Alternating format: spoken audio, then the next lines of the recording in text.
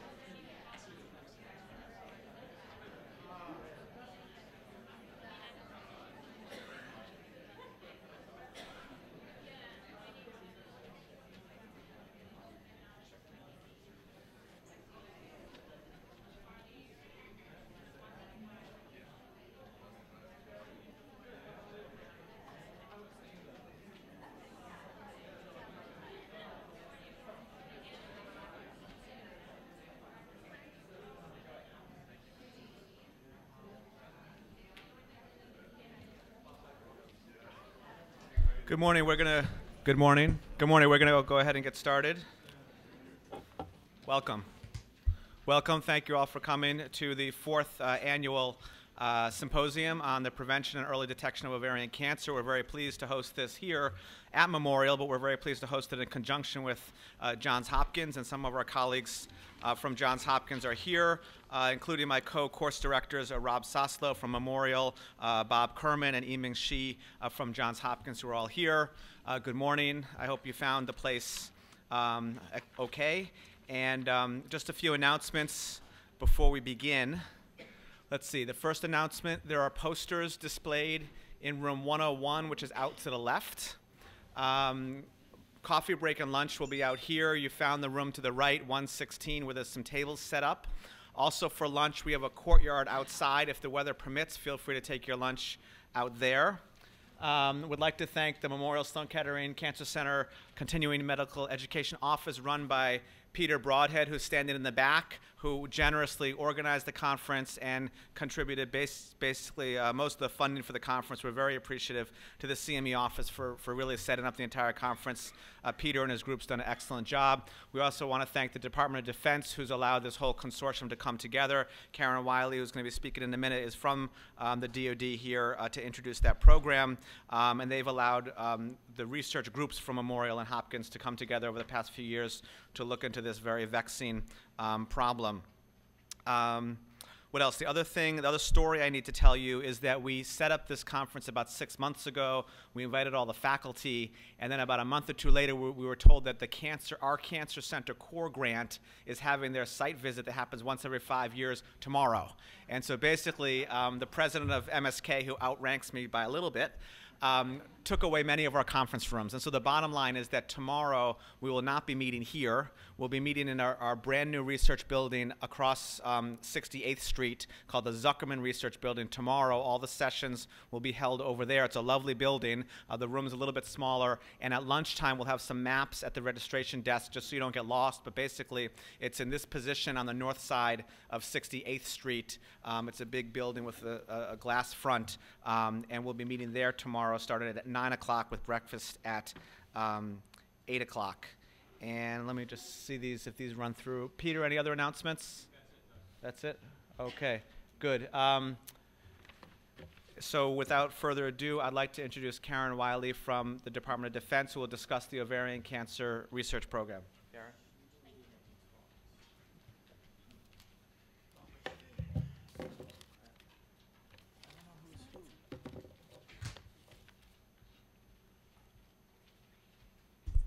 Thank you, Dr.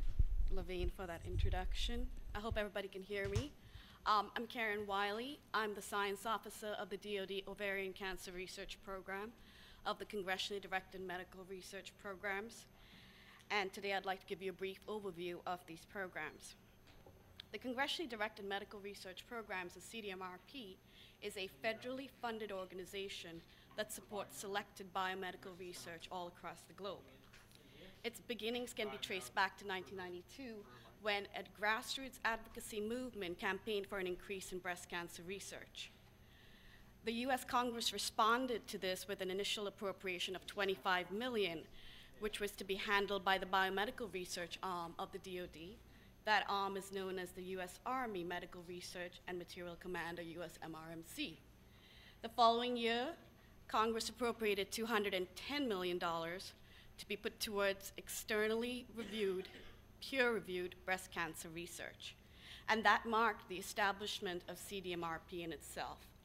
It still works within the DoD US MRMC organization, but it has grown to include 15 research programs that are in the cancer, neurologic, orthopedic, and military relevant areas, and since its beginning has managed over $7 billion in appropriations. Our mission at CDMRP, our vision, I believe, um, I'm sorry, is to find and fund the best research to eradicate diseases and support the warfighter for the benefit of the American public. We do this on a daily basis by striving towards promoting innovative research, recognizing untapped opportunities, creating partnerships, and guarding the public trust. So if you happen to have an award with us and you get an email from a science officer such as myself that makes you stop, sigh, and wonder why, this is generally what we're doing. So please work with us. Everything has a reason. Uh, CDMRP, for being a small organization, is, does have a pretty significant impact on the biomedical research funding arena. We are the second largest federal funding source for ovarian, breast, and prostate cancer. Seen here are some samples of the program books that are available on our website and are a great um, starting point for anybody interested in the programs and in getting funding from them. Collectively, CDMRP has reviewed over 80,000 research proposals and funded over 11,315 research awards worldwide. Established in 1997, the Ovarian Cancer Research Program, or OCRP, was one of the earliest cancer programs to be added to the CDMRP repertoire. OCRP's broad yet critical vision is to eliminate ovarian cancer. We strive to achieve this by supporting research of extreme scientific merit that is focused on detecting, di diagnosing, preventing, and controlling ovarian cancer. From fiscal years 1997 through to 2012, we've managed appropriations of approximately $196 million and given out 284 research awards worldwide. So for all this time and money, how has the ovarian cancer community potentially benefited from the work of the OCRP? Well, we tend to fund high impact, innovative research that is sometimes considered high risk, and oftentimes the potential benefit from those awards may not be realized till the award has concluded. But I would like to show you today some highlights from some of uh, the awards that have panned out. In, a 2003 awardee, OCRP awardee, Dr. Zhang, identified five novel biomarkers for ovarian cancer. This was translated into the OVA1 in vitro diagnostic test, which was approved for use by the FDA in 2009. Another 2006 OCRP awardee, Dr. David Bowtell of Australia, discovered a specific BRCA2 genotype that was associated with an increased risk of ovarian cancer. This is now the basis of a genetic screen for ovarian cancer risk. In 2009, an OCRP awardee, Dr. Patricia Kruk, discovered elevated levels of BCL2 in the urine of women high, associated with higher ovarian cancer risk. Currently, there is now a device based on this outcome that is being uh, prepared for commercial use. In the mid 2000s, OCRP made a concerted effort to put together an award mechanism that we thought would be a game changer in the ovarian cancer research field. Um, the intent of that award was to bring together a major multi institutional research effort that would focus on identifying and characterizing early changes of disease that are associated with ovarian cancer. It would also integrate a team of preeminent investigators from appropriate disciplines and multiple institutions who would propose coordinated plans that integrate and optimize research collaborations within the consortium. So in fiscal years 2008 and 2009, we had a round of awards that went out to several awardees to prepare them towards this big OCRP Consortium Award, which was offered in 2010. And from that group, we had one single awardee for $12 million, and that was Dr. Kurman's group. It has investigators that are across Johns Hopkins, Memorial Sloan Kettering, Yale, University Health Network of Toronto. And today, we're going to be graced with talks from several of these investigators. I'd like to wrap up with some good news. The OCRP has $20 million for its fiscal year 2013 research funding plan. And the uh, slide here is a homepage, which generally opens up to a central features, which is updated regularly. And since I made the slide, this has already been updated to add more programs. But the main point of this slide is to show you that if you go here and click on the ovarian cancer link, it'll bring you to the program announcement or calls for proposals that are specific to ovarian cancer. Currently, we have three up, the Ovarian Cancer Academy Award, the Pilot, and the Teal Innovator Award. Please notice that they all have pre-applications. In fact, the Ovarian Cancer Program has pre-application screening for every single proposal. But we now have the deadlines up for both pre-application and application, so that's definitely something to be aware of. We also have pre-announcements up for two more awards. One is the Research Development Award, and another one is the Clinical Translational Leverage, Leverage Award. Um, with that, I'd like to wind up with a few important addresses, such as how to get uh, added to our mailing list, and the application and pre-application email addresses. And all of these are available at our main um, website at http cdmrp.army.mil. Thank you so much for your attention, and I appreciate the opportunity to be here.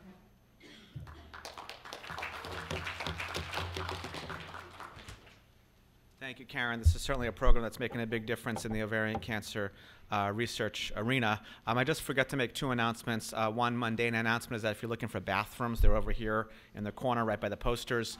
Uh, but more importantly, for anyone who's new to our center um, and hasn't been here before, would like to see the rest of our facilities outside of this conference room, um, at the end of today's session around 3.30, uh, two of our fellows, uh, Karen St. Clair and Jennifer Ducey, uh, will meet anybody outside here in the foyer who'd like to see either our clinical facilities or our research facilities. I know there's a few people who've come from quite a distance.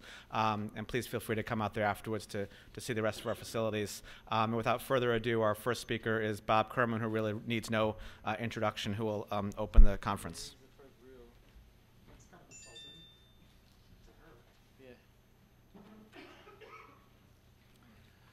Uh, Thank you very much, Doug, and, and again, just to uh, thank Doug and his colleagues here at Memorial for uh, organizing this program. Uh, We've been doing this for quite a, a number of uh, months, and uh, they've just done an outstanding job, and we're really delighted and pleased that they've, they've uh, done this.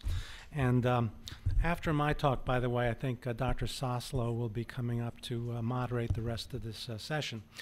So I'd like to kind of pick up and continue where Dr. Wiley left off. In other words, uh, giving you a little bit of background. Uh, much of this, this, these initial slides, uh, really, yeah, I realize virtually all of you know about, but it's sort of a good way to just get things started and then tell you a little bit about the objectives, uh, our primary obje- objectives of the DoD grant that, that Karen mentioned, and then get into a, a very brief presentation on the origins, we think the origins of low-grade serous carcinoma are, although the focus of, of the entire symposium is on high-grade, but low-grade is an important one, and we shouldn't neglect it.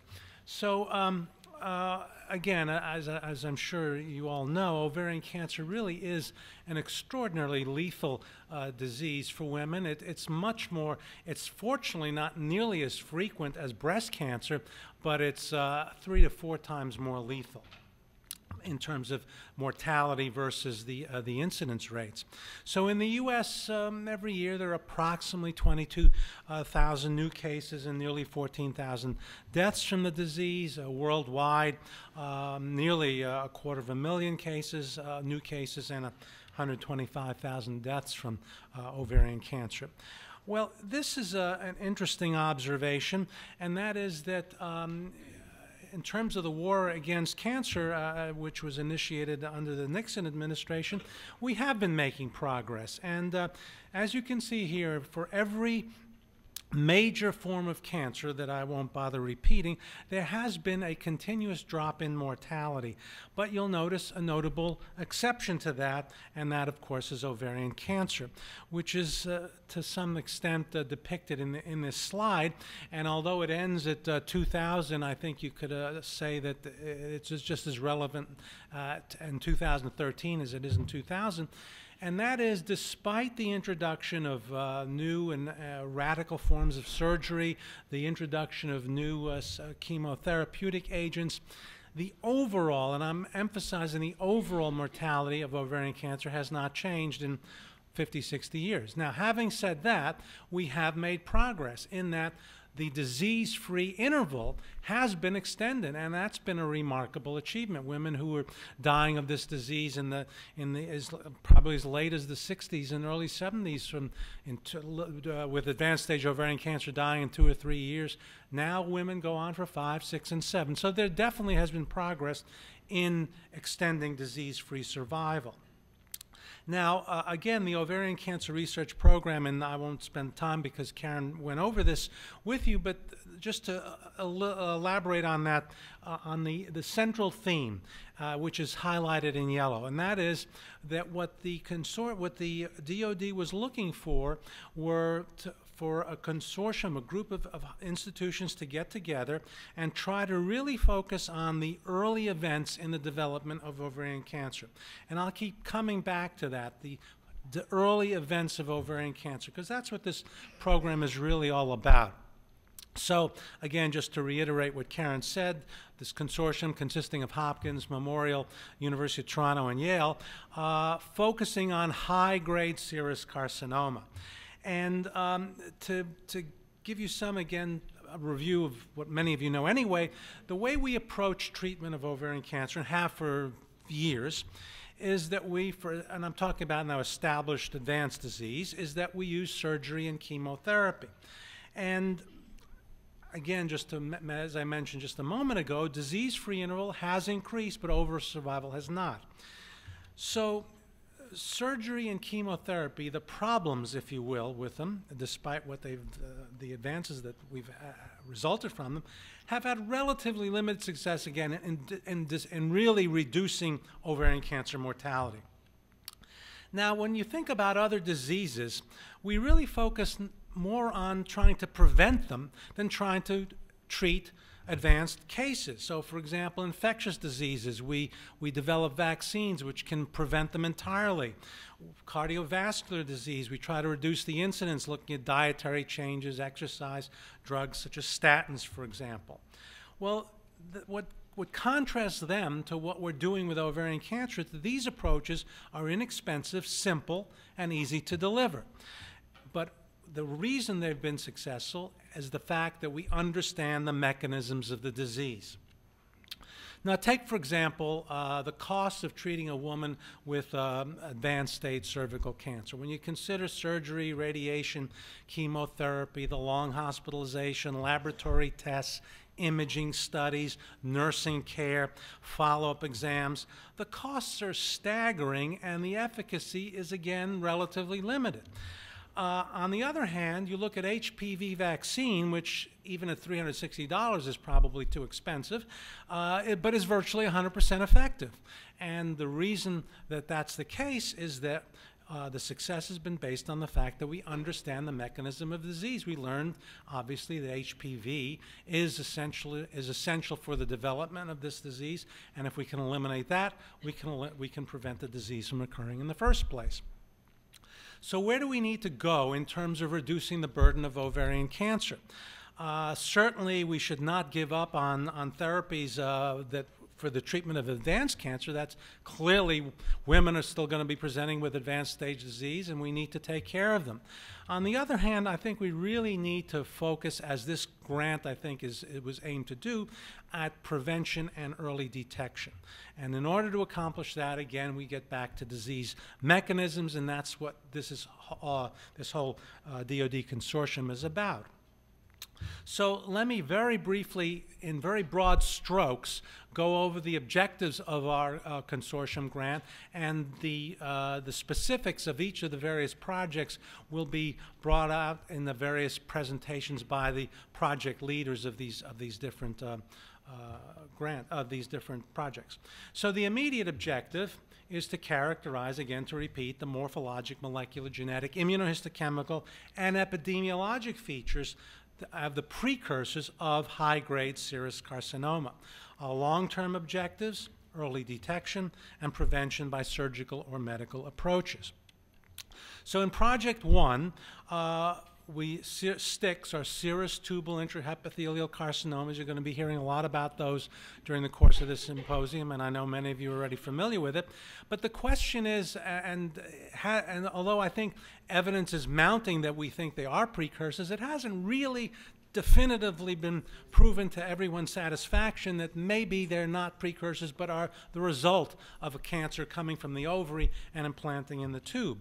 Uh, so what Project One is, uh, is, is aiming to do is to analyze STICs from women who have um, a concomitant ovarian cancer.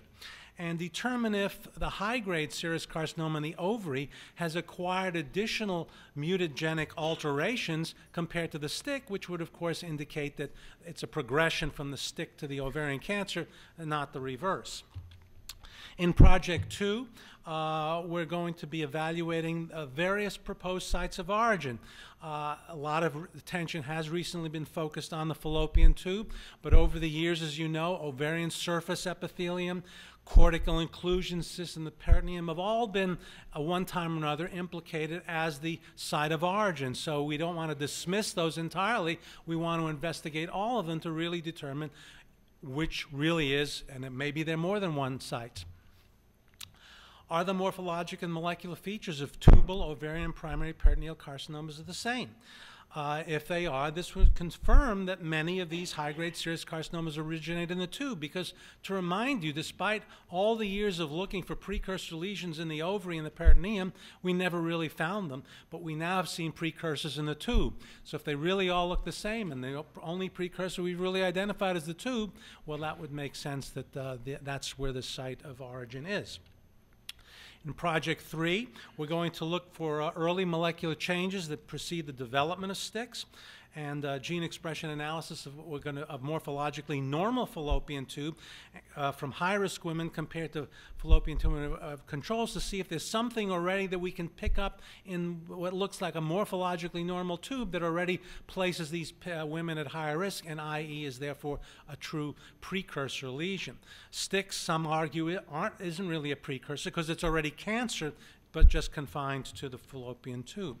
Uh, as part of that project, an in vitro system with a, um, using a mouse model to generate a molecularly uh, defined cancer resembling high-grade serous carcinoma and OSE using oncogenes expressed in ovarian cancer will be developed.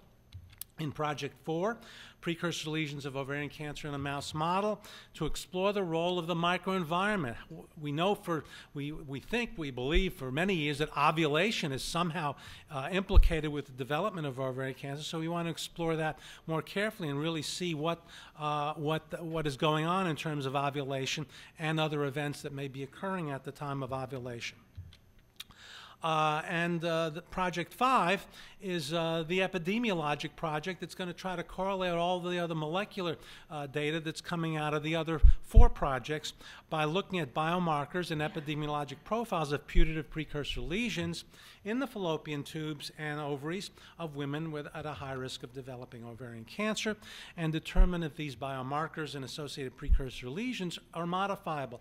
Oral contraceptives, again, I mentioned earlier ovulation. Well, we also know that oral contraceptives, maybe by just reducing the frequency of ovulations in a woman's lifetime, is an important factor in reducing the risk of ovarian cancer. Maybe there are other agents, anti inflammatory, for example. So that is really uh, my overall summary of our grant, which I said again is going to be, you're going to get many more details as each one of the investigators who's involved with these grants is going to be presenting uh, data, as well as some of our uh, speakers who are coming from, who are not involved with the, uh, the grant directly, but are working in related areas and uh, you'll be hearing more from them in just a, few minutes. So I'm going to really spend the next oh, 20 minutes or so on the origin of low-grade serous proliferative lesions. And I use the term lesions because I'm using it as a very inclusive term to include not just low-grade ovarian serous carcinoma, but also a, what we term atypical proliferative or borderline tumors, non-invasive implants, and endosalpingiosis. And a lot of the data that I'm going to present in, in this talk comes from a paper that was published uh, not too long ago in the American Journal of Surgical Pathology, and I'll go into some of the background of that uh, study in just, uh, just a moment. So briefly, the birth of borderline. It all started really in 1971 when FIGO uh, first proposed a term that, interestingly enough, was not called borderline. It was actually called atypically proliferating cells of blah, blah, blah, blah. Then two years later, WHO, which was a group of pathologists, decided to simplify this and just call them borderline tumors. Well, the, since that time, there's been considerable controversy concerning both the terminology and the behavior of these, of these tumors, but little attention has really been directed to how they originate. Another uh, lesion that's been looked at or uh, discussed in the literature to a very limited extent over the last several years, uh, possibly relating this lesion to, to borderline tumors, is tubal hyperplasia. So, in one study, uh, coming out of MD Anderson, uh, the investigators found that tubal hyperplasia was significantly associated with the develop with uh, with associated with uh, borderline tumors, and here you can see a, a very good p-value. Uh, in borderline tumors compared to controls. Now, on the then surprisingly, another study, uh, this one coming out of George Washington, indicated they looked at tubal hyperplasia and its association with borderline tumors no significant association. So, diametrically opposite conclusions. How could this be? Well, in reviewing these papers pretty carefully, my thinking is that they use very different criteria for the diagnosis of tubal hyperplasia, and that's what led to uh, the differences in, the, in their uh, conclusions that were so uh, opposed to one another.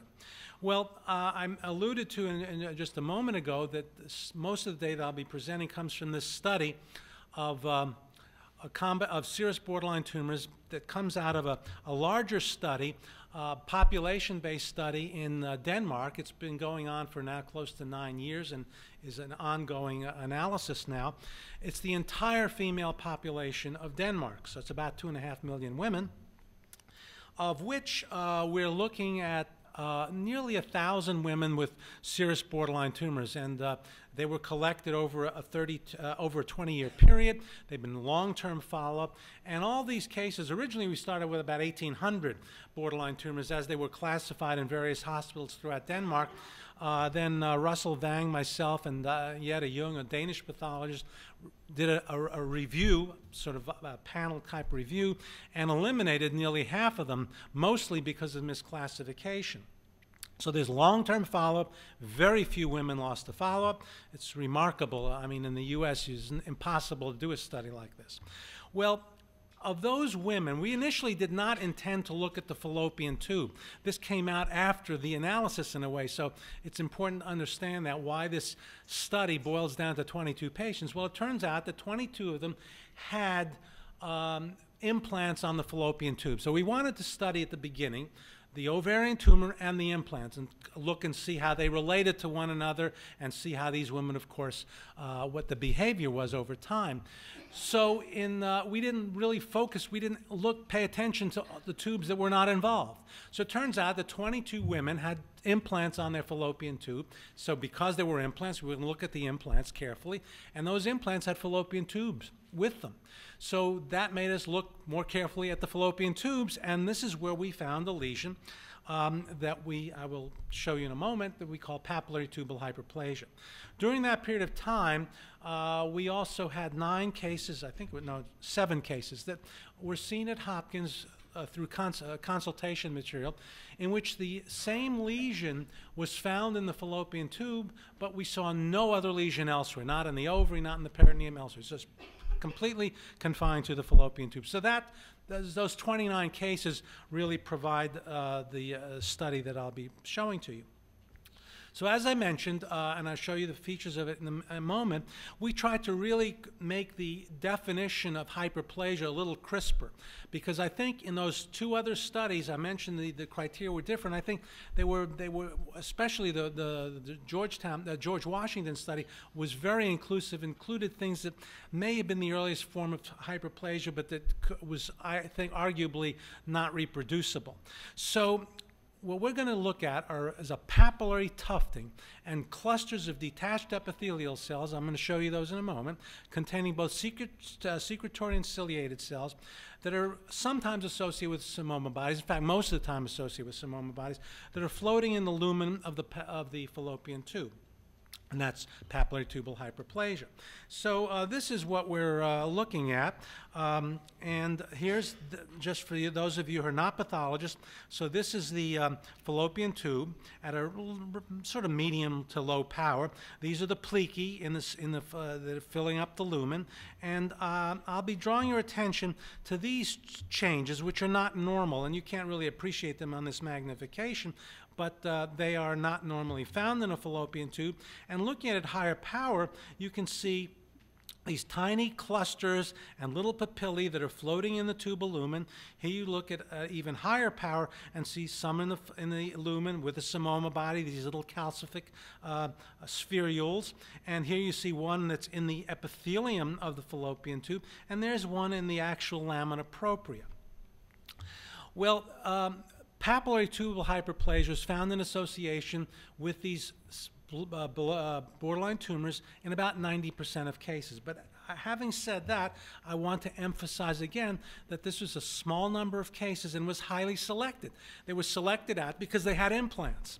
So uh, we do not know the true frequency of uh, this lesion in women with borderline tumors, other than I will tell you that as uh, over the years I've looked at I see many, many of these cases, thousands really, over my career.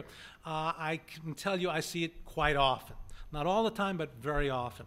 But it would be an interesting, th- uh, something that needs to be pursued. And we certainly don't know the prevalence of papillary tubal hyperplasia in the population. So those are the, the shortcomings of this analysis. Now, what we did find, which was of interest, and I think ultimately will be shown to be important, is the presence of acute and chronic salpingitis or evidence of tubal damage, uh, plicae that are blunted, or there's bridging of the fallopian tube, pathologic changes that indicate in the past the patient has had salpingitis, but it's now been healed, but there's been damage to the tube. So, putting that together, the way we see the evolution of this lesion is it begins with chronic inflammation, which leads to a focal epithelial stratification that you see here. So, there's this little humping up of epithelium, and some of those, for example, in the in the uh, GW study, were called hyperplasia. But I'm not sure that all these, may, and I think it is the very earliest form, but I don't think all these continue to evolve. Some of them maybe just disappear again, and that's why they didn't find that association with. Uh, uh, serous borderline tumors. So as these little humped up uh, tufts expand, they form rounded papillae, as you see here. The next thing that happens is these papillae actually get cut off and pinched off and extruded into the lumen, as you see here, and uh, then float off into the lumen. And you can see them in varying amounts, sometimes just a few, sometimes quite a number, as you see, as is, is in this uh, slide just a quick comparison of the morphology of papillary tubal hyperplasia, the upper two uh, images, to an atypical proliferative borderline tumor, and I think you can appreciate the similarity. Well, I think that's probably not the only source of uh, atypical proliferative serous tumors. I think some of them, and I think the same can be said for high-grade serous carcinoma, which I'm not going to get into. The other speakers will discuss that, are cortical inclusion cysts, which, to remind you, has been one of the sources of one of the presumed uh, derivations of ovarian serous carcinoma for a long time. I mentioned the importance of ovulation, so I think it, it, it, it's a, worthwhile to examine more closely the relationship of the ovary to the fallopian tube at the time of ovulation. So here we see a, um, a follicle that develops that then at the time of ovulation the ovarian surface epithelium is ruptured the oocyte gets transmitted to the fimbria uh, but what i'm going to focus your attention on is this rupture site so we speculate that what's going on is when the fallopian tube fimbria are in such close contact with the ovary at the time of ovulation, secretory and ciliated cells can be easily uh, exfoliated.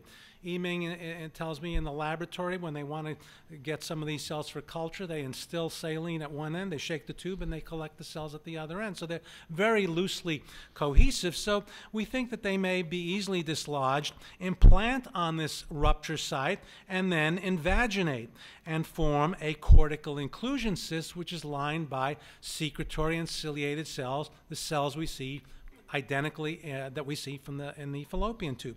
On the other hand, there are other types of inclusions that you see here in which the epithelium lining the inclusion is virtually identical. It's flattened. You don't see the ciliated or secretory cells, and we think yes, those develop by um, invagination of the ovarian surface epithelium which has been over the years proposed as the source of the inclusions, not coming from the fallopian tube. Well, to pursue this issue of two different types of cysts with possibly two different origins, uh, uh, we began exploring this with markers, immunohistochemical markers. PAX8 is a Mullerian marker and calretinin is a mesothelial marker. And if you look at ovarian cancer, you can see it expresses PAX8 very, very strongly and diffusely. On the other hand, calretinin in the tumor is not. You see positive cells in the stroma, which is another uh, important issue, but which I won't have time to get into today. Uh, and then com let's compare the, uh, the immunoprofile of this high-grade serous carcinoma to fallopian tube epithelium. And here you can see Pax8 expressed, but not calretinin, which is totally the opposite of the ovarian surface epithelium, where Pax8 is not expressed, but calretinin is. Well, um, this is an interesting study that was reported uh, uh, recently coming from Lee and colleagues, in which they did what I just showed you, very similar, but they analyzed a large number of cases looking at calretinin and Pax8 in both cortical inclusion cysts and fallopian tubes. So what they found was that uh, when they looked at the ovarian surface epithelium, on rare occasion, they could find some tubal epithelium there, which would show that the, the immunoprofile that I just demonstrated to you. But on the other hand, most of what they saw was mesothelium, these flat, uh, very nondescript looking cells, which are like I just showed you, calretinin positive and Pax8 um, uh, negative, and that's in, the, in 96% of their cases. Then they, they looked at the fallopian tube. And they found that the secretory cells, again, as I showed you, Pax8 positive, calretinin negative. The ciliated cells were negative for both markers. Uh, cortical inclusion cysts that they then looked at fell into these two different groups. Uh, they're the ones that were lined by tubal type epithelium, showing that same tubal type uh, immunoprofile, and there were those that were lined by flattened epithelium, the mesothelial type, if you will, showing the immunoprofile of the normal ovarian surface epithelium. So they concluded, as I just showed you too, that there are two different types of cortical in inclusion cysts. Now, just to uh, illustrate that a little bit uh, further, here you're looking at ovarian surface epithelium stained for calretinin, strongly positive. Uh, this invaginating, what we think is fallopian tube epithelium, and the cortical inclusion cysts that are negative. On the other hand, Pax8 negative in the OSE and strongly positive both in the tube and in the cortical inclusion cyst. Well, let's now really go down at higher power and look, exa examine very closely the actual epithelium that surrounds some of these cortical in inclusion cysts and compare it to the fallopian tube epithelium. So as I've been leading up to it, they're, they're virtually identical. You see the secretory cells, you see the ciliated cells, and in addition, you see these cells, and this, is, this never ceases to amaze me. Something, you know, you look at, I've been looking at tubes my entire career and never really paid much attention to those. And then suddenly as we began looking at STICs and we began much more closely looking at these cells and we wondered what they were. So I went to the older literature, my predecessor Don Woodruff at Hopkins reported them thinking they were precursors of, uh, uh, they were stem cells for the development of secretory and ciliated cells. And then uh, I talked about this with Ie-Ming, and he said, well, you know, they look a lot like lymphocytes, don't they? So um, uh, he did some immunohistochemistry, and uh, CD45 turned out to be that they're strongly positive. So with that as a, a starting point, we said, well, let's look at these more carefully. And we started looking at them with various markers for different subsets of immune cells. And here you can see that um, these uh, uh, the, what we found again both in cortical inclusion cysts and the fallopian tube there are CD, uh, T, uh, CD8 positive uh, T lymphocytes um, and we also see macrophages that can be identified in them. Here you see another uh, normal fallopian tube with the cell double staining preparation in which the pink cells are CD3 cells and the brown cells which are quite a, a number of them here are a subpopulation of NK cells. So uh, these immune cells in the, in the uh, tube, normal tube, which you see in every fallopian tube, the fallopian tube appears to contain a large number and variety of these cells. Most of them are cytotoxic CD8 uh, cells, as I showed you, some macrophages, other, others populations as well. We know that NK cells, this population can secrete IL-2, a cytokine that's involved in mucosal protection. So what the, thinking is, as in the gut, uh, these uh, cells are there for providing some kind of mucosal protection, but possibly inflammation may lead to the development of uh, neoplasia. And just to show you that uh, you see the very same cells in the atypical proliferative serous tumors, again, both the CD68 and the CD8 cells. So comparing then cortical inclusion cysts and fallopian tubes, the co cellular composition of these of the tubal-lined cortical inclusion cysts and tubal epithelium are virtually identical. OSE really doesn't contain lymphocytes. Uh, so that our thinking is, as I've been saying, is that the cortical inclusion cysts lined by flattened epithelium are due to invaginations of the surface epithelium, whereas the ones lined by columnar epithelium are of tubal origin. Now, cortical inclusion cysts, we theorize, can expand and develop into cystadenomas. So, um, number of years ago, uh, uh, coming out of, uh, again, a nice study coming out of Ie-Ming's laboratory, they first looked at serous cystadenomas, and this was at a time when we already knew that KRAS and BRAF mutations are the most common mutations in low-grade serous carcinomas and in atypical proliferative serous tumors. So they looked for those proliferations in cystadenomas, and they didn't find any.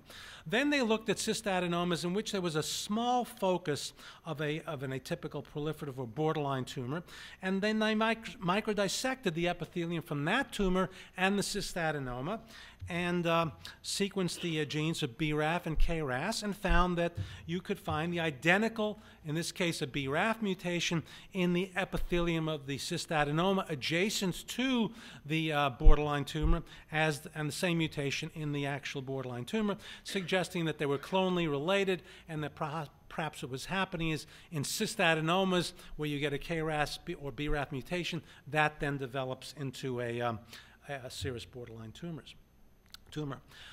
Endosalpingiosis. Uh, we see that all the time, not only in patients with borderline tumors, but certainly in patients with those tumors. There's an increased frequency compared to controls. And th there was a report a number of years ago, actually, again identifying the identical KRAS mutation in the lymph node of a patient, I think with two patients, with endosalpingiosis, and the same uh, mutation in their primary and their associated serous borderline tumor. And they didn't commit. They said that, well, this could either be an independent, separate uh, origin or perhaps spread from the uh, fallopian, uh, from the uh, borderline tumor. I think uh, my thinking at this point, based again on data that we're currently analyzing from that study in Denmark, is that these, uh, these lesions, and we haven't really specifically looked at endosalpingiosis yet, but certainly the implants seem, again, have the identical mutation, suggesting that they're implanting from the ovarian tumor.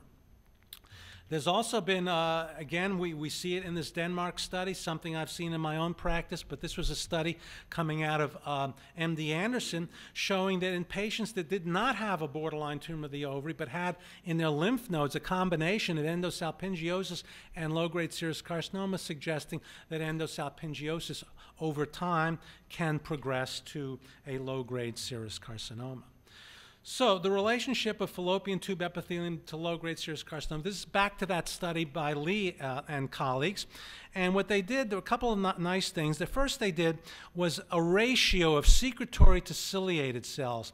And because cilia are sometimes difficult to see, they used tubulin stain, which identifies uh, cilia and they compared fallopian tube, so cortical inclusion cystotubal type, serous cystadenomas, uh, atypical proliferative serous tumors, and low-grade serous carcinoma. And when they looked at that ratio, you can see that as you go from fallopian tube epithelium to low-grade serous carcinoma, that ratio increases. So you're getting an outgrowth of secretory cells. And this mechanism has also been proposed by Chris Crum and colleagues uh, and Dr. Drapkin, who you'll hear later, uh, as the same origin for the high-grade serous carcinoma. This is an outgrowth of secretory cells uh, derived ultimately from the uh, fallopian tube. They also looked at the, Chi, uh, the Ki67 uh, uh, proliferation index, comparing again fallopian tube, and as you can see, it, there's a, a pretty much of a steady increase. So it suggested to them, based on this ratio, the increase in Ki67, that low-grade serous carcinoma develops in a very uh, stepwise progression uh, from secretory epithelium. Well, this tries to put it all together. Uh, a massive slide uh, looking at a model for a low grade and high grade serous carcinoma, but as I said, I'm not going to discuss the high grade, but suffice it to say that um, we think uh, the, the culprit ultimately is the fallopian tube epithelium. So just looking at the, uh, at the low-grade uh, tumors, beginning with papillary tubal hyperplasia, which can implant on the ovary uh, or on the peritoneum, uh, lead to the development of an atypical proliferative serous tumor, go on to a low-grade serous carcinoma. Peritoneum, endosalpingiosis, non-invasive implant, can go either way or perhaps fallopian tube epithelium without going through this hyperplasia. This is what we again speculating. It's a, it's a it's a hypothesis. Can implant on the ovary or the peritoneum, and again form a cortical inclusion cyst, an adenoma, and so forth. And the same thing for peritoneum going on to endosalpingiosis and and so forth. So in terms of the pathogenesis then of these uh, low-grade serous proliferations, this model, I think, can explain the development not only of the ovarian tumors, but also these lesions that we see developing that we think primarily in the peritoneum in the absence of an ovarian tumor. And uh, in, in our practice, in our consultation practice, we see, well, on a couple, few cases a year where the pathologist is just totally puzzled. He says, or she says, look, we see these, they look like non-invasive implants in the peritoneum. They're all over the place, but there's no ovarian tumor. We section the entire ovary. Well, we think it's possibly because they they don't need that ovarian tumor to start with. They can come directly from fallopian tube. So uh, in conclusion then, uh, in our opinion at this point, all ser pelvic serous proliferations, benign and malignant, develop from fallopian tube epithelium. Thank you very much.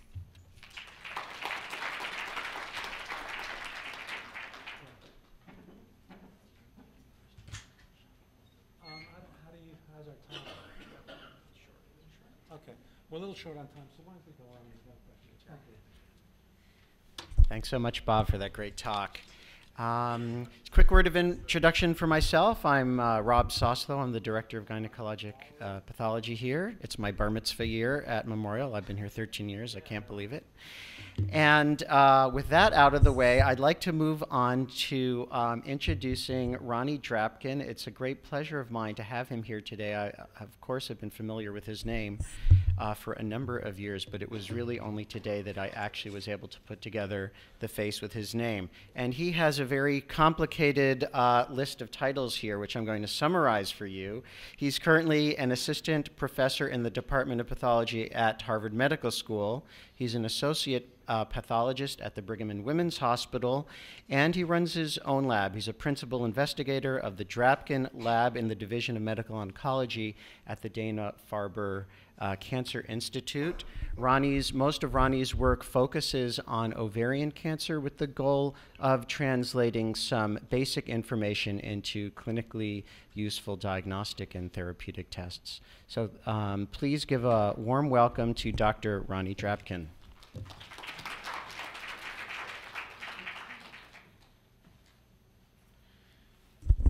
Thank you, Rob, and thank you, Doug, for the invitation. I, uh, I'm glad you stuck with me this year. For those of you who are familiar, last year I was invited. I couldn't come because I had a wee bit of a little biking accident that uh, knocked me out for a few months. But I'm glad to be back this year to share with you some of the things that are going on in our lab.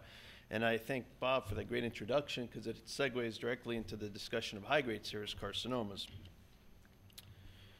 So ovarian cancer, as most of you know, is a heterogeneous disease. There's not a single type of ovarian cancer. And what this uh, figure tries to illustrate is, let me just see working perfect, is the, uh, the four major subtypes of ovarian cancer that uh, were all until some time ago considered to be emerging from the ovarian surface epithelium, as I heard about from Dr. Kurman, that envelops the ovary. And even though all these look different under the microscope, they also have their own unique natural clinical history. And it was with that distinction and, and the heterogeneity and confusion that that caused in the field that uh, Kurman and Shih really thought about trying to come up with some classification system Uh, probably about 10 years ago now, I think, Bob, where we could start thinking about how do we classify these tumors in a manner that would make them amenable to molecular diagnoses. So they came up with this two-tier system for classifying ovarian tumors. You have the type 1 tumors that encompassed all the histological subtypes, including the low-grade serous carcinomas, which you just heard about.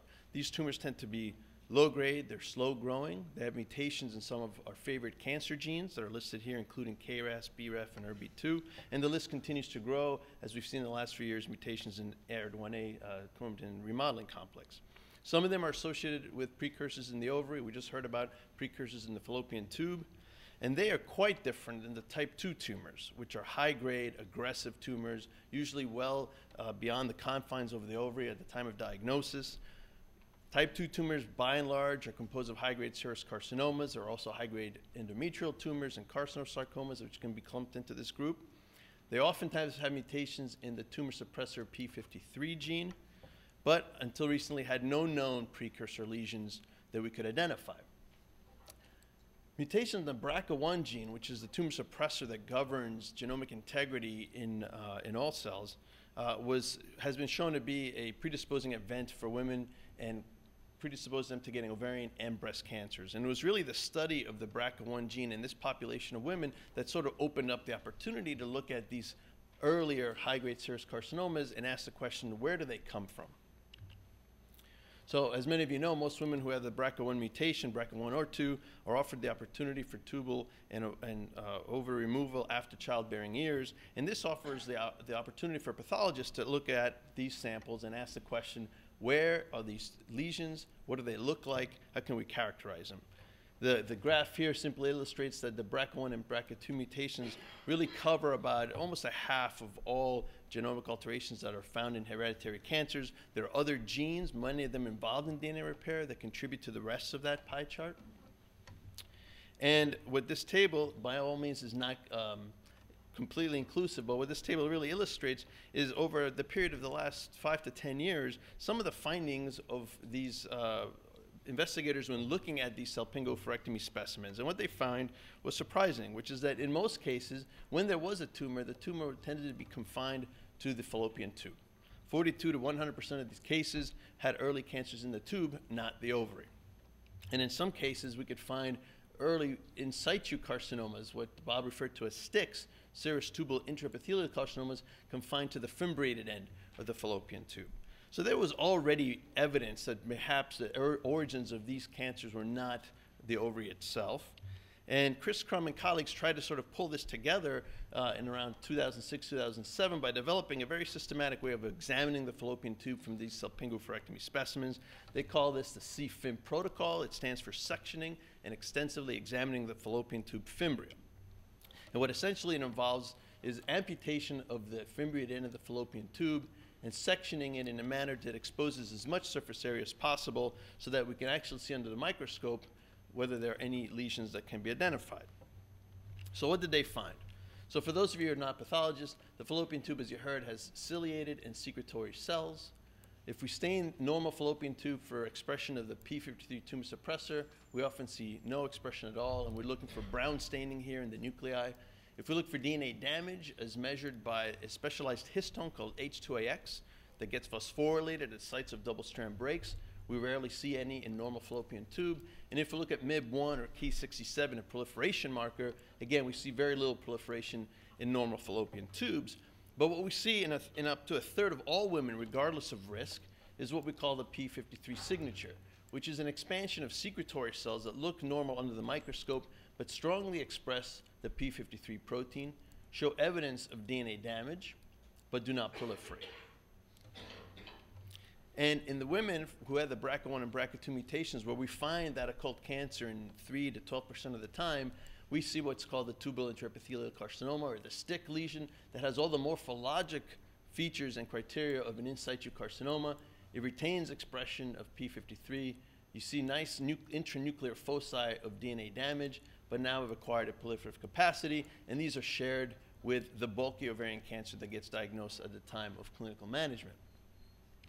And this illustration here just tries to depict the evolution of normal fallopian tube epithelial cells into these P53 precursors, in situ carcinomas, and then the dissemination of the invasive cancer to the surface of the ovary or the peritoneum. Now, I think it's important to point out here before I go forward that while this looks very nice and neat, uh, I'm sure Bob and Yi can tell you that the inter-observer variability that we see with in situ carcinoma or stick lesions is relatively high. The use of biomarkers uh, for immunohistochemistry is very important and likely is going to raise the interobserver variability, so it's important to keep that in mind. Those of you who are in the community and looking at this, that the, proteins, PP3, laminin 1C, stathmin, P16, these are all proteins that have been used to credential stick lesions uh, in tissue when you're not sure whether it fulfills all these criteria. And so this emergence of the fallopian tube as a site of origin for high-grade serous carcinomas sort of tries to put together now this integrated model of ovarian cancer pathogenesis where high-grade lesions might emerge from the fallopian tube and secondarily seed the ovarian surface of the peritoneum, and the low-grade lesions may either come from uh, endosalpingiosis, as you just heard of, metaplasia perhaps of the ovarian uh, surface epithelium. The evidence for that it seems to be decreasing, not increasing, and perhaps other uh, sources. Uh, those who are familiar with uh, Louis Debeau suggest that extrauterine Müllerian epithelium that may be present in the forms of endosalpingiosis or endocervicosis or endometriosis may also be the site of origin for some of these other lesions. So now we have sort of a dual model of ovarian cancer pathogenesis that we have to take into consideration.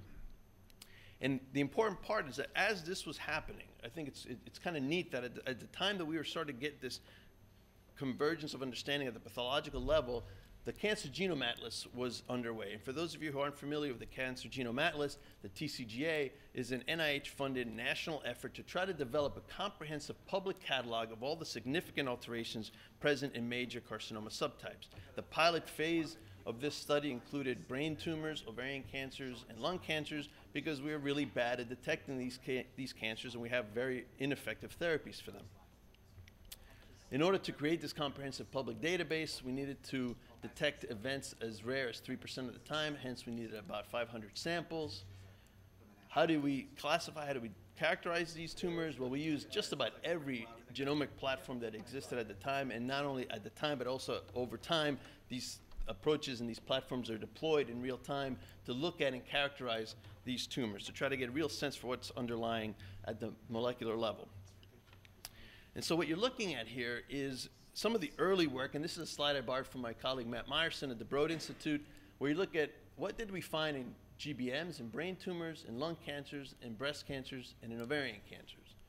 And what we find is that in just about every tumor type, you see a nice spectrum of mutations in all your favorite cancer genes. P53, NF1, P10. You see the very similar spectrum of mutations in most of these tumors, including breast cancer. And ovarian cancer was very distinct. We saw mutations in P53 in nearly 100% of the cases, but hardly any other mutations that really registered high on the scale. So that was very shocking. I remember being at the first Broad uh, conference where they uh, unveiled the, the data, and everyone was really disappointed because what are we really good at these days? We're good at developing therapeutics to mutant forms of cancer genes. Right? And now we, it turns out we all got is P53, and we knew that. So what is ovarian cancer characterized by? It's really characterized by significant copy number alterations throughout the entire genome. So what you're looking at here is a GISTIC plot from chromosome 1 to 22, looking at all the amplifications throughout the entire genome that are present in these ovarian tumors. Here you're looking at the list of the most commonly amplified genes that we see. And it's interesting, some of the same genes that are mutated in other cancers aren't mutated in ovarian cancer, but they're amplified. Similarly, if you look at deletions, we see that there's deletions throughout the entire genome. And again, some of the same genes that are mutated in the other tumors, NF1, P10, for instance, aren't mutated here. They're just simply gone. So, what's happened over the last five to seven years is that our understanding of the molecular pathogenesis of ovarian cancer and the genomic understanding have really converged to tell us that high grade serous tumors really do start likely from the fallopian tube. They undergo this process of PP3 mutations, which we'll talk about later about how that happens, that is retained in the intraepithelial carcinoma and the invasive cancer. There are no known other significant mutations uh, that we know of at this time, but that somewhere along the line, and I think we're going to hear about this from Yiming Shi in the next talk, copy number alterations and other molecular events un are, are undergoing so that by the time you get to the clinically manifested disease, we see the, the, the tumor that I just described to you, which is massive copy number alterations with very few other somatic recurrent mutations. So what are the take-home messages? Well, we have precursors to high-grade serous carcinomas existing in the fallopian tube. The CFIM protocol is an important clinical tool for assessing these risk-reducing salpingo-oophorectomies. High-grade serous carcinoma is a disease that's characterized by early p53 mutations in almost all cases and widespread copy number alterations. And that's interesting, that's great, but there's a lot of nagging questions. Do all high-grade serous carcinomas come from the fallopian tube? How do we treat stick lesions? Should we treat stick lesions? What are the implications for early detection? What are the implications for prophylactic surgery? And how do we develop, develop novel therapeutics with so few mutations in these tumor types? And I'm not going to stand here and tell you that I'm going to answer all those questions here today, but what I want to tell you is that our approach to trying to answer some of those questions is to take the stand that in order to do so, we need to develop the right model systems to address these questions. And that's really been the focus of the, my lab for the last five, six years, is to develop fallopian tube-based model systems, experimental model systems, that will give us a traction to try to answer some of those questions. And so what this busy slide is illustrating are some of the model systems that we've developed, and I'm going to go through them very quickly and then really focus mostly on one to give you an example of the th type of things we're doing. So one of the model systems we developed a couple of years ago is what we call the ex vivo fallopian tube bioanalytical platform. And this is simply our ability to grow normal fallopian tube epithelial cells that are dissociated from fimbria of, of uh, surgical specimens. And they grow on these Transwell filters that are semi-porous and form a polarized epithelium that enables us to use normal epithelial cells and ask questions, what makes them susceptible to transformations? What are the factors that might make the secretory cell likely to transform?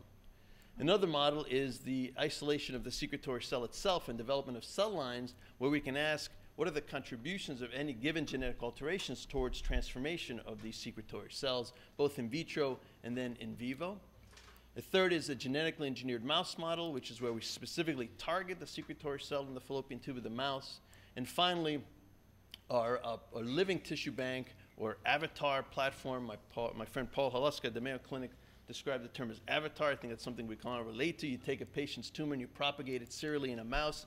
We've been able to show that they retain the genomic uh, fidelity to the original patient sample and hence might be better model systems and cell lines for thinking about drug development and drug discovery.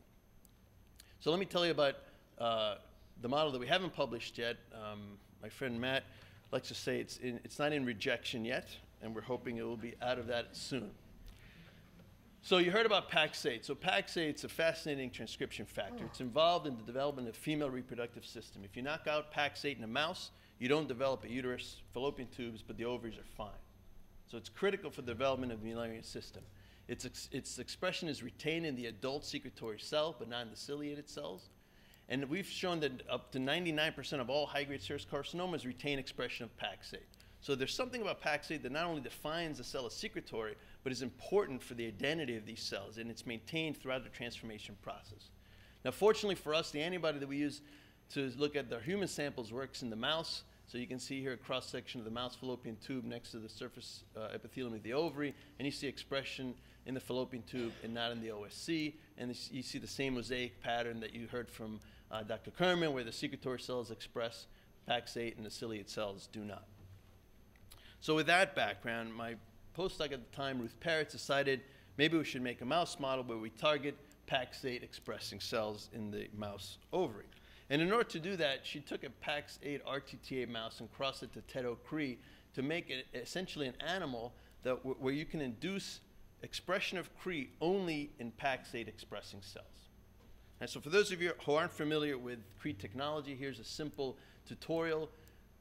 Take your favorite gene, YFG, if you want to delete it in any, in any uh, animal model, you flank it with what we call LOXP sites, which don't alter the coding sequence of the gene, so it's sort of a silent introduction of these LOXP sites.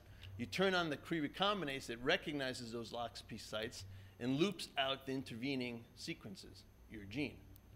And hence, your gene is gone and you've deleted your favorite gene.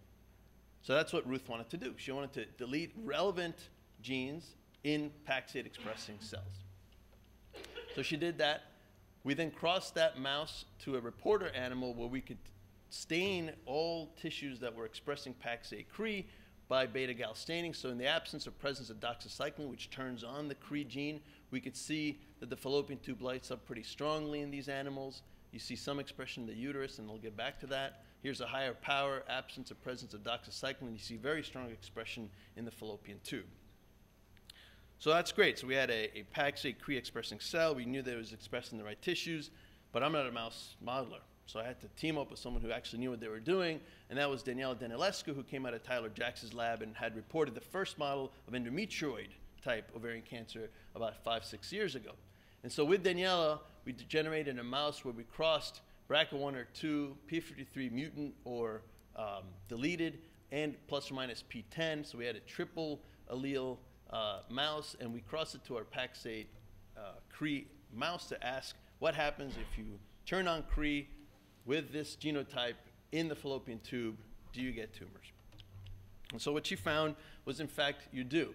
Uh, we actually made these models bioluminescent, so she started tracing bioluminescence in these animals living in real time and started to notice that uh, early as about three months, she noted bilateral signals coming from the animal. We opened up one animal on one side and we saw cystic lesion. Now, for those of you who are- who aren't familiar with mouse anatomy, the mouse anatomy is very different than human anatomy. There are bicornuate uterus and the fallopian tube and ovary are encased in a bursa that doesn't exist in humans as well. And so this bursa was expanded. And when we looked under the microscope, we found that it was full of what looked like tubal intraepithelial carcinoma. It looked like a stick lesion that hadn't been invaded, invasive yet. It just looked like uh, heaped up cytologically, a, a consistent stick lesion in the fallopian tube. Here's normal fallopian tube at low power. Here's normal fallopian tube at high power, and in contrast with the stick lesion that we found in these animals. So then she said, okay, let's close up that animal and see what happens. And three weeks later, she found the mouse was distended abdomen, had tumor all over the peritoneum. You can see the remnants of the uterine horn here and the fallopian tube and ovary on this side here. And all this is tumor. When you looked in the microscope, this looked like high-grade carcinoma, high-grade serous carcinoma. And so you see low and high power here of that. And so we think that we've been able to um, model normal fallopian tube transitioning to a stick lesion and then to invasive carcinoma in this mouse model by specifically targeting the Paxate expressing cell. Now back to the uterus. I told you that Paxate is important for the development of the female reproductive system. It's expressed in the uterus. You knock out Paxate in mouse, you don't get a uterus. So what do we find in the uterus? In the uterus, we find hyperplasias. Pretty consistently, we found hyperplasias in all these animals. But we did not find invasive carcinomas, certainly not enough to account for what I'm going to show you in a moment. So we wanted to validate some of these mouse stick lesions uh, with uh, the experimental design that we had developed. So we knew, for instance, that they should express P53 because we introduced a P53 mutant into these animals, and so the cells express P53, and they express Paxate as they should because we were driving this off a Pax8 promoter, and they had increased proliferative capacity. This is what you see in the invasive component of the abdomen, and all this looked very much like what we see in the human uh, stick lesions: P53 positivity, more Mullerian lineage uh, preserved, and increased proliferation rate. These, uh, these tumors also retain expression, as you would expect, of an epithelial marker. So this is looking at pankeratin, where you see all the stick lesions in the fallopian tube and invasive tumor retaining expression of the epithelial markers. And when we looked at lesions that seem to be involving the ovary secondarily, we found expression of all the same markers, Paxate positivity, WT1 positivity. So even when these tumors arise from the fallopian tube, they secondarily involve the ovary and the peritoneum and retain expression of these Mullerian markers. So then we started to ask the question, well, what happens? How can we prove this a little bit further? So we did uh, some uh, survival surgeries where we moved the uterus. So these asterisks uh, are an indication of the result, the remaining fat pad when we take out the bicornuate uterus in a mouse. And we looked and found that even when you take out the uterus in the mouse, you still saw tumor development. We still saw tumors emerging in the fallopian tube that it secondarily involved the ovary and the peritoneum. And you're looking at this on the microscope here. So ovarian involvement, retention of epithelial markers, Mullerian markers, the same in the peritoneum. So even if you take out the uterus, if you do a hysterectomy, you still get tumors. More importantly, you look at the top uh, panel A here. If you do salpingectomy, so if you take the fallopian tube now, and this is demonstrated here with the asterisks here, the intervening section was removed, we find no development of stick lesions, no transformation of the fallopian tube, and no ovarian involvement. So removing the salpinx, removing the fallopian tube, the tissue that we're targeting, does not lead to carcinomas, and importantly, um, in all those cases where there was uterine hyperplasia, we did not see uh, invasive uterine carcinomas emerging in that setting as well. There was no peritoneal involvement. So we really think that these tumors are coming from the ovarian surface, uh, from the fallopian tube epithelium, and secondarily involving the ovary and the peritoneum. Now, as I told you, this paper is still not in rejection, which means it's been under a few rounds of revision. And every time we go through revision, someone's asking us for something else. We thought it would be useful to, uh, to demonstrate that the tumor was behaving like the human tumor. And so we developed a, a serum CA125 uh, ELISA to look to work in the mouse. Uh, we tried all the human kits, none of them really cross-react. We had to develop our own mouse CA125 serum assay, and we could show the tumor-bearing mice had higher levels of CA125 in the periphery than control animals. And then one of the other reviewers asked us, well, how do you know it's really coming from the tumor? So we had to take tumor, make uh, short-term cultures of the tumors themselves, the tumor cells themselves, and show that they secrete into the conditioned media CA125 compared to a non-transformed fallopian tube. So these tumors are not only looking like high-grade serous carcinomas of humans, but also expressed and elaborate CA125. The other thing that we wanted to demonstrate was that were we able to recapitulate the genomic instability that is really the hallmark of this, of this disease? We know that copy number alterations are really what are driving development of this cancer, not recurrent somatic mutations. So initially we looked at the same uh, samples from the tumor transformed cells versus normal, and we could show that there was DNA damage by measuring uh, the uh, appearance of phospho-H2AX, which you'll remember is that histone gets phosphorylated at sites of double-strand break. So it was definitely DNA damage occurring in these cells by simply altering two or three genes.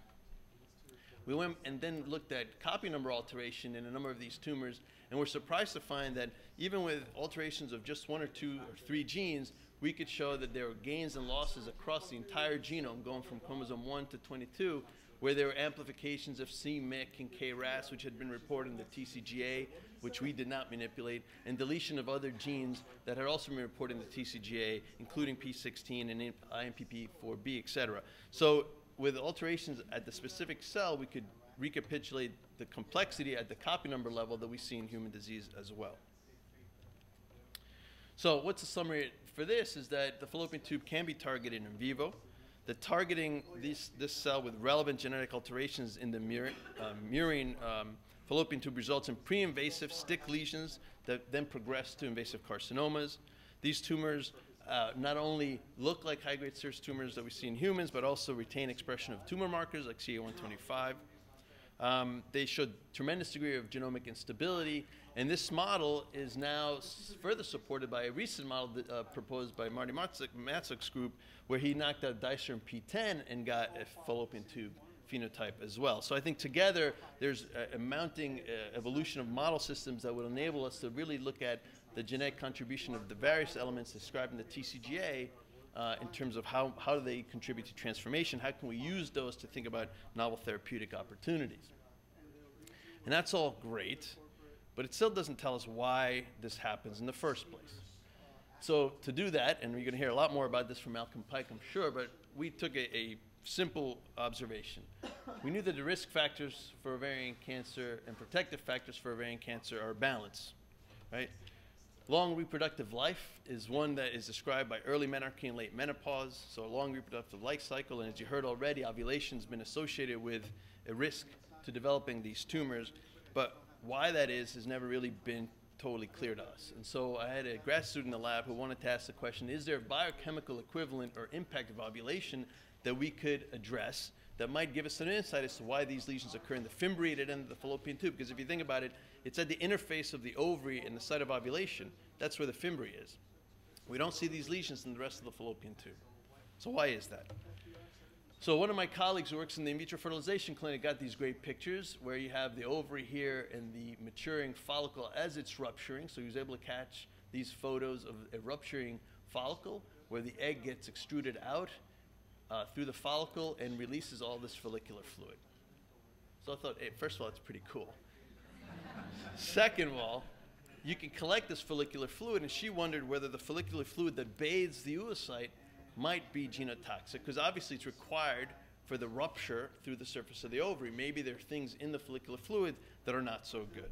And so she, to address this question, she went back to one of our model systems, the ex vivo fallopian tube platform, and asked, well, if we expose normal fallopian tube cells to follicular fluid, do we see any evidence of DNA damage? And that's what she did. Again, here you're looking at H2AX, which I already mentioned, just to give you a, a bit of a, a flavor for what, where H2AX is located. It's a histone protein that's on, obviously coating the DNA and chromatin. In the absence of ionizing radiation, sort of a sledgehammer form of DNA damage, or in the presence of ionizing radiation, you can see intranuclear foci of H2AX when there's DNA damage. And so she used follicular fluid and H2X is a measure to see whether follicular fluid causes DNA damage. And she used our ex vivo culture system and found that by and large, different follicular fluids from different patients could cause varying degrees of DNA damage. She was able to quantify this. So, looking at 10 different follicular fluids in our ex vivo systems, you saw evolution of DNA damage to varying degrees. We thought maybe this would be a, a protein, so we heat and activated the fluid and thought uh, we'd see loss of activity. I'd send her into the cold room for about a year to find out what that protein was. That would be cool too. But it didn't really work out that way because when we heat and activate the follicular fluid, we didn't really see much of a change in the ability of the fluid to cause DNA damage. So then we wonder whether it might be reactive oxygen species, and so in order to address that question, we asked whether scavengers to ROS would have a, an impact on the DNA damage seen by these follicular fluids. And so N-acetylcysteine, which is a known scavenger, was used. And in the presence of N-acetylcysteine, we saw a reproducible decrease in DNA damage in these ex vivo culture systems. This was probably most uh, best recapitulated here, where if you treat these um, model systems, either a cell line or an ex vivo model system with FBS, you see very little DNA damage. You give them hydrogen peroxide, you see quite a bit of damage that can be quenched by N-acetylcysteine or BHA, which is another scavenger. The combination is about the same. And then if you take one of the follicular fluids, you see comparable levels of DNA damage, again, quenched by the scavengers. So that would make you think, great, so ROS is delivering damage to these cells. And I think Bob asked me a few years ago in Miami, you know, is it ROS? And at the time, we, we weren't sure because ROS is very short lived in the order of milliseconds. These are samples we got from the IVF clinic that had been frozen for years. And so it seemed unlikely that it would be ROS directly in the follicular fluid causing this damage. In fact, we got a, a machine to measure ROS. Uh, paid $8,000 for this machine. And my student tried to measure ROS in all the samples we got and got nothing. And we spent a few weeks trying to figure out if it was her that got nothing or there really was nothing in the, in the follicular fluid. In the end, there was very little ROS we could identify in the follicular fluid and suggests that something in the follicular fluid, which we still don't know what it is, is causing the cells to react in a manner that generates ROS because we're able to scavenge the effect. What that is, we're still in the process of trying to elucidate. And it's exciting work. Um, we know, for instance, that uh, a recent paper that was published out of a group in Israel showed that reactive oxygen species are indispensable for ovulation. So clearly, ROS is there initially in the follicular fluid, but we don't think that it survives in the experiments that we're looking at to explain why we're seeing DNA damage in this setting. And so the ex vivo culture system maintains fidelity uh, to the fallopian tube epithelium in vivo, and so we use that system to study follicular fluid, which can deliver genotoxic stress to these cells. Reactive oxygen species are contributing, but I think as you'll hear in a, in a little while from Malcolm Pike, uh, chemokines, cytokines, and hormones, which are probably playing an, an, important role as well, are likely involved in this process, and it is yet to be determined how they are uh, doing so. So I think I will stop with that. I hope that the illustration of the model system we use in the lab give you a sense for where we're heading in terms of taking the knowledge we've gained not only from the TCGA but from all the pathogenesis work over the last five to ten years and trying to deploy them in a way that enables us to really get a better sense of how this disease evolves, but more importantly, how can we impact better patient care with, through early detection and novel therapeutics. And I'll just end by thanking the folks in my lab that do all this work. Um, this is a pathologist trick, Bob. I think you might appreciate it. Um, and the folks at the Dana Farber that I collaborate with, as well as at the Brigham, obviously Chris Crump, uh, huge role in helping uh, develop all this and helping my, my own group uh, gain access to tissues and is just a great person to uh, bounce ideas off of. Danielle Danilescu, who was an invaluable collaborator in the mouse model, and a number of other investigators at other institutions that we've collaborated with over the years. Thank you.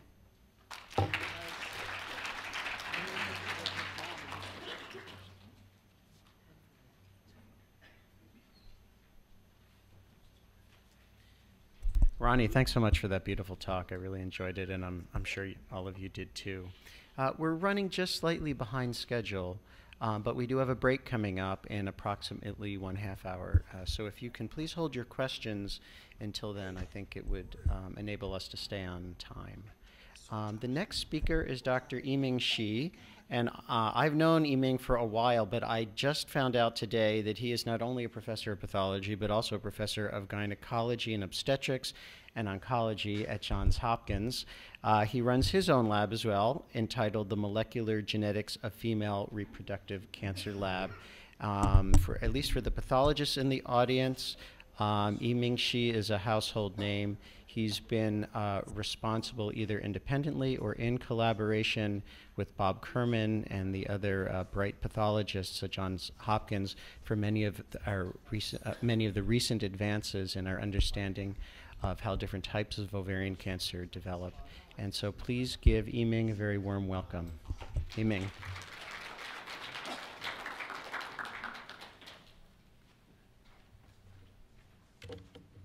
So first of all, I would like to thank Dr. Levine and Dr. Soslov uh, for their kind invitation.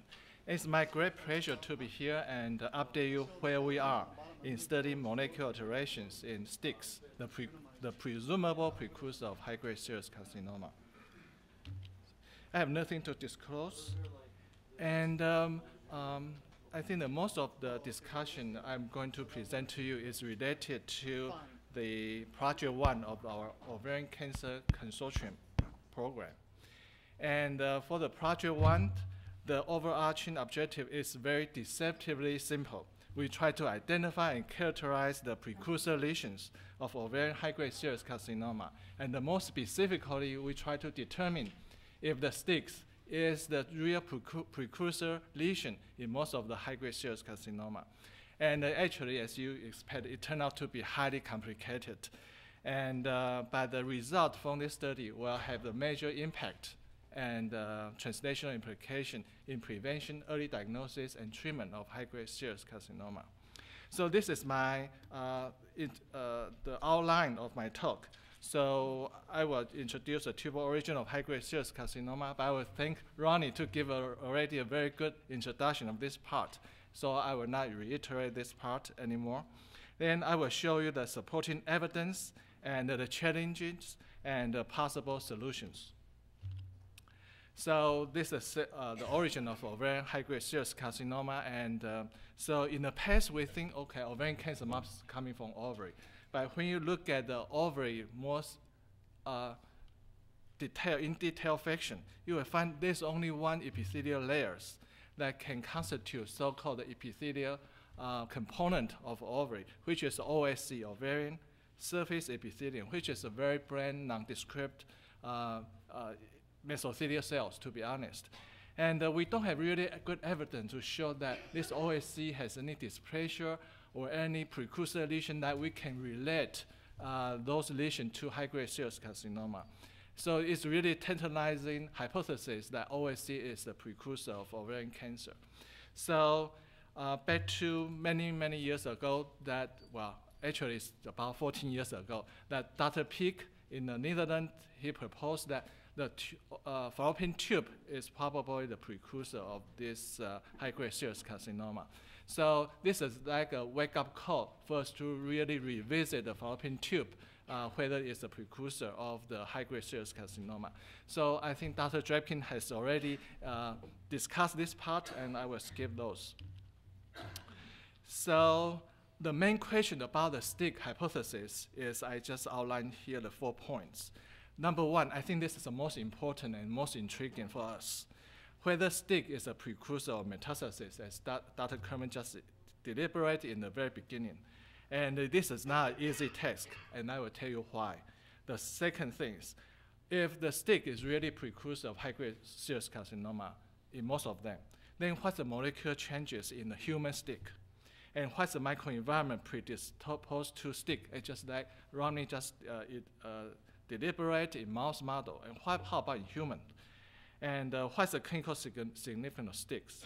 For example, in the absence of the carcinoma, in the, those high-risk patients, you find STICs. What does that mean? So the project one basically focused on these two topics, the first two. the STIC is a precursor of metastasis and the molecular changes. So I will take this opportunity to report to you uh, the recent progress uh, in our laboratory for these parts. So I think the first thing we want to make sure uh, is whether there's a clonal relationship between the STIC and associated high-grade serous carcinoma. So what we did is we select 29 pairs of high-grade serous carcinoma patients with very discrete STICs and uh, adjacent high-grade serous carcinoma.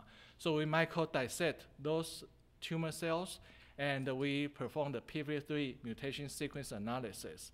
And what we found is 27 out of 29 pairs, they sh share the same identical p53 mutation, meaning that they are clonally related, but we still don't know whether STICs really represent the precursor of high-grade serous carcinomas. So in our study, we also find very interesting thing, but this is what everybody expect, which is intratumor heterogeneity in high-grade serous carcinoma and among the STICs. So for example, this is the fallopian tube. We follow the SEE-FIM uh, protocol that Dr. Crum has uh, introduced to us. So you can see this is a fimbriatic end, and you can see the blue area is the high-grade serous carcinoma. It's blue because there's a lot of tumor cells, a lot of DNA, and standard hematoxylin. So then um, on the, uh, in addition to the high-grade serous carcinoma, we can also detect several STICs around these uh, fimbriatic ends. So we perform the immunohistochemistry using the P53, Ki67, and P16 to see what's their uh, relationship. So in this case, you can find that, for example, I just want to uh, draw your focus to these uh, square boxes. So for example, this is a STICs. You can see here, this is a fim And uh, this is a Ki, which is uh, a lot of cell being positive, and P16, which is another marker for high-grade serous carcinoma, is also positive. But P53 is completely negative, meaning there is a, uh, is a, deletion or nonsense mutation. And we might call dissected show up it to be uh, uh, exon, exon 7 is a heterozygous deletion. So when you move to uh, this area, look at this area. So we have the STICs on the top, and we have the high-grade serous carcinoma underneath. And uh, it's very interesting to notice that the STIC here is still the same, is uh, negative for p53, but the high-grade serous, serous carcinoma is positive. But when you move to the other side of the fimbriae, and you can find that the STIC is negative, and uh, the high-grade serous carcinoma is negative. And we sequence that to show that there is a missense mutation of this high-grade serous carcinoma. But this high-grade serous carcinoma has a deletion. So this highlights intratumor heterogeneity. And in these 29 pairs, we also find some of the cases harbor multiple STICs, and they have a different mutation type in terms of period 3 mutation pattern. And now we'll come back to this uh, later because this will uh, impact our interpretation of our results. And uh, the next question we want to address is, okay, we now know there's several high-grade serous carcinoma associated biomarkers. And how about those markers uh, in those STICs. So what we did is we identified those markers either from SAGE, digital karyotyping, RNA-seq, etc., to compare normal fallopian tube and high-grade serous carcinoma. Then we select those overexpression, those markers with overexpression in high-grade serous carcinoma. Then apply immunohistochemistry on the STICs because we basically we cannot do too much on those small STICs in RNA sequencing or other protein chemistry. So we have uh, several markers out outlined here. The topoisomerase 2, we find 100% high-grade serous carcinoma and also 100% STICs. The same is true for the laminin C1, which is a very important gene in terms of to, uh, facilitating cell motility and migration and invasion. Cyclin E1, RSF1, p53, uh, fatty acid synthesis, mucin for P16, and etc. And we further to uh, address one question. If this is a biomarkers, whether they can also play a causal role in tumor formation. So we combine p53 mutation, cyclin E1, and RSF1 we can create non non-transforming epithelial cell become highly tumorigenic in nude mice, as you can see here. But only one of them and p53 cannot do the job. But if you combine the three genetic events together, RSF1, cyclin E1, and the p53 mutation, you can create a, a tumor. So this is another example of laminin, laminin C1 I just mentioned. So this just show you the laminin antibody specificity, which is very good uh, in our experience. And you can see this uh, one STIC. And this is normal fallopian tube here. And this is p53, which demarcate uh, very well where is the STIC and where is normal fallopian tube. And the same is true for the Ki67. The STICs are just highly labeled with these uh, proliferative markers, but not in the normal fallopian tube. And look at laminin C1. It just very faithfully highlight where are the STICs. And uh, it's not only can um, detect the p53 positive STICs, which is no problem because routinely in the histopathology we apply p53 staining in uh, questionable cases. But what happened here is the laminin C1 can also highlight p53 negative STICs, which can be easily recognized uh, if we apply the immunohistochemistry. So we think laminin C1 may be one of the best markers known so far for the STIC in human. So for the cyclin E1, we know this is a very important uh, amplified gene in a variety of cancer, in, including high-grade serous carcinoma. So we applied uh, immunohistochemistry, also the uh, cyclin E fish in, in STICs and high-grade serous carcinoma. And this we found, even in the STIC, if they are really precursor lesion, then cyclin E1 amplification uh, must be a very early event because we found that about 20% uh, of STICs has this uh, gain of the cyclin E1 um, uh, locus.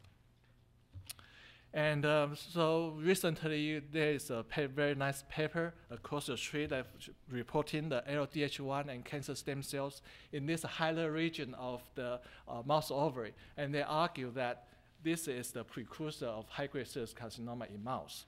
So ALDH1, as you know, is one of the stem cell markers and uh, has been widely used in a variety of human cancer researches.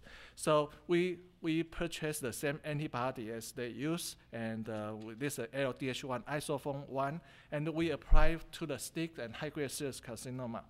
And we expect that, okay, if a STIC is a precursor lesion, you should be able to see more of these uh, stem cell-like cells in the STICs. But to our surprise, we find scattered or more diffuse ALDH1 immunoreactivity in normal human fallopian tube, but not in the STIC. For example, this STIC is completely negative. And uh, show you here, there's nothing that is being positive. So this is quite intriguing, and uh, there's many explanation to that. Maybe the ALDH1 isoform 1 may not be important in human. Number two, maybe ALDH1 is not a uh, stem cell marker in human. Number three, is human and mouse ovary are totally different. So if you are interested in this topic, we have uh, we bring a poster and uh, we can discuss over there uh, in this afternoon or any breaks. So now I just present to you that the STICs and high-grade serous carcinoma, they are very similar to each other in terms of clonality and uh, the markers expression. So how can we provide at least some of the evidence to show that STIC is a really precursor. It's very difficult. And uh, there's uh, many evidence to that. One is uh, the histopathology evidence. And I show you one example. This is a 47 years old female, and this is one of my case I, I diagnosed, and uh, the patient has a, has a leiomyoma in the uterus and removed THBSO, and uh, there's no cancer associated with this patient. So you can look at the left tube of the, this patient and right tube. And uh, I just routinely, if there's nothing show up, I just uh, order p53. And uh, to my surprise, you can see there's a p53 positive cells, and they are also uh, Ki positive. And this is right tube, do the same thing. So this is just a STICs arising from apparently no cancer uh, uh, scenario. So if we argue that STIC is a metastasis of high-grade serous carcinoma, it's hard to, uh, to explain this phenomenon. There's no cancer at all. So an, another uh, case I have is this is uh, cross section from the luminal portion of the fallopian tube. It's far away from the fimbriatic end. We know fim- fimbriatic end is enriched for the STICs, and uh, where is the origin of high-grade serous carcinoma. And this patient has a stage 3C high-grade serous carcinoma. But in the luminal portion, which is distant from the high-grade serous carcinoma, you can see the very extensive STIC here. And this is a p53 staining. And this is K, I'm sorry, this is a Ki67 staining. So it's, it's hard to imagine how this high-grade serous carcinoma can repopulate the normal fallopian tube in a distant site. And the other evidence is uh, for this. You can focus on this uh, ano- another case I have. This aluminum portion of the fallopian tube, and you can see there's something more thickened in this uh, part of fallopian tube. So I want to draw your attention to this part. So this is the same parallel section, p53 staining, P16, and Ki67. So this, they are all p53 positive, but P16 is negative in that region.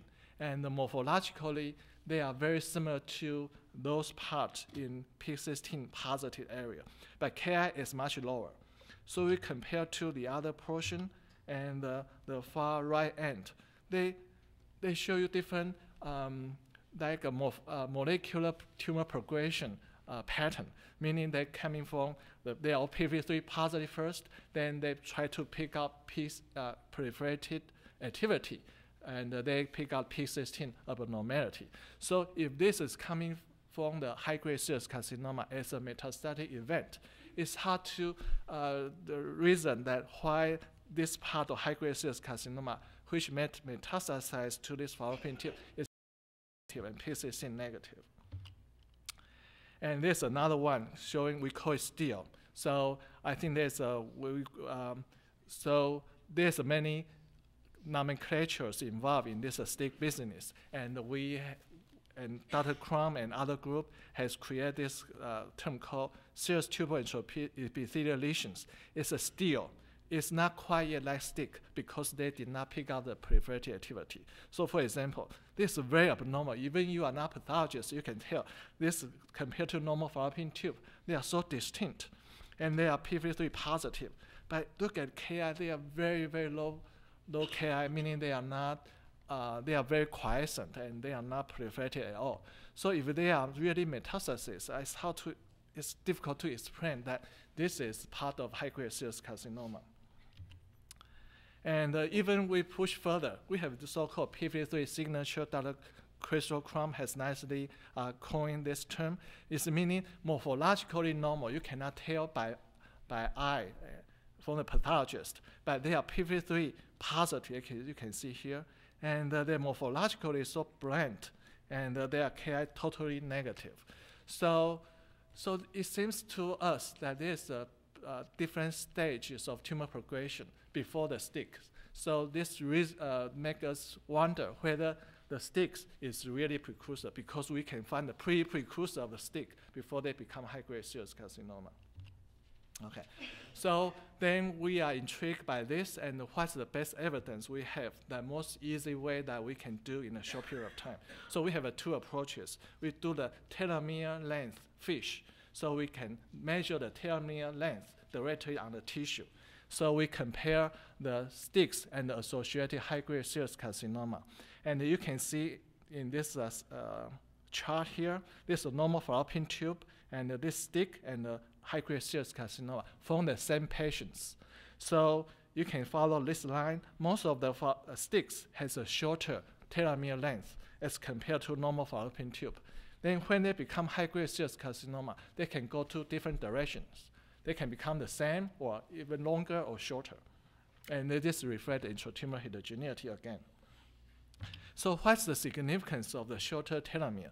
So there are many reports showing that telomere length shortening actually is occur very frequently in uh, precursor lesion in a variety of human uh, neoplasia for example, in the bladder cancer, esophageal cancer, uterine cervix cancer, etc.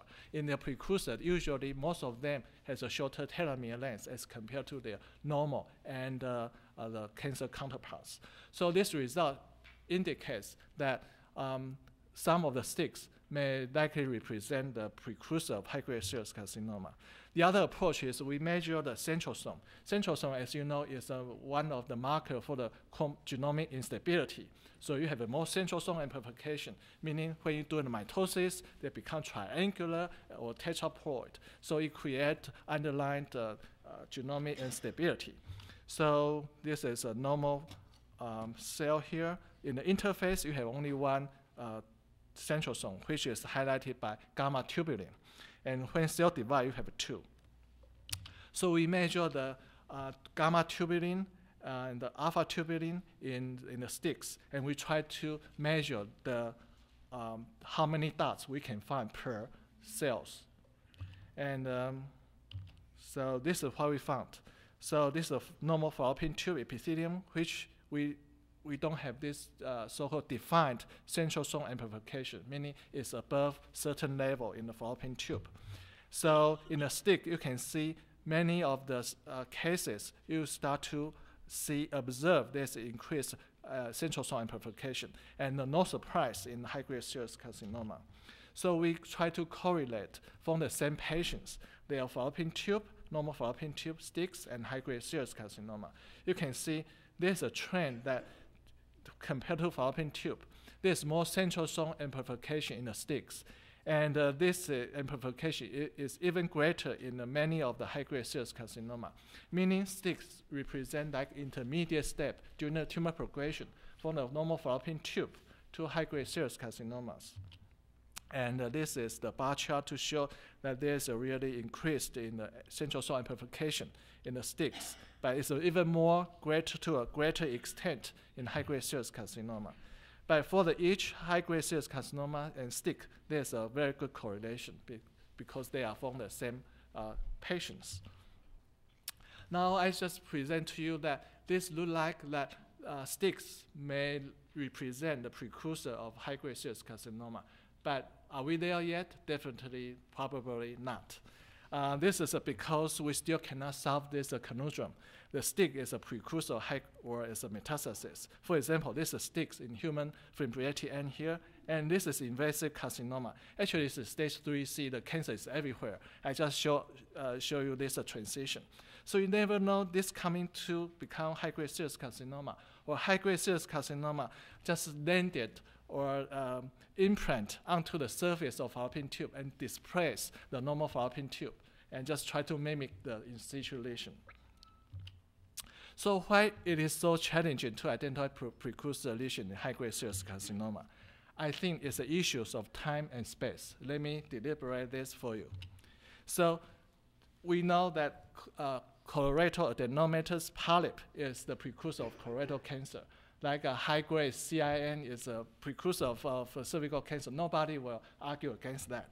But why we are so in a very muddy situation in the ovarian cancer field? And uh, this is because that when in the colorectal cancer, in the DCIS, in breast cancer, in high-grade C, in cervical cancer, we have a temporal fashion, we have a sequential biopsy and a clinical observation, how this polyp become cancer, how this CIN become cervical cancer. But for high-grade serous carcinoma, we have only cross-section of the time. And uh, most of them is a, high, uh, is a stage 3C, so this is the time. How about space? So look at this uh, adenomatous polyp from the colon. So if you have a cancer here, and you will assume that, of course, this cancer coming from this background of this uh, polyp, there's no problem, right? But this is unfortunately not the case in high-grade serous carcinoma. So the previous example in breast cancer, cervical cancer, colorectal cancer, and many others, it, we have a precursor. Then we have a small lesion of the invasive carcinoma. That's all. So it's much easier for us to accept that this is a precursor of the invasive carcinoma. But look at the high-grade serous carcinoma. Most of the patients are stage 3 and 4. And um, it's also complicated by the intratumor heterogeneity. So how can we know this is a precursor of this? There's no way to do this. So at the time of we detect the high-grade serous carcinoma, the tumor volume is maybe billion times more than the precursor, like a STIC, for example. And uh, again, this is compounded by intratumor heterogeneity. So we, if we find it's the same, you cannot say they are the same. If it's different, you cannot say that's not a precursor because there's intratumoral heterogeneity. We did not, we are not able to sample every part of this uh, uh, huge um, debarked uh, high-grade serous carcinoma. So if the STIC is a precursor of high-grade serous carcinoma, how can a stage 3C high-grade serous carcinoma coexist with a STIC that developed from the distant past? So in the terms of molecular clock, so Bert, Dr. Vogelstein come out with this molecular clock based on the how many mutations you can find. So you can calculate how many, uh, how old is the tumors. So when you compare to the STIC, if the STIC is really precursor, as compared to this big high uh, advanced stage uh, high-grade serous carcinoma, maybe there's millions of years already passed in terms of molecular clock. How can they coexist to each other? So look at this. This is a Times Square. And uh, probably notice this guy, right? So this may be the precursor of human beings about two millions ago. How can they appear in the Times Square in the modern uh, society? So maybe you can say, well, this maybe is during the Halloween period, and this is just maybe this a, it's, a, it's a dress, and this is still the uh, Homo sapiens. It's just human, so it's not really pre human precursor. You may argue that, okay, so this may be really human precursor. It lived in a in a cave somewhere in Africa, uh, small islands. Somehow they got to New York City, maybe by taxi, and they just get there but it's hard to believe this is true. okay, and why, if this is true, why this uh, precursor is not captivated or do autopsy or studied by modern uh, human beings? Okay, so the possible explanation is um, STICs or many of the STICs associated with high-grade serous carcinoma are truly metastatic. They are not precursor. Number two, STICs is a precursor and it remains evolutionarily dormant and is not destroyed, meaning lateral extension, by its invasive derivative, high-grade serous carcinoma. So STICs and high-grade serous carcinoma coexist in the, in the uh, surgical specimens. Number three, there are multiple STICs theories. As we found, we reported in the past, the one gives rise to high-grade serous carcinoma may have been replaced by high-grade serous carcinoma. The coexisting STICs, as I show you in the examples, actually occur metachronously and they may not be related to the high-grade serous carcinoma. So there are three possibilities. I don't know which one you prefer. Probably uh, all of them play some role in, in this STIC and high-grade serous carcinoma business. So how can we solve these questions? And uh, I think there's a great opportunity for this DoD consortium that allows to uh, this uh, great uh, consortium effort, then we can pull the specimen together to look at more details in to answer these very important questions. So one of the approaches, one of the approaches I can imagine is to do the genome-wide analysis of high-grade serous carcinoma and the associated STICs using exomic sequencing and somatic DNA copy number alterations. Actually, this is one of the aims of the project one. So, so how this concept is very straightforward. Actually, it's from a Vogelgram. It's like uh, in the colorectal cancer uh, tumor progression models. So if we find ADENY, the genetic alterations, here in the STICs, but in the high-grade serous carcinoma, we can find ADENY in addition to that, we can find additional more uh, molecular genetic alterations. Either it's a mutation or DNA copy number changes. Then we can more comfortable say that the STIC is probably is a precursor of high-grade serous carcinoma. The second approach is it's very important to compare the genomic landscape of STICs associated with high-grade serous carcinoma and those without high-grade serous carcinoma in the prophylactic oophorectomy cases, as in the Project 5. So if for, um, okay, so in the prophylactic oophorectomy, you can find the STICs without cancer. So we still cannot say that those STICs are the precursor of high-grade serous carcinoma because the invasive carcinoma has not happened yet. You never know, know those STICs will really progress to invasive carcinoma. But it's very important for them to be our reference to compare to those with high-grade serous carcinoma and if they show the similar things, we can more comfortable say that, okay, to support this idea that the STIC is the precursor of high-grade serous carcinoma. The third approach is the multiple STICs um, theory. So currently, extant STICs represent a large number of genetically heterogeneous individuals, with that variation providing the platform for further evolution, meaning high-grade serous carcinoma. So there's many dif different different type of STICs. Maybe only one of them has the propensity and uh, can only progress to high-grade serous carcinoma. The rest are just evolutionarily dead ends. They cannot do cannot become invasive carcinoma, but they still show the STICs uh, features similar to those will de develop into high-grade serous carcinoma.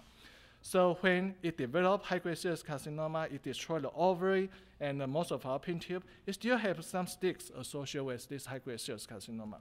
So it's very important us to do the 3D mapping of this fallopian tube, especially in those uh, prophylactic oophorectomy without cancer, to see whether STIC is um, what, what's the distribution. So what we can do is we can serialization um, only a few represented cases and recon reconstitute uh, where this uh, STICs distribution in the fibrillary end. I think this is a very basic, very um, time demanding, but I think this is the one of the solutions that we can look into this uh, problems, whether there's multiple STICs exist and what, where are they and what are they. So in the end, I just uh, reiterate uh, the, the purpose of project one is to determine the clonal relationship or tumor progression pathway from STIC to high-grade serous carcinoma. And uh, we also want to evaluate the early molecular changes associated with uh, STIC. So this is a summary of the progress. So we present, I present to you the identical p53 mutation in both STICs and high-grade serous carcinoma in great majority of patients and STICs express high-grade serous carcinoma uh, associated markers. And uh, in combination of p53, cyclin E1, and RSF1 is tumorigenic. Then ALDH1, which is very interesting, but we need to re revisit this. And as compared to current high-grade serous carcinoma, STIC contain relatively shorter telomere and um, less frequent centrosome amplification which is a soft support that STIC is the precursor of high-grade serous carcinoma. So finally, I want to take this opportunity to acknowledge persons who are involved in this project. Dr. Kuhn and uh, is the, the key person involved in this project in, uh, in my labs. And we have uh, collaborators from Dr. Kurman, Dr. Wang, uh, Kala, Dr. Meeker, and uh, we have the memorial collaborators, Rob Soslow and uh, Doug Levine. And we also collaborate with uh, Violeta Parkash from Yale and uh, from Toronto, Patrick Shaw and Herman Chu, and uh, also other collaborators from the other countries. Thank you very much for your attention.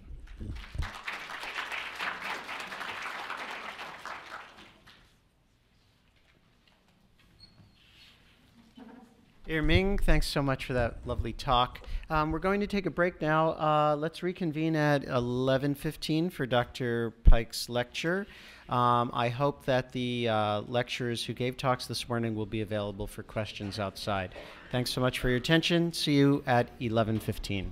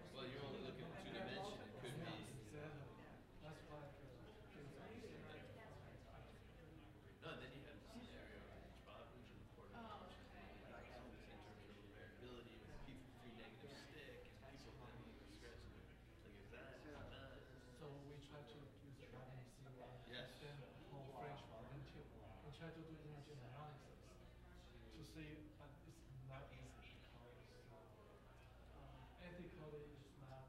It's, It's hard to do on this Yeah, we can- prophylactics. We can't.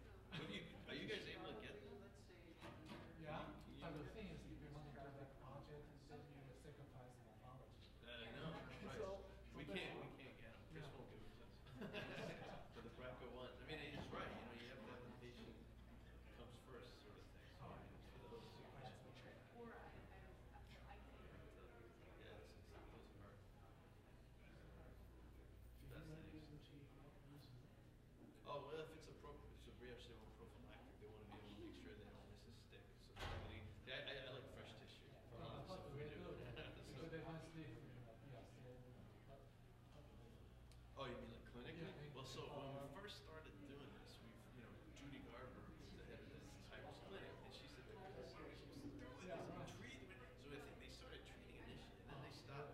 But the Beth Israel treats STICs, and I, I don't know how it, the, the consensus across the country, whether you treat or you don't treat. Obviously, if you have positive cytology, it's a different thing. Yeah, STICs. we just don't wish side effect.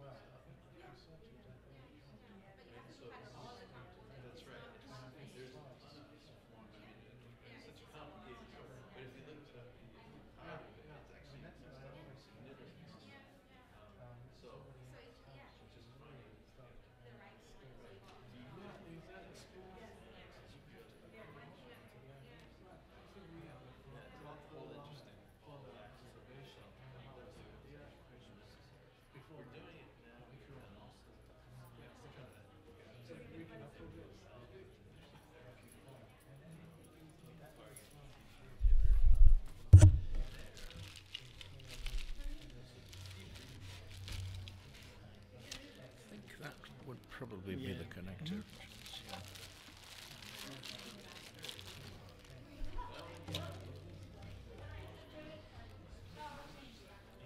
So this is the talk right there. No, It's- that's my it's notes. switching over. That's my notes. Uh, see, that's the talk.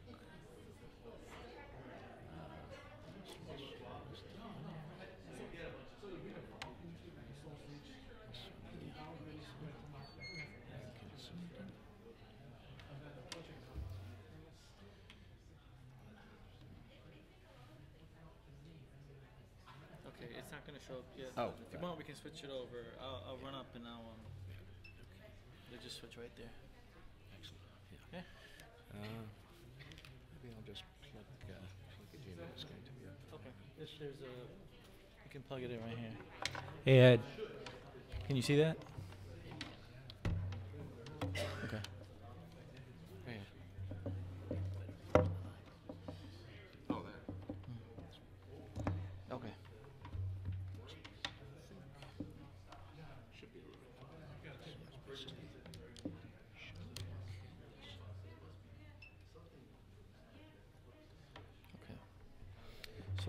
Do um, when he's wrapping up, I'll come down.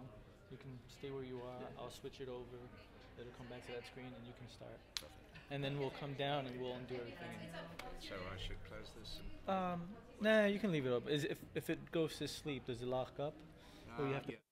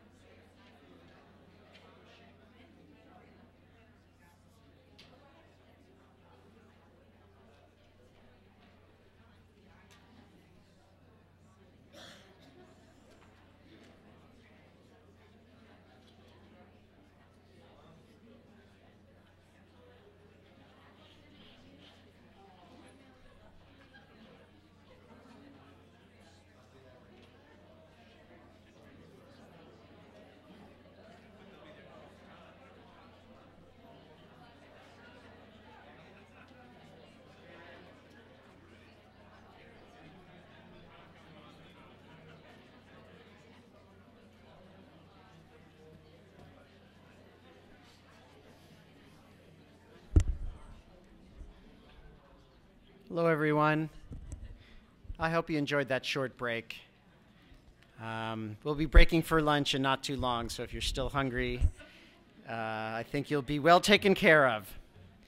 I have the pleasure of introducing you next to Dr. Malcolm Pike. He um, arrived at Memorial Sloan Kettering not too long ago, and uh, despite the fact that he's been here a relatively short time, he's already made a rather important impact on our understanding of the epidemiology of ovarian cancer. Uh, Malcolm is an attending epidemiologist. Um, I believe originally from uh, Australia, uh, no, South Africa, right? Port Elizabeth, South, South Africa, if I'm not mistaken. He was educated in Scotland, and a lot of his work has in the past focused on the uh, risk modification of the use of oral contraceptives in the development of ovarian cancer. And so I now introduce Dr. Pike to you. Please give him a warm welcome.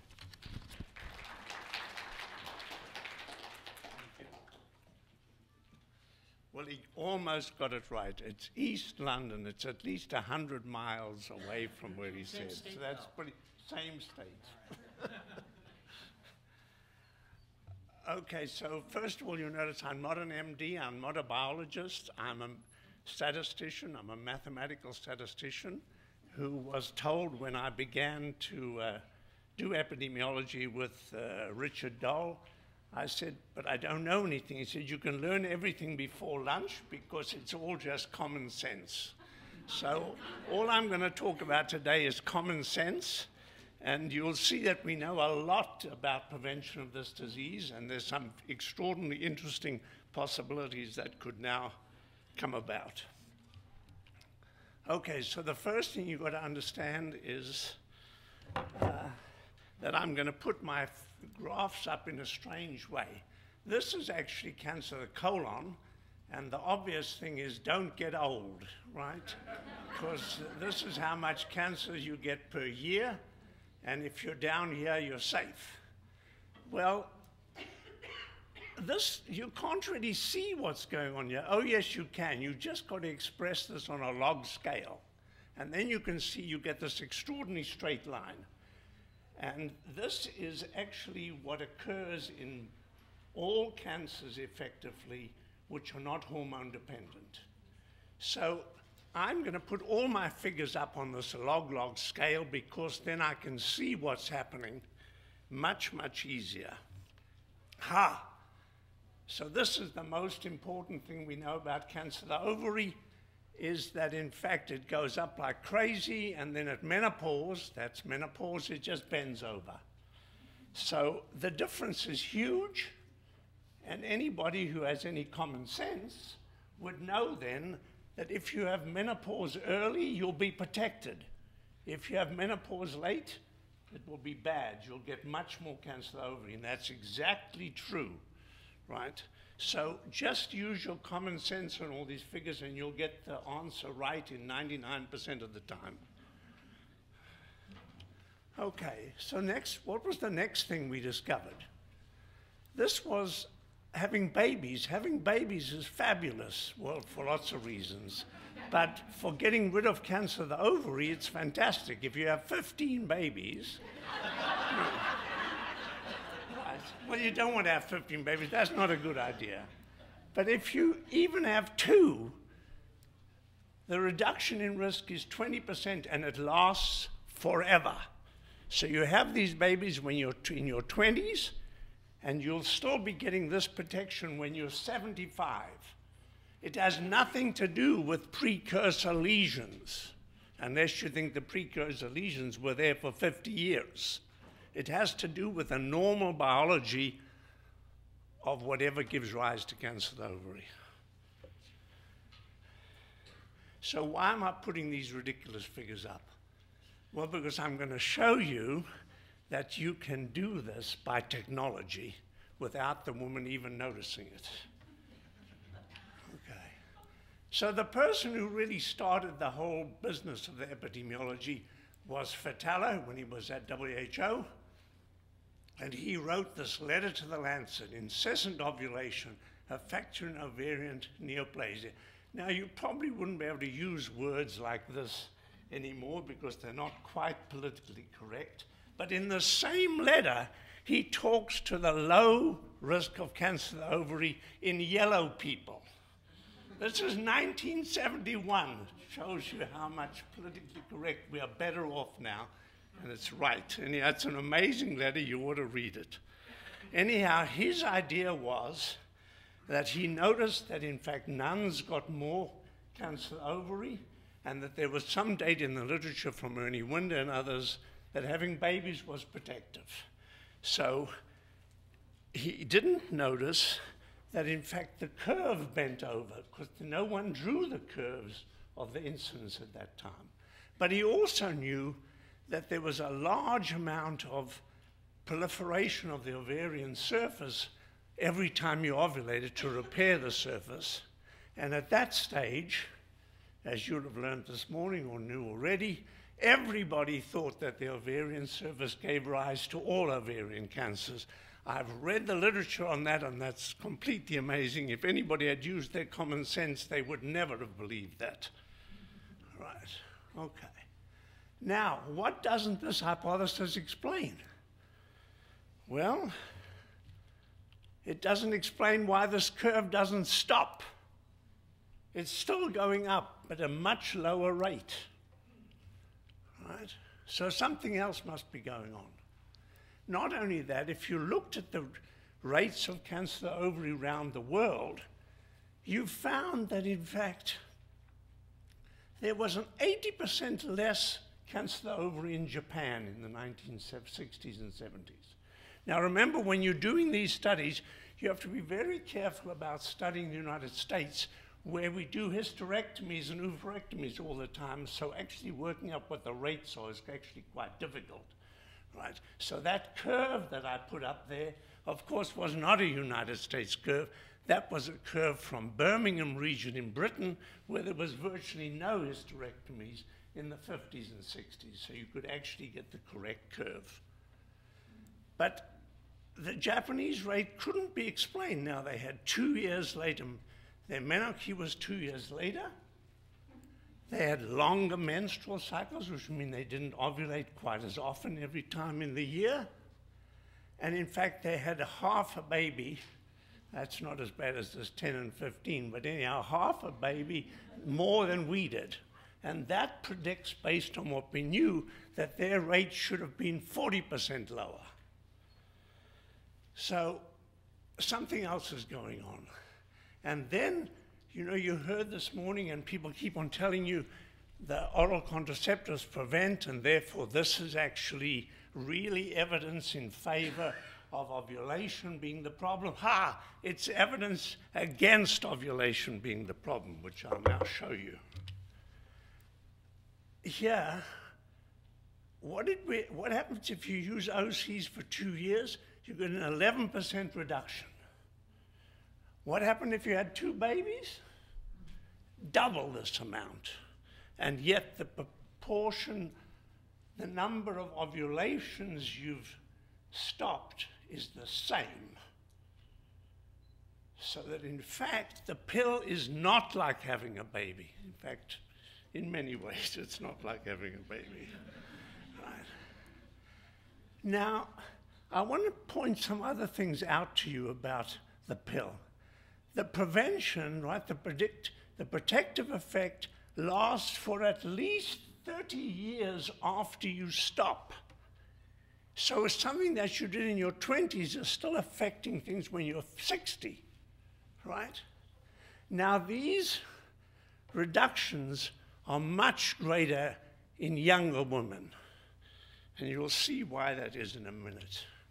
Okay, so this is all you need to explain everything. That's the same curve we had before. And here's a woman who takes the pill from age 30 to 35. The pill actually goes at that rate. You've stopped everything happening. And then it starts up again. But you never catch up. Now, if you were a mouse or a rat, you would catch up because mice and rats have menopause when they've had too much estrogen, whereas humans just have menopause around 50, whatever the hell they're doing. right? Now that's the comparison we're talking about, right? Twice as much effect of having a baby as having used the pill. What was the next thing that really came up? Well, the next thing that came up was studying estrogen replacement therapy, menopausal estrogen therapy. And all the literature shows that, in fact, that increases the risk of cancer of the ovary.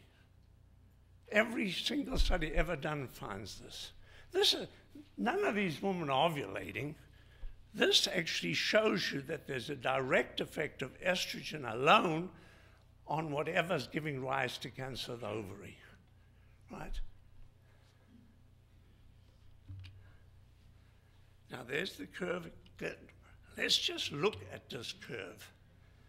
You know, if, if you extend, if you push this line out, the line doesn't look so steep and so on. So let's turn it into numbers.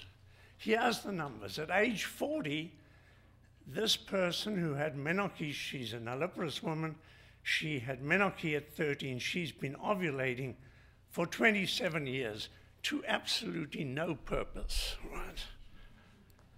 Five years later, she's ovulated for 32 years.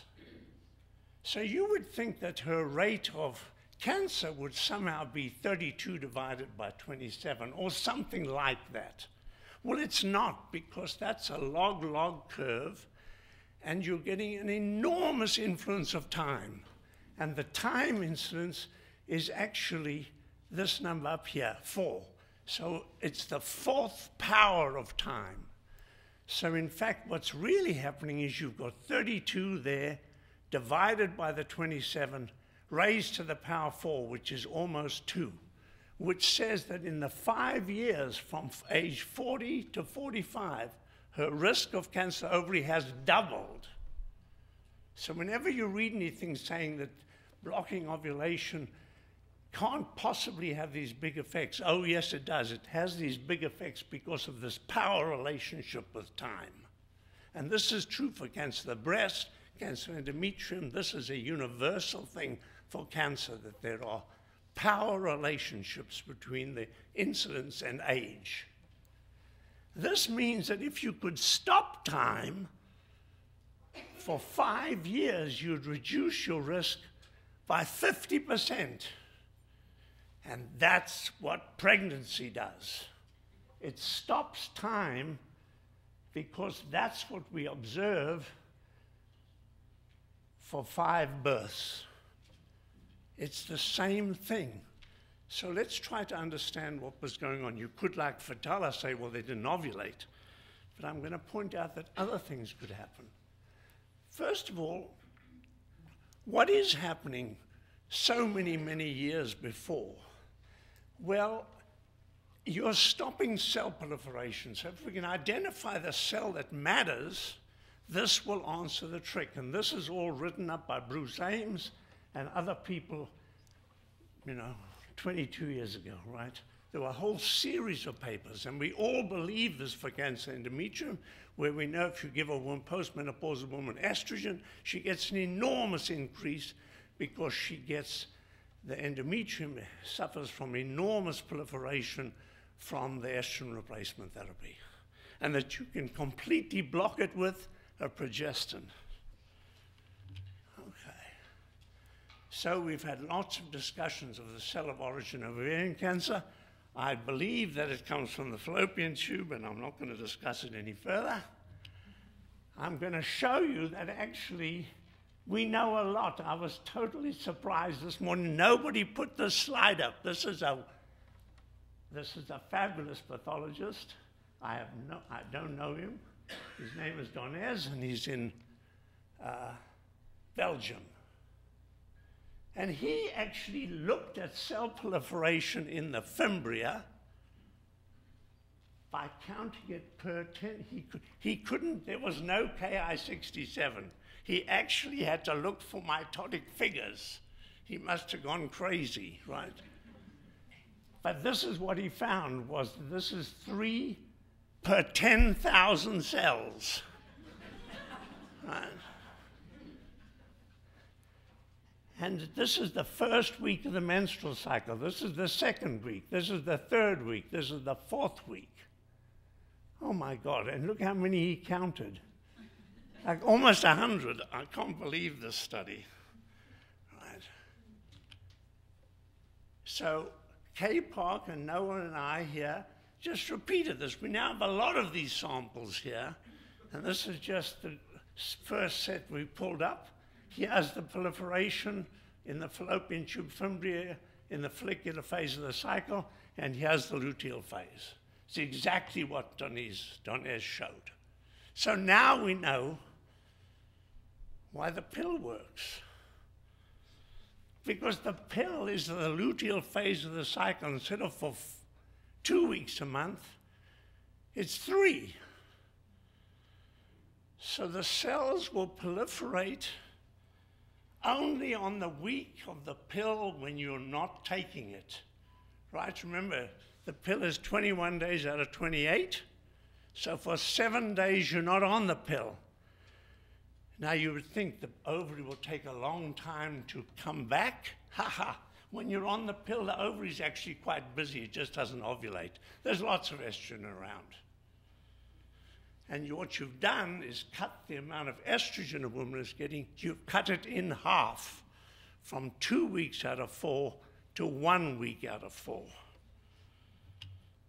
Okay.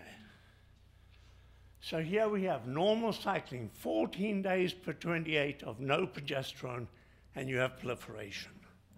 When you're pregnant, there's no proliferation at all. You're pregnant, you have progesterone all the time. OCU's seven days instead of the 14. That's about half as much proliferation as during a normal cycle and a lot more than when you're pregnant. And it also explains why the Japanese got so low cancer of the ovary. No, no, it might explain.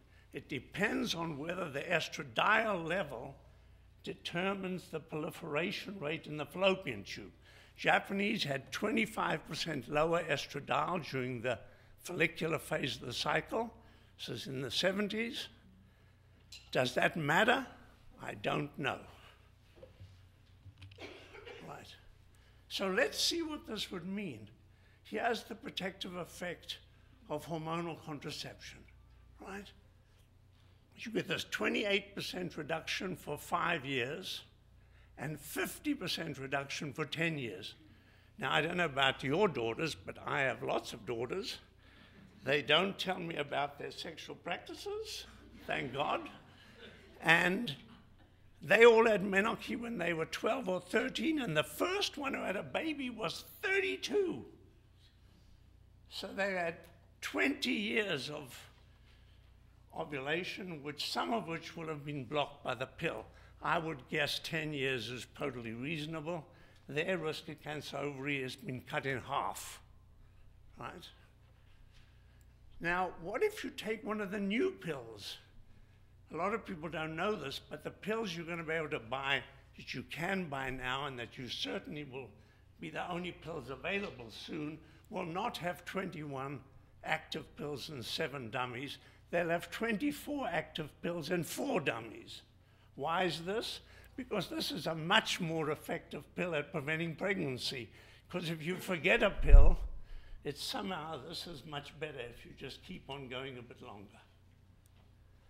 This will change this number, I'll just state here, from 50% to 64% reduction in risk. And this risk reduction will last forever, right? Now, this is another pill that is already on the market. It's the same pill as this, only you take it for 12 weeks out of 13 instead of three weeks out of four. That will reduce your risk by 70%. This is an enormous reduction in risk. And we showed in a paper a long time ago, Henderson and Ross and I, that in fact, this is exactly what is happening in American women, by the way. Now, here's something that's very interesting. Here's a Mirena. This is an IUD that has progestin in it inside the uterus. It's there all the time. So it's like this one, only even better. So you can already, ah, but as that can, is, do we know that this prevents cancer ovary? No. But we do know that the, that the concentration of norethisterone, which is the progestin in Mirena, is the same in the fallopian tube on a Mirena as it is if you take the pill. So it's quite likely to be working. And of course, the level of progesterone in the uterus is enormous, 100 times more than it ought to be. Right. Okay. So just remind you, this is where we're aiming, right? We want to become hunter-gatherers, right? Hunter-gatherers ovulated maybe 160 times in their whole life. We ovulate 430 or so. And if you just put the stuff up, you look at the epidemiology now, we've now got 60 times as much cancer of the ovary that they did. Right? This is a totally preventable disease. All you have to do is have menarche when you're 16 and have babies all the time and breastfeed them all the time. It's sort of like when they say epidemiology never finds anything out, what they really mean they never find anything out that's useful. Right? Okay. Now here's the problems. Why isn't the estrogen replacement therapy effect bigger? What's the level of estrogen if you're taking Premarin? Well, it turns out it's the same as the early follicular phase estrogen. It ought to be awful, but it's not quite awful enough. Now, I don't know why that is. Right? Of course, this could be partly because you get a much greater, you get a great increase in sex hormone binding globulin, but I don't quite buy that. That's something we need to understand. But it's also part of the business is that, in fact, obese women do not get a lot of cancer of the ovary. Right? They get an increased risk, but it's not very big. And so their levels of estrogen are not very high despite the fact tell you that they have higher estrogen levels, it's not all that high. We need to know, and as part of the studies we're currently doing here at Memorial, we're looking at what the effect is on cell proliferation in the fallopian tube of obese postmenopausal women.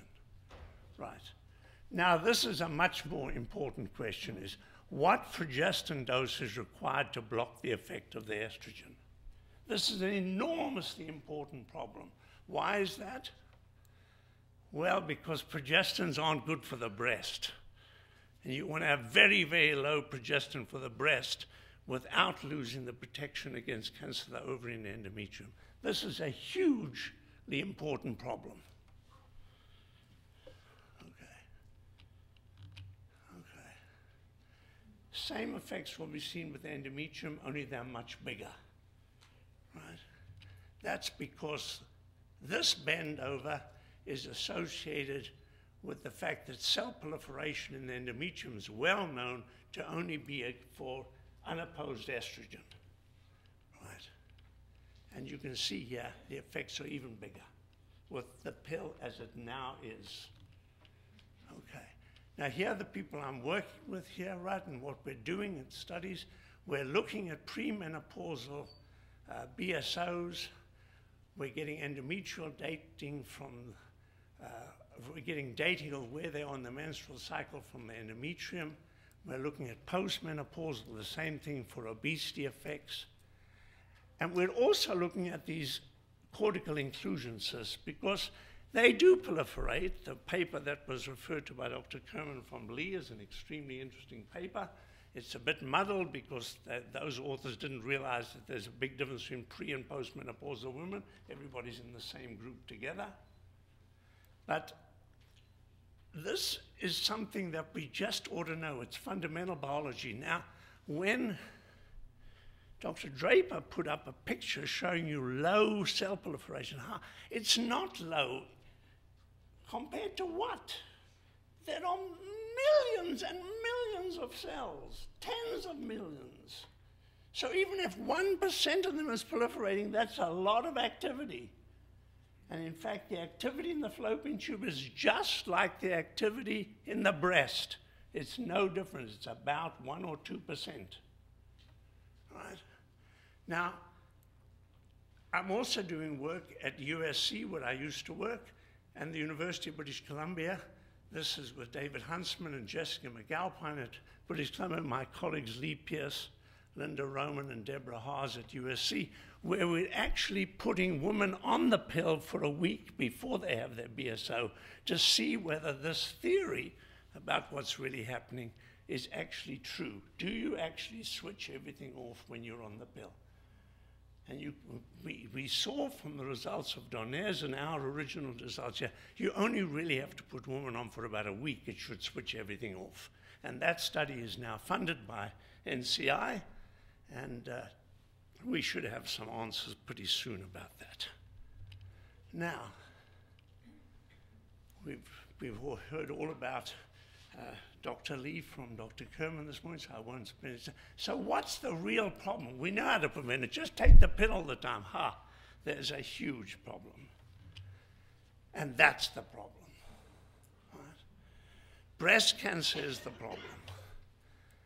Instead of like proliferation when you've got unopposed estrogen, here you have most proliferation when progesterone's around. You know, God in his ignorance didn't keep these things in sync, right? So now the pill doesn't prevent this disease. In fact, it increases it a little bit. So what's going to happen when, in fact, instead of giving you 21 active pills out of 28, you're giving me 84 pills out of 91? I have no idea. I tell my daughters, don't take the new pills. We don't know what they do. Now, we're actually working at the University of Buffalo with Massa Welch up there, in fact, in the mouse, to see what happens if you just keep on giving the pill. Does everything get downregulated?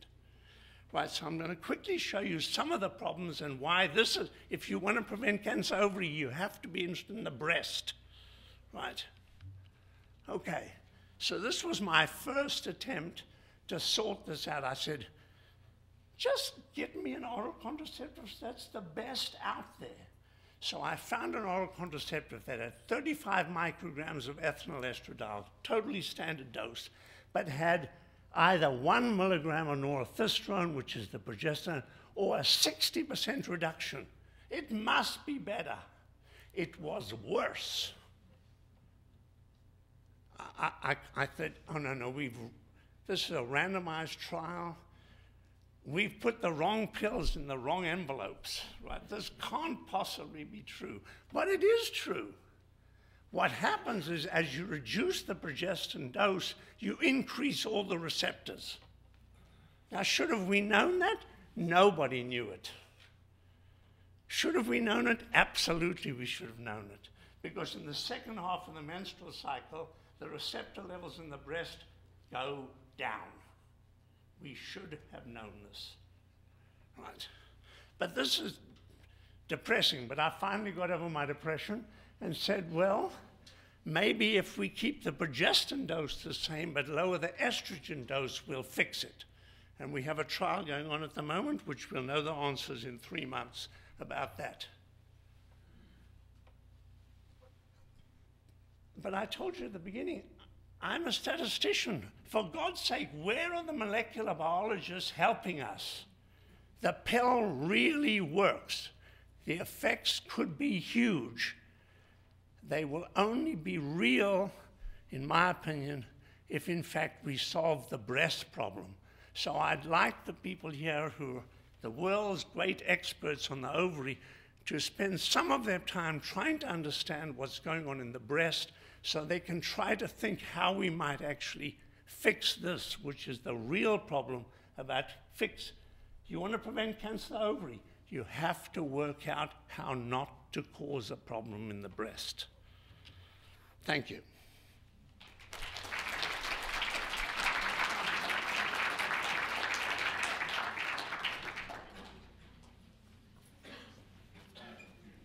Thanks so much, Malcolm.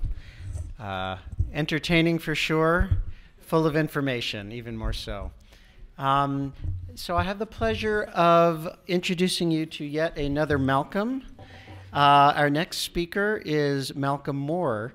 And Malcolm's interest, as far as I know, in the past was focused uh, more specifically on hem- hematol- hematologic malignancies uh, rather than solid tumors. And he's actually done a lot of work on identifying stem cells in uh, these liquid tumors. And he's just recently, within the past several years, begun to become interested in uh, stem cells in solid tumors, including ovarian cancer. And I'm sure he'll have a very interesting story to tell. Please welcome Dr. Malcolm Moore. Well, thank you. And uh, um, as I said, it's uh, I was, I was it, as I was introduced, I um, came into ovarian cancer uh, from the back door, um, from the stem cell, working my way up and uh, trying to uh, educate myself. So I apologize uh, if I display ignorance. Um, but sometimes when you approach a new field with no preconceived ideas, you can sometimes it's easier to to rethink. So. Uh, I didn't have any problem accepting the idea that it was a fallopian tube cancer rather than an ovarian in origin. um, so, um, what I um, am going to tell you about is a very interesting um, situation which we came into by pure serendipity. And this is a, a, a new type of um, ovarian cancer stem cell.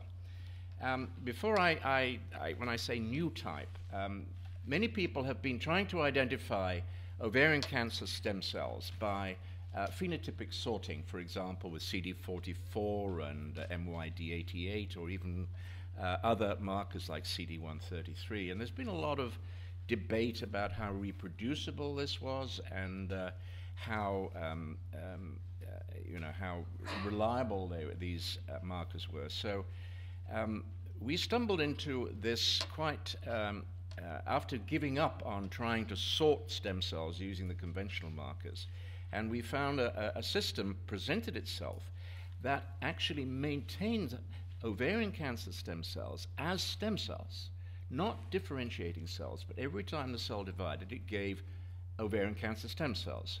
And it was rather like embryonic stem cell cultures in that uh, they were fairly homogeneous. We could make them differentiate uh, under other conditions, but the point we took advantage of the uh, of the stemness state to really investigate in detail what it took to be an ovarian cancer stem cell. Now, um, in uh, the um, for um, the disclosure purposes, um, this work uh, was done uh, by a graduate student, Server Ertem, initially a graduate student in my lab, and later a postdoctoral fellow. He has now gone on to found uh, a company called Arion, Arion Pharmaceuticals based on the intellectual property uh, that uh, we obtained from the cancer stem cell study, and I'm chairman of that board. I don't get personal remuneration. I donate it to the Hope Funds, which is a uh, charitable foundation that supports postdoctoral fellows uh, studying um, uh, cancers uh, uh, with frequencies that are on the you know less less um, perhaps um, supported cancers than breast and prostate, to choose two examples. And ovarian is a major area of support in that organization. So the discovery uh, was uh, came uh, uh, as I said, serendipitously uh, in a series of studies where we were trying to target telomerase as a, uh, as a valuable therapeutic target. And we had worked with Geron on their um, telomerase inhibitor, which was called GRN 163, and their lipidated version at that point. And we had a mismatch control. And um, as you can see here, tumor ovarian uh, cancer cell lines, human, uh, were implanted intraperitoneally in uh, non-skid mice. And uh, by luciferase imaging, we could demonstrate here the tumor growing rapidly intraperitoneally and forming a bloody ascites. Um, and here we see the treatment with the inhibitor, slowing the tumor dramatically and reducing uh, the formation of bloody ascites. And in that sense, uh, um, certain uh, effic- uh, efficacy, um, but the fellow, uh, the graduate student, um, had sampled this society's fluid and uh, asked me, he's, what are these um, sort of chains of cells here that seem to have a little halo around separating them from the leukocytes and red cells? And I said, well, uh, you know, one doesn't, I don't really know. Um, they, uh, the big cells are probably dividing, but um, we called them initially chains. And um, we could propagate them, and they seem to keep growing as chains. So we, uh, that's the beginning of these studies. The more typical aggregates, uh, which you're probably familiar with, are the uh, spheroid-like structures, which one uh, also finds in these ascites as well. And um, here we see um, from the cell line of CAR3 um, a procedure that we developed for um, subcloning these and selecting suspension cells, cells that floated and did not adhere.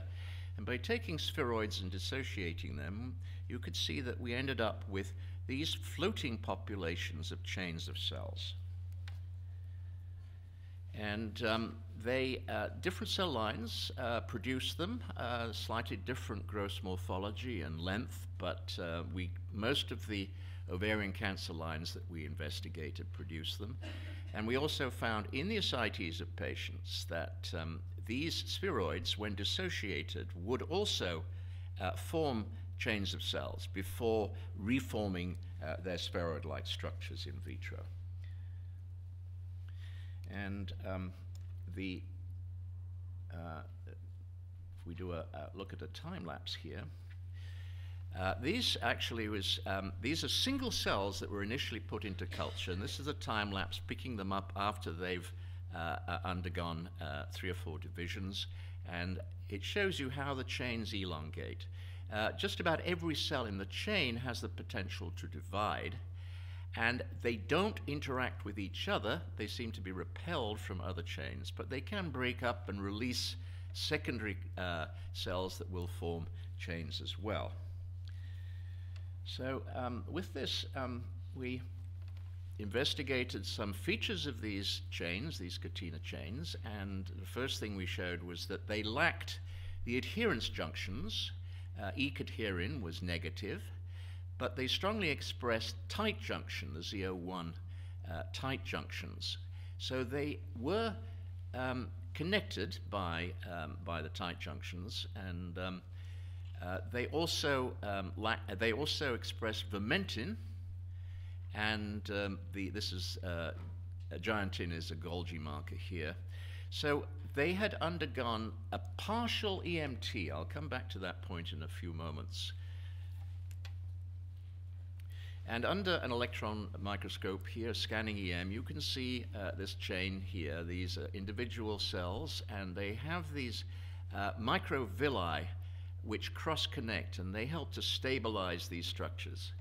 Um, and um, uh, there's a lot of interactions uh, with integrins. There's also surface blebbing, and um, there's also the release of exosomes from these cells. And there's a lot of work that we've done, I won't present today, on exosomes derived from ovarian cancer stem cells that we can detect in, for example, urine, um, serum, and so forth, that uh, we can identify by uh, various uh, markers. Uh, that may be very useful as a, um, a, a diagnostic and as an early, uh, possibly an early diagnostic marker in uh, ovarian cancer.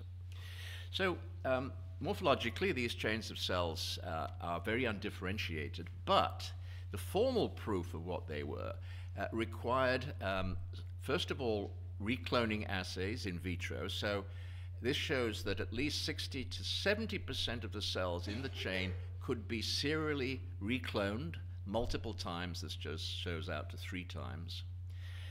And the other um, crucial assay was transplanting them into immunodeficient mice, both NOD-SCID and NOD-SCID IL-2R gamma.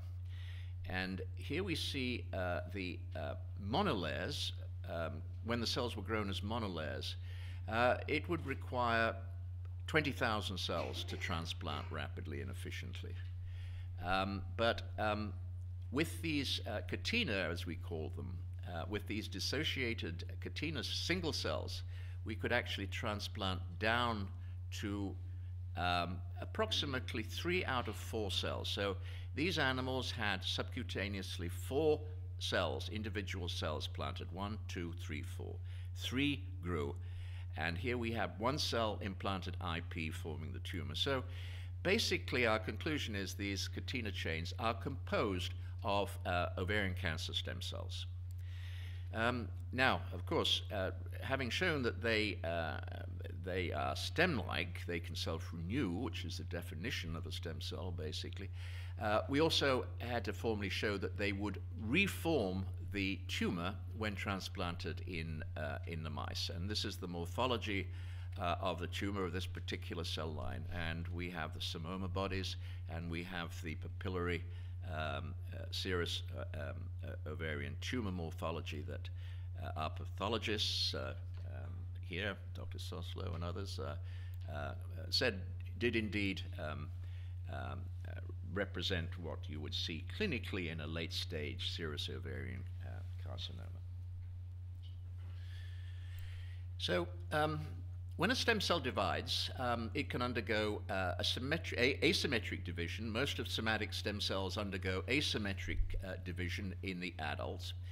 Uh, the symmetric division is required for expansion of the stem cell pool, and, and this is what we start seeing in malignant uh, stem cell expansion. They undergo at least some degree of symmetric stem cell division, this purple being the stem cell, blue being the more differentiated. But in recent years, the recognition that there is de-differentiation of uh, um, differentiated uh, cells uh, has really become um, a very important concept. Yamanaka, of course, uh, really revolutionized the field by showing that the introduction of three or four genes uh, could take a mature uh, skin cell and turn it into something very closely resembling an embryonic stem cell in its potential.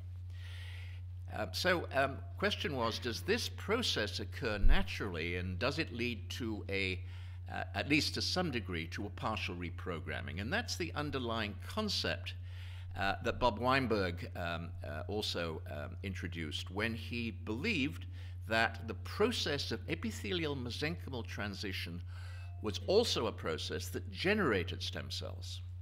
And, and so um, here we see um, a stem cell in a stationary, we call it a stationary stem cell, in an epithelial tumor that has both adherents and tight junctions. It undergoes an EMT.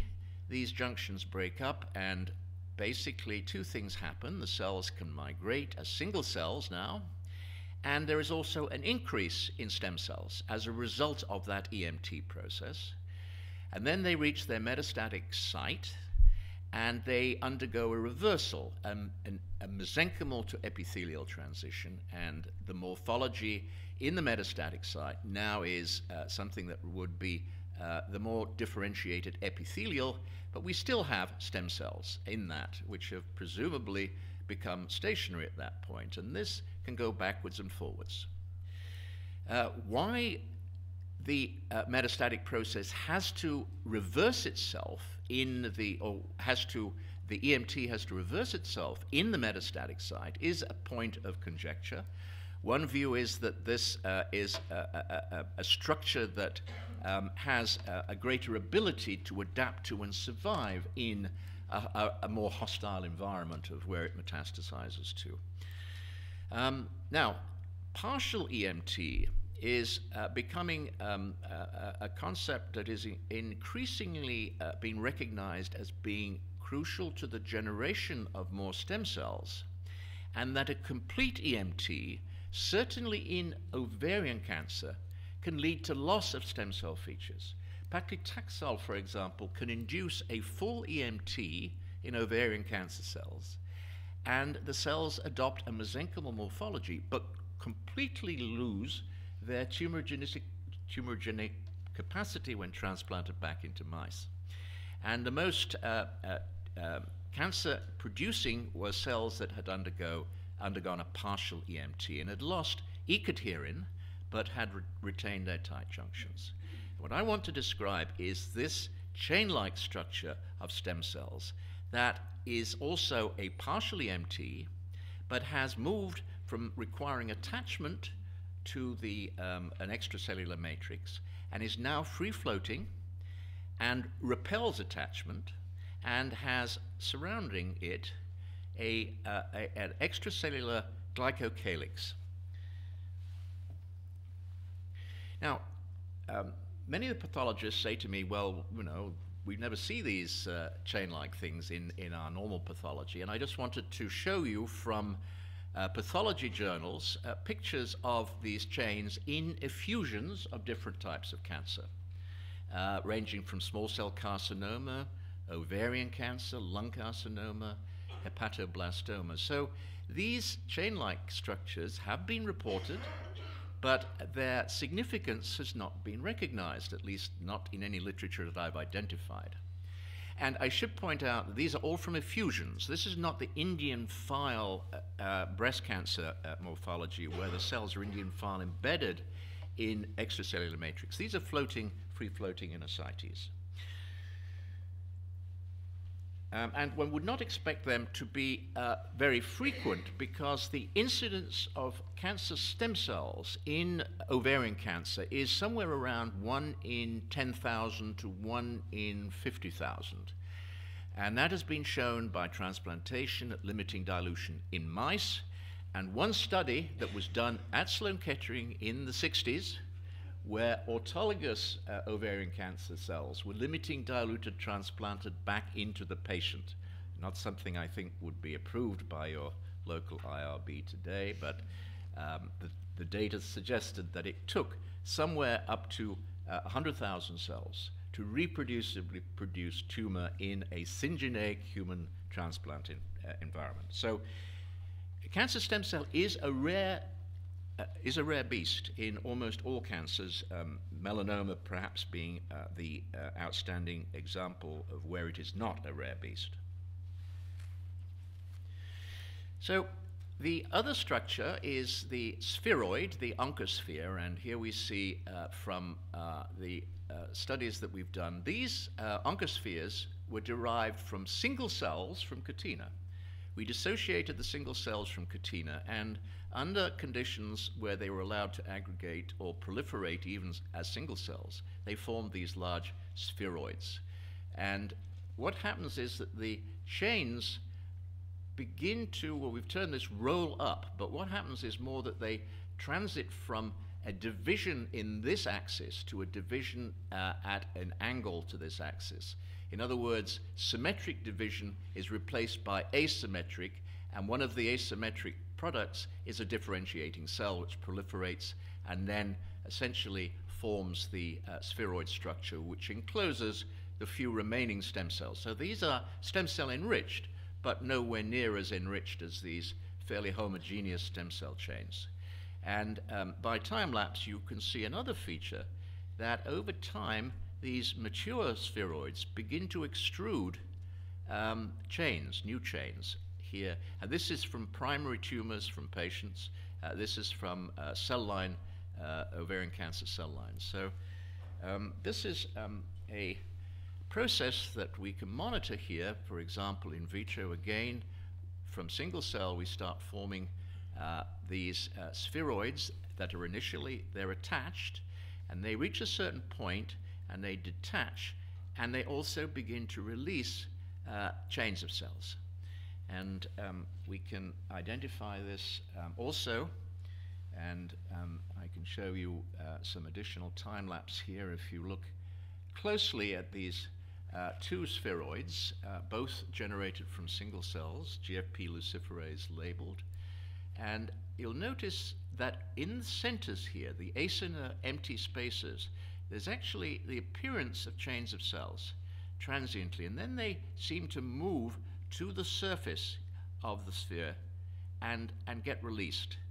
Um, I, I, don't know if this convinces you, but um, I have many other examples that show this is what's going on. So um, the, um, the story is therefore that um, uh, we have a very dynamic relationship between these chains, these catena chains, and these spheroids. Um, and so now I'd like to discuss a little further about our molecular characterization of these uh, uh, ovarian stem cells. The first thing is that they seem to lack the all, all of the markers that have been used diagnostically and therapeutically. Uh, that EpCAM, they show reduction in EpCAM, so these are the, uh, as we go through normal ovary, low malignant, uh, epithelial morphology, ovarian cancer, mesenchymal morphology, through to the uh, two different examples of CATINA. So they lose uh, EpCAM, MUC16, CA125, they also lose. Uh, the mesothelin they lose, and WT1 they lose. And all four of these uh, have been used or are, in, are being used as uh, immunotherapeutic, uh, in er immunotherapeutic strategies in ovarian cancer, and of course diagnostic strategies in the case of MUC16. So we are faced with a situation where the ovarian cancer stem cell can exist in a form that does not express any of the conventional markers that we are using, and therefore would be uh, would escape from, uh, uh, from targeting by, by these strategies.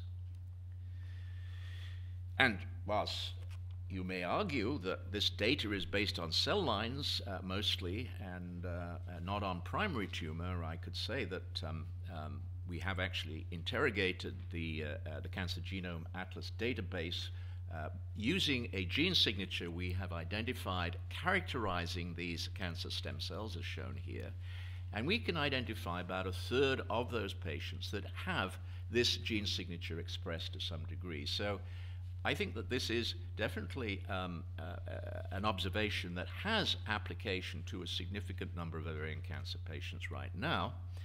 And the other thing is, is a more pragmatic point that none of the markers that we have used or that have been used clinically are necessary to be a stem cell. So that point being that we can get stem cells, these CATINA stem cells, that don't have these markers. And therefore, unless you come up with a marker that is a stemness marker that is required to be a stem cell, then that marker really need not have any relevance. It can be very uh, easily lost without impairing stem cell features. So um, that's just a, a, a, point that I think needs to be emphasized. Now, um, in the um, when we uh, looked at um, the gene profile, the most highly expressed gene uh, was a gene called HAS2, hyaluronan synthase 2, responsible for the synthesis of hyaluronan, one of the three hyaluronan synthase genes. And we also observed highly expressed uh, the PDGF um, uh, receptor and also, not shown here, PDGF itself. So there was an autocrine loop between expression of the receptor and the ligand in the case of PDGF, which drives, was able to drive proliferation of these stem cells. And also there's this uh, gene here, which is a hyaluronan proteoglycan link protein, responsible for um, uh, making a more extensive configuration, a more complex configuration of the extracellular hyaluronan matrix by involving linkage to other proteoglycans and to collagens. Um, the HAS2 um, actually has a variant form. There's an isoform of HAS2 that we've identified which lacks the first exon. This is the, um, uh, the normal HAS2, and it is a transmembrane structure. And uh, there are two regions where it is exposed on the surface and potentially targetable by antibodies. And here we see the loss in this, uh, what we've termed the Greenwich variant. So this variant form is now much more as a unique marker of ovarian cancer. If we identify the variant, and we've done this in hundreds and hundreds of uh, primary tumor samples, uh, this is a, a, an, a marker uh, for ovarian cancer, and it may well be proved possible to develop this as a early detection assay using either um, a, an antibody detection of this region um, in the absence of this region or uh, a QRT PCR strategy that could be applied uh, to various fluids um, uh, such as, for example, um, resulting from a pap smear. So HAS2 is involved in the formation of an extracellular matrix. And here we see a very striking extracellular matrix surrounding these chains of cells. This is called a red cell exclusion assay. We just use packed red cells to outline the glycocalyx here. And we treat with hyaluronidase, and it will completely remove uh, the coating. And this is um, um, scanning EM to show the coating on the chains, very extensive. And then after treatment with the enzyme, as you can see, it is removed, and red cells and everything else can come in close contact with the chain. Um, when we remove the coat, uh, the cells undergo a differentiation. They become mesenchymal and then epithelial. So uh, that's in the presence of serum. In the absence of serum, they clump up and die. So the coat is critical for maintaining them as stem cells. So therapeutically, intraperitoneal hy hyaluronidase would be a very effective treatment, but intraperitoneal administration of this enzyme uh, may have um, um, uh, problems, um, uh, other problems, because hyaluronan is a very important component of a protective covering of many different normal tissues. Um, this is another view of the coat uh, at higher magnification, and you can see what a tight mesh it is. Um, and this mesh actually provides a relatively impenetrable barrier, not just to cells, but also to molecules, to certain therapeutic agents, uh, and to antibodies. The cell uh, in the chain uh, can seek out beyond its glycocalyx by extending rapidly and transiently these extensive pseudopodia, which can loop back in. I think they're used to sense the outside environment. And they can also connect by these tunneling nanotubes, which allow the interchange of, of protein and RNA species between, between the cells. So um, to put this together as a model, and um, uh, this is now uh, showing my bias that we start in the fallopian tube and that the process in the fallopian tube of sloughing off the, uh, the, the, cells that are undergoing um, um, malignant transformation onto the surface of the ovary and then the formation of the, uh, of the cysts showing the features of uh, the Mullerian of the uh, um, both secretory and ciliated cells, as distinct from the ovarian surface epithelial cysts, we've already heard that this morning, uh, which I don't personally feel are playing much of a role in the subsequent uh, malignant transformation. And my um, adaptation or my, my evolution from what you've heard in the sessions earlier is that the process of rupture and release of malignant cells into the peritoneum involves the release of these uh, stem cells as single cells which will rapidly proliferate as stem cell chains, or the extrusion of whole chains, as we've already seen uh, from individual spheroids, that they roll up and form spheroids that then extrude new uh, uh chains of cells, and this whole process uh, uh, leads to the ascites and an extensive expansion of both differentiated and floating stem cell populations. And then these can attach to the peritoneal lining and form uh, amental cake structures. So um, finally, I'd just uh, like to discuss how we can um, utilize this uh, stem cell system to uh, identify uh, not just biomarkers, but monoclonal antibodies and therapeutics that might be of value in treatment. And here one has to recognize that these uh, katina are essentially protected entities, that they're, um, they don't necessarily have an intrinsic uh, drug resistance, they have a resistance due to their uh, relatively impenetrable glycocalyx. So this is the typical um, uh, dose for uh, uh, killing in micromolars, a very effective killing dose for paclitaxel, topotecan, etoposide, fluorouracil here. And this is the dose for killing katina. So we're talking about ranges from 30 to 10,000 fold resistance. And since paclitaxel is the most uh, uh, is one of the main drugs used in treatment in ovarian cancer, this is a, a very obvious reason why there could be significant resistance to to therapy, or why resistance develops because of the protective uh, uh, capacity of these floating stem cells.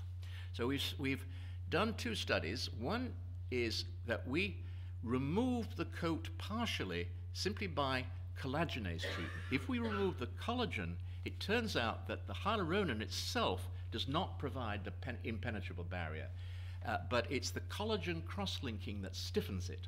And, and as a result, if we treat with collagenase, we shrink down the catina, uh, the uh, glycocalyx, as can be seen here, uh, and it is now um, uh, potentially much more uh, penetrable by uh, conventional chemotherapeutic agents. But if we do that and then wait a few days to let the coat reform, to let collagen resynthesize, then we treat with drug. So we can now compare the impact of collagen components on drug sensitivity. And um, this is um, uh, very striking, as you can see. This is uh, basically the, uh, the sensitivity to the drug on day one after they've been treated with uh, uh, collagenase. And this is on day six after they have uh, reformed their coat. And this is a range of, of, of various um, drugs and uh, targets of uh, various, uh, I won't go through them in, in detail, but as you can see, in many, many cases, there's a huge resistance uh, that the coat collagen provides that can be removed by treatment with collagenase. Finally, um, we have um, established um, a, by high throughput screening um, the, um, the use of uh, uh, large compound libraries to screen for drugs that have two properties. One is ability to penetrate the coat, and secondly, to, when doing so, to then kill the stem cell, the cancer stem cell. And as a control, we use normal hematopoietic stem cells um, as, as a way of looking at least for non for hemato- lack of hematopoietic toxicity. And we have been successful in generating at least two lead compounds. And uh, these compounds, uh, this is uh, using the Alamar Blue assay, and this is where this is how we do the titration of the compounds. And blue means killing, and purple means everybody's happy in terms of proliferating cells. And see, these were some of the compounds, and as you can see, for example, uh, this compound 11 here uh, is very toxic to hematopoietic cells. Compound 15 is very toxic to hematopoietic stem cells. Uh, other compounds are not at all toxic, whereas they have toxicity against catina. And uh, so these were selected, and uh, we then treated uh, the um, catina cells in vitro and transplanted them singly to mice and looked for how effectively they eliminated the tumor stem cell growth. And we found uh, that there were uh, uh, some compounds that were active in doing this down to one micromolar, 100% kill of tumor. And we were able then to take this into, uh, into the drug, uh, into the treatment of mice. This is now in vivo in mice with established tumor from ovarian cancer stem cells. This is using uh, the uh, lead compound, and this is paclitaxel in the same group of mice with the same tumor, which is not effective in eliminating uh, the tumor. So um, this, is, um, this is where we stand with our lead compound. Um, the other strategy is developing monoclonal antibodies, and we have done that initially with the collaboration of Dr. Old when he was alive and uh, the Ludwig Institute laboratories here at Sloan Kettering. And um, we have um, identified a, a, a, number of, um, uh, of uh, lead monoclonal antibodies, and three of them here, um, they are either effective uh, in targeting these catina. They'll mediate complement mediated killing, um, and they are active. Two of them are active against more differentiated tumor as well as the uh, as the catina, and one of them appears to be catina specific. So these antibodies we are going to explore now uh, for their uh, therapeutic efficacy um, in a complement mediated killing mode or ability to mediate uh, antibody dependent cell mediated cytotoxicity. And we're also looking at them, particularly the one that's Katina specific even, for uh, early diagnostic that could be applied in situations to serum uh, or to uh, uh, pap smears to see if we can identify uh, this Katina signature and with a sensitivity that would provide, again, very early diagnosis. So, as I mentioned, this is, this is work that was done mostly by, initiated by Server Ertem in my lab, and all of these fellows of my lab, the ones highlighted in red, participated to varying degrees over the last three or four years in this work. we, of course, um, must thank our uh, colleagues uh, in, at Sloan Kettering, um, uh, particularly Doug Levine and, and the others in the service who were so helpful in providing us with both primary tumor sample and fallopian epithelial samples. And um, I would also uh, thank the Hope Funds, uh, Starr Foundation, the Guy Reichman Fund, Technical Development Fund of MSK, and as I mentioned, Arian Pharmaceuticals, which is now providing uh, support for developing these into uh, the stage when we can get into uh, clinical trials. Thank you very much.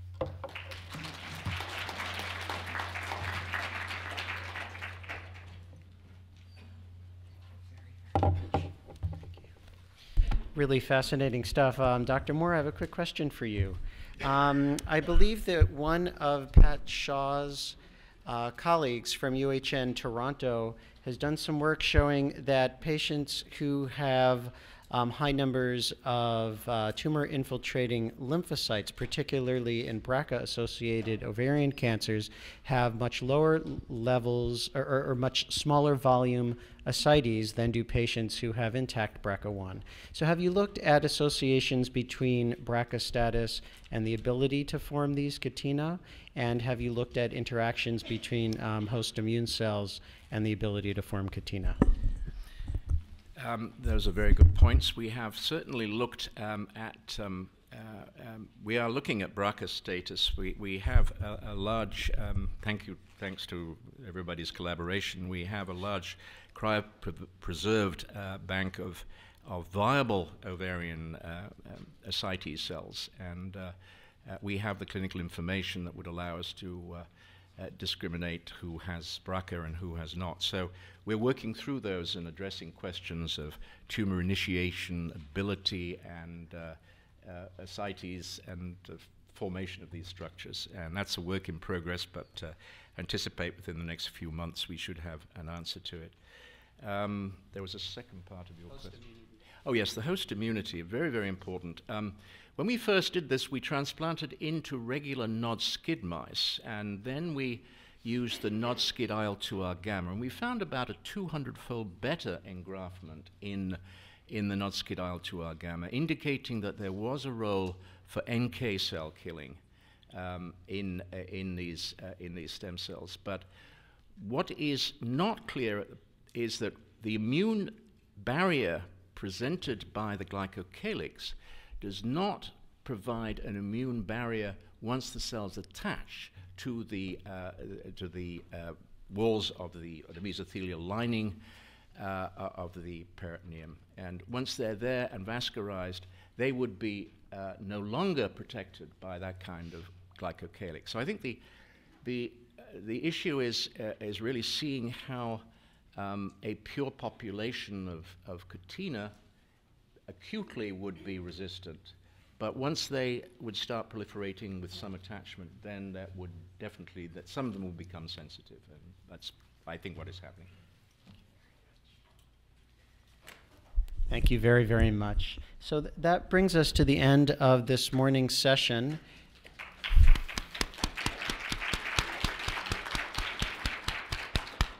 And before you leave, I just have a few announcements for you.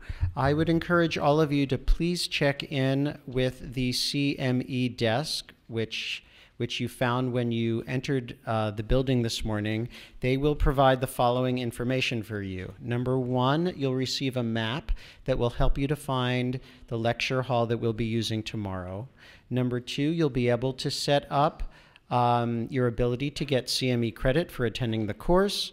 And number three, they will provide you with information regarding how to access the lecture notes and PowerPoint presentations, in some cases from today's lectures. Have a great lunch, and let's uh, reconvene at um, 1.30. Enjoy.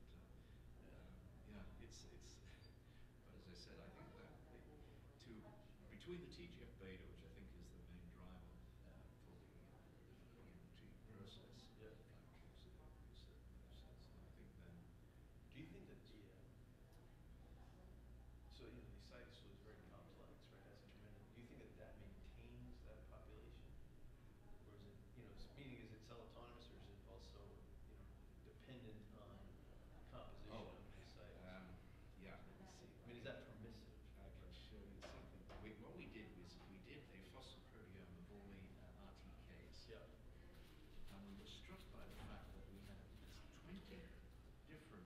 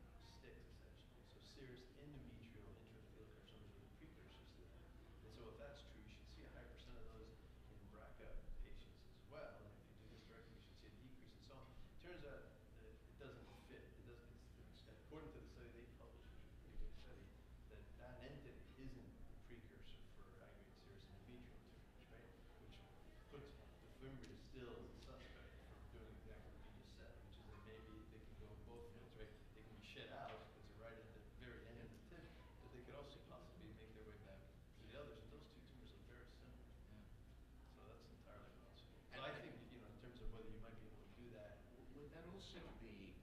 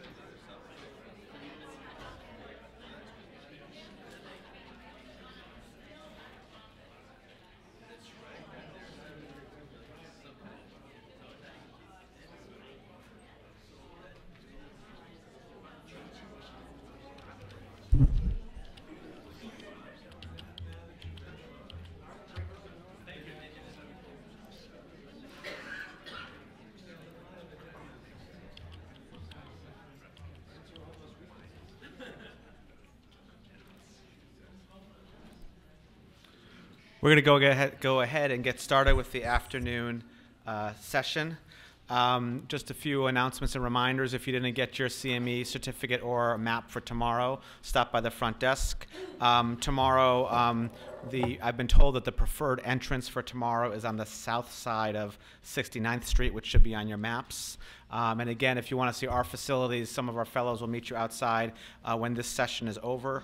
Um, and our next uh, speaker uh, is Noah Kauff, who directs the ovarian cancer screening and prevention program here and has participated in some of the seminal studies demonstrating that uh, risk-reducing salpingo oophorectomy is actually uh, effective in saving lives and deaths from uh, breast and ovarian cancer. And today he's going to talk about inherited ovarian cancer. Thanks, Noah.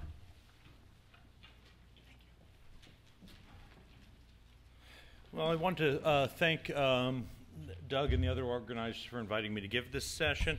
Uh, as he mentioned, I'm going to talk a little bit about inherited ovarian cancer and current risk assessment and management uh, for this. Uh, quick disclosure, I have consulted and provide expert testimony for Pfizer. Why should we think about inherited ovarian cancer? Um, and I would argue they're fourfold. One is mutations are common in individuals with ovarian and fallopian tube cancer. Two, knowledge of mutation status clearly has impact for the family. Three, knowledge of mutation status may have impact for the patient. And lastly, study of, uh, of, inherited ovarian and fallopian tube cancer has been a window into understanding pelvic serous cancer in general. Um, of the 22,000 uh, cases of ovarian cancer that will be diagnosed in the United States this year, approximately 10% of those are going to be inherited.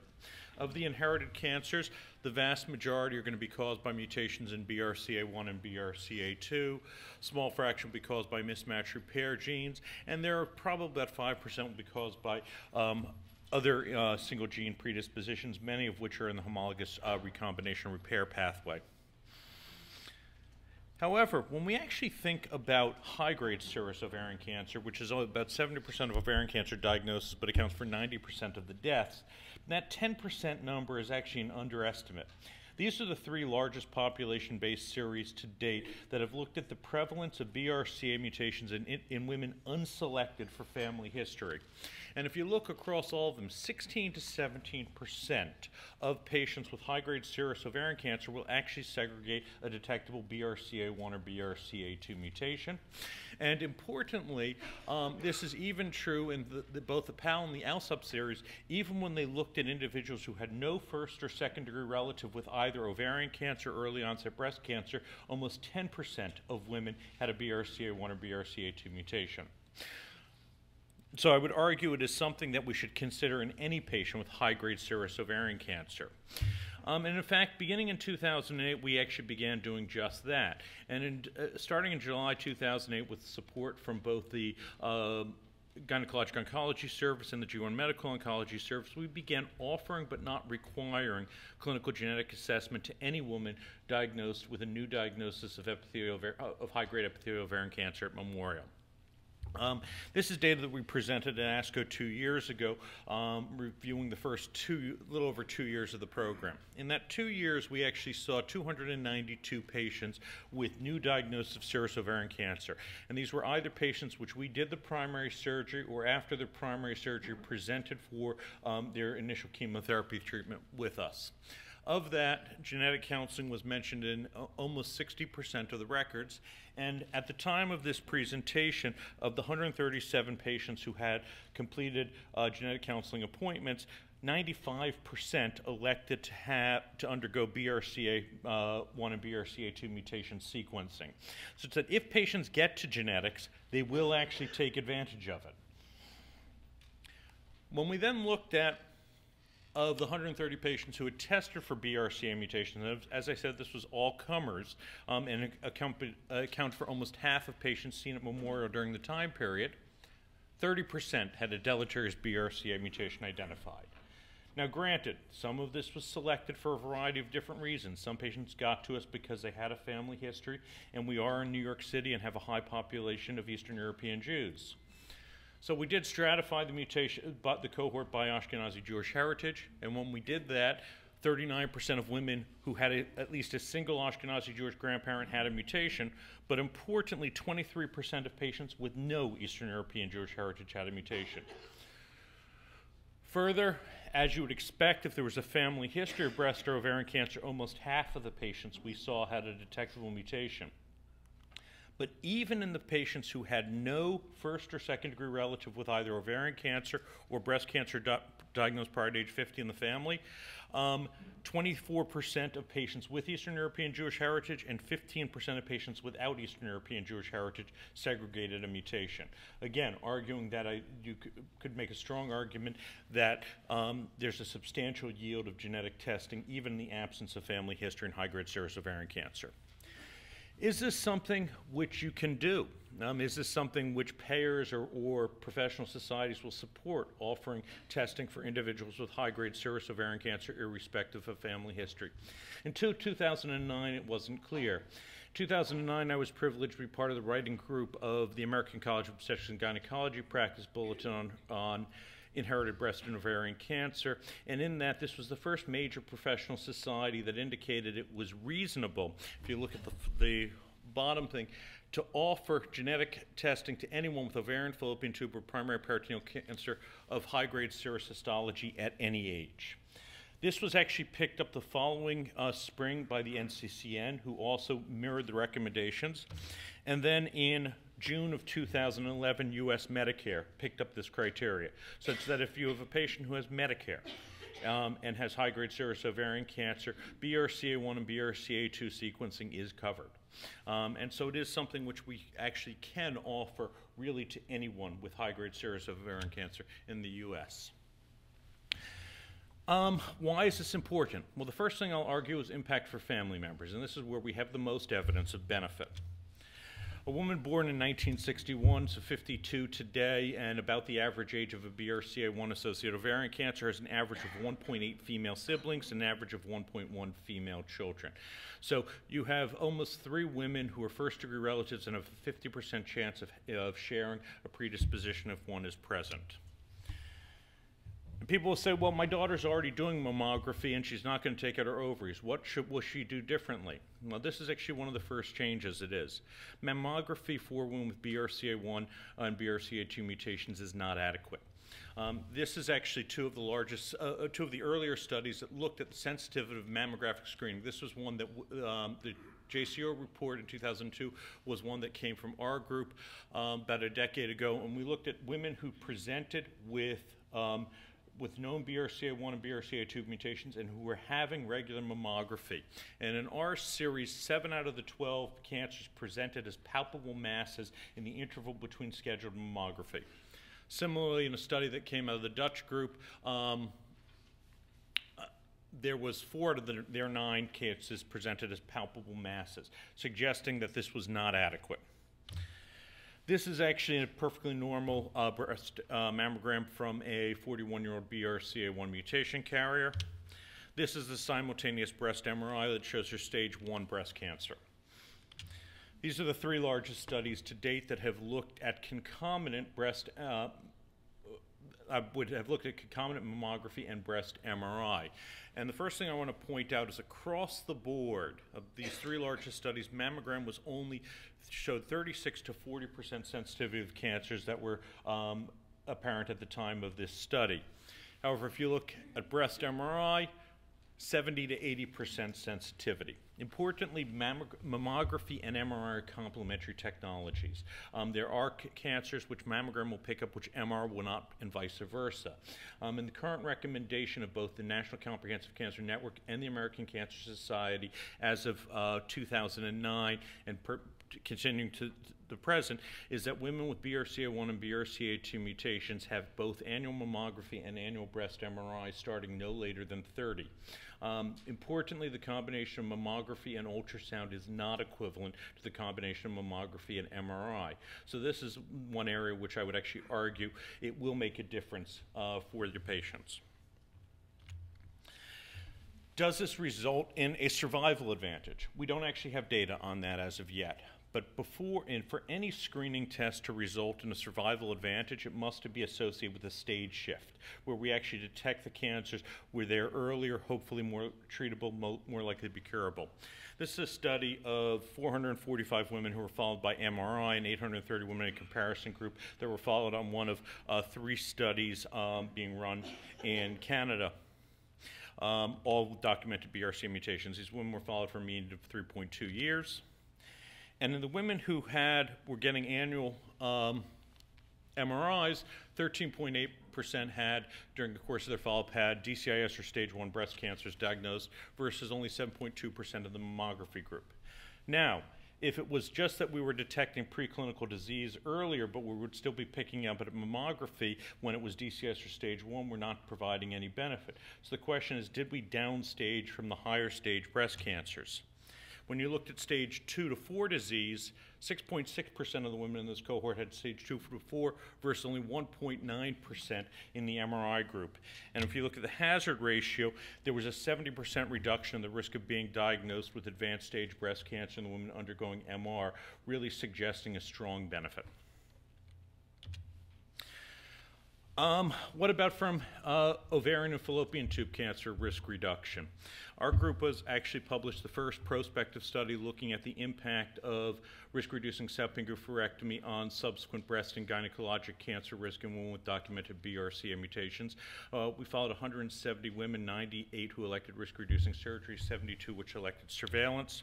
This is a Kaplan-Meier curve which shows the proportion which were cancer-free. At five years, 94% of the women in the risk-reducing surgery group were cancer-free versus 69% of women in the surveillance group. This was a highly statistically significant reduction and was actually published in the lead article of the New England Journal of Medicine in May of 2002. Since that time, there have been a number of studies that have actually confirmed this result and have shown that we see reductions for the risk of gynecologic cancer of anywhere from 70 to 96 percent, reductions of risk of breast cancer anywhere from 50 to 70 percent uh, for risk-reducing salpingo-oophorectomy.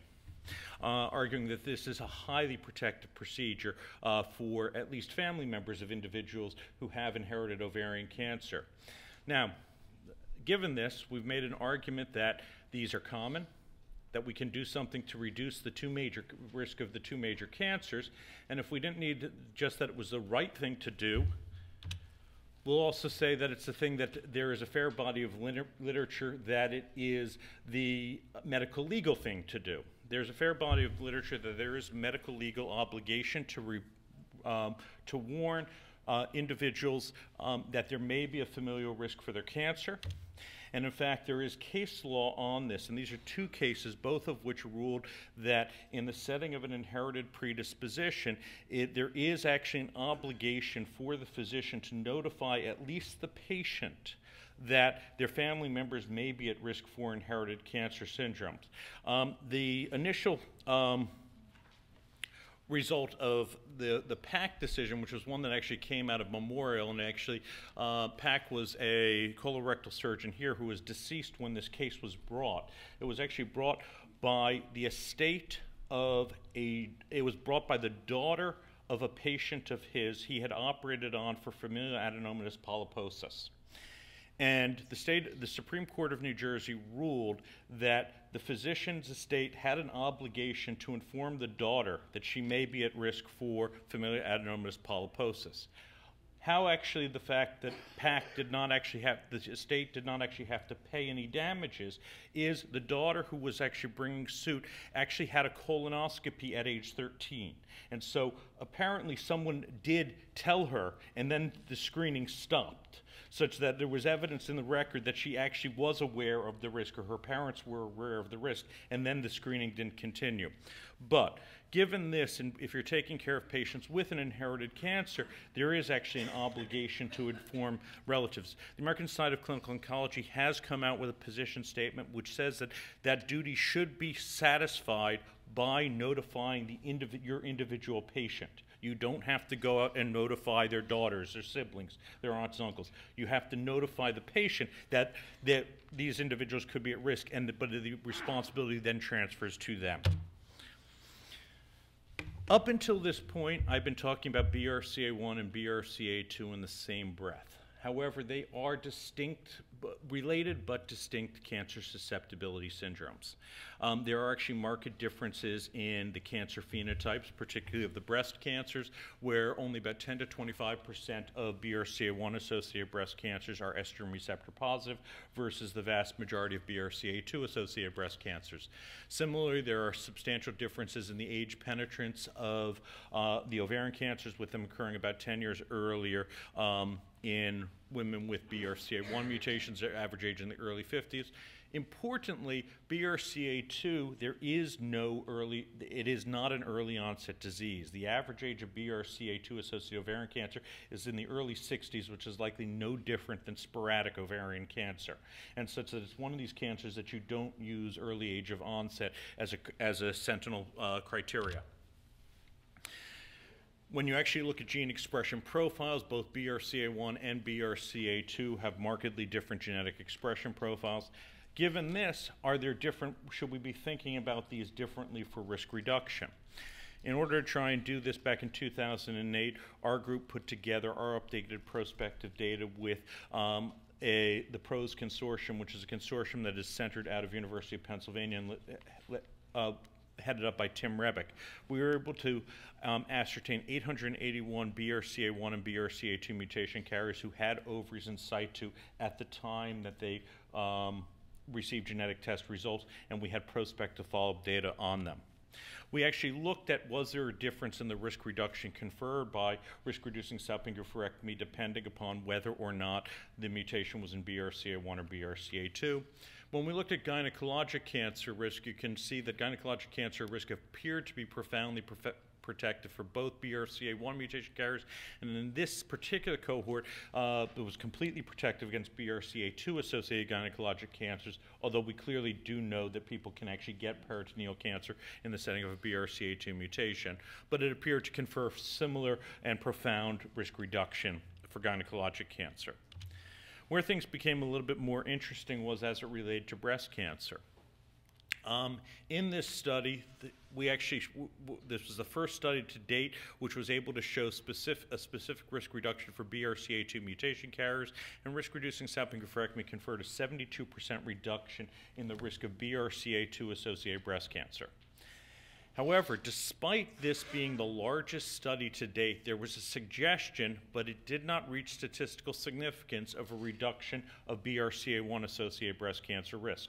But it only appeared to be about a 40% reduction, and as I said, did not reach statistical significance. In order to try and explore why that difference might might be, we thought that this might have to do with the different phenotypes of the breast cancers. Um, no other hormonal intervention, which is pre the presumptive mechanism of uh, the, the mechanism of action of risk-reduced salpingo-oophorectomy for preventing breast cancer risk, has actually ever impacted the risk of ER-negative breast cancer. And that is true of tamoxifen, aromatase in inhibition, uh, ovarian ablation up to this point. So we were a little bit surprised that um, it that BRCA1 mutation carriers got such a benefit from risk-reducing surgery um, given that the majority of their cancers are ER negative. We were able to do an analysis, an exploratory analysis, where we were able to get the actual estrogen receptor status of 31 of the 34 invasive breast cancers that um, developed during follow-up. And when we looked at the women with ER-positive disease, profound protection, almost 80% risk reduction against ER-positive disease. But despite the hope that risk-reducing salpingo-oophorectomy might protect against some of the ER negative breast cancers and seen in BRCA1 mutation carriers, there was no suggestion of benefit against ER negative disease, really suggesting that we have to come up with alternate methods for risk reduction for the ER negative breast cancers that BRCA1 mutation carriers are predominantly at risk for. Now, what about impact for the patient herself? Why, why would this be testing even if they didn't have relatives? There are now multiple studies. This is a, about five, but there now is close to a dozen studies in the literature that have shown that both BRCA1 and BRCA2 associated ovarian cancer has markedly improved survival compared to sporadic ovarian cancer. Um, and in fact, in the most recent study, which was the Chetrit study, for women with stage 3 4 disease who were diagnosed at time of enrollment in the Chetrit study, which was the late 90s, their median survival approached seven and a half to eight years. Um, given that, and given that these women have an annual risk of breast cancer of anywhere from one and a half 1.8 to 3 percent. Over that eight years, they may have a 24 percent risk of breast cancer. I would argue you likely would need to do breast cancer screening for these women um, because they actually will have a prolonged uh, disease-free survival from their ovarian cancer. The other obvious reason is targeted treatment uh, of BRCA-associated ovarian cancer, and in fact, this is my only slide on targeted treatment because there are three other talks in this conference that are actually going to address targeted treatment. But um, I encourage you to stay for some of those lectures because uh, I've heard some of them before and they're uh, astounding. Um, but Moving on to what can inherited uh, cancers teach us about serous ovarian and fallopian tube cancer in general. Um, as I mentioned, multiple studies have said that uh, BRCA-associated ovarian cancer um, is associated with improved outcome compared to wild type. This was a study that we did about three years ago that was trying to get at a little bit of the etiology. We looked at all women who had stage three or four non-mucinous uh, high-grade ovarian cancer presented for initial therapy over a 10-year period at Memorial.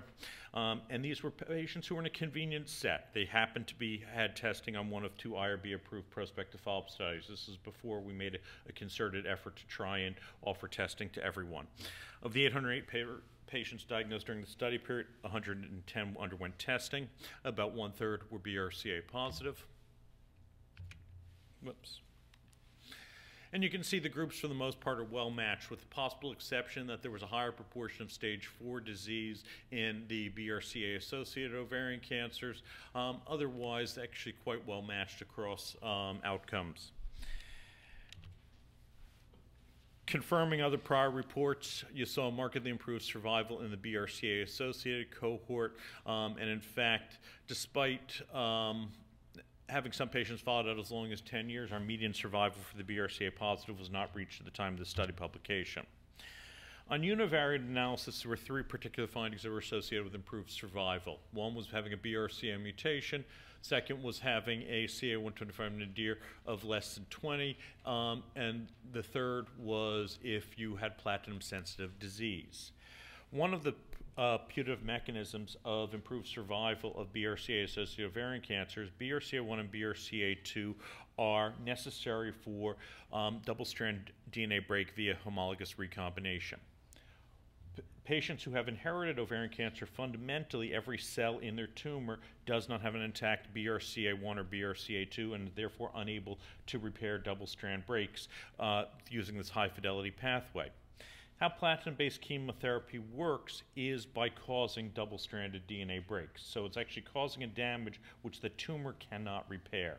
So without knowing it, we've been giving a targeted therapy for the last 30 years for serous ovarian cancer that is inherited. However, when we looked at this, it turned out patients, when we did multivariate analysis, patients who had platinum-sensitive disease were associated with improved survival. But interestingly, BRCA mutation was independent was an independent predictor of survival, of improved survival, independent of platinum sensitivity, suggests there may be differences in the underlying biology which are also contributing to some of this improved outcome. Does the etiology of defects in homologous recombination matter? Well, this is actually courtesy of Doug Levine. This is data from the TCGA, which has actually looked at potential driver events in high-grade serous ovarian cancer. And actually, everything through here, which is almost half of high-grade serous ovarian cancer, has a driver event in which homologous the homologous recombination pathway is disrupted. Do those individuals necessarily, will they all respond equally to platinum? Will they all potentially respond equally to targeted therapies? Um, and this is something which is not at all clear. Interestingly, about anywhere from 10 to 25% of high grade serous ovarian cancer has methylation and silencing of the BRCA1 promoter. But from data from the TCGA, if you looked at the patients who had inherited ovarian cancer, improved survival. The patients with methylated BRCA1, no different from wild type. So perhaps the etiology does actually matter. Similarly, does it matter if you're dealing with BRCA1 or BRCA2? This is work that one of our fellows did a couple of years ago.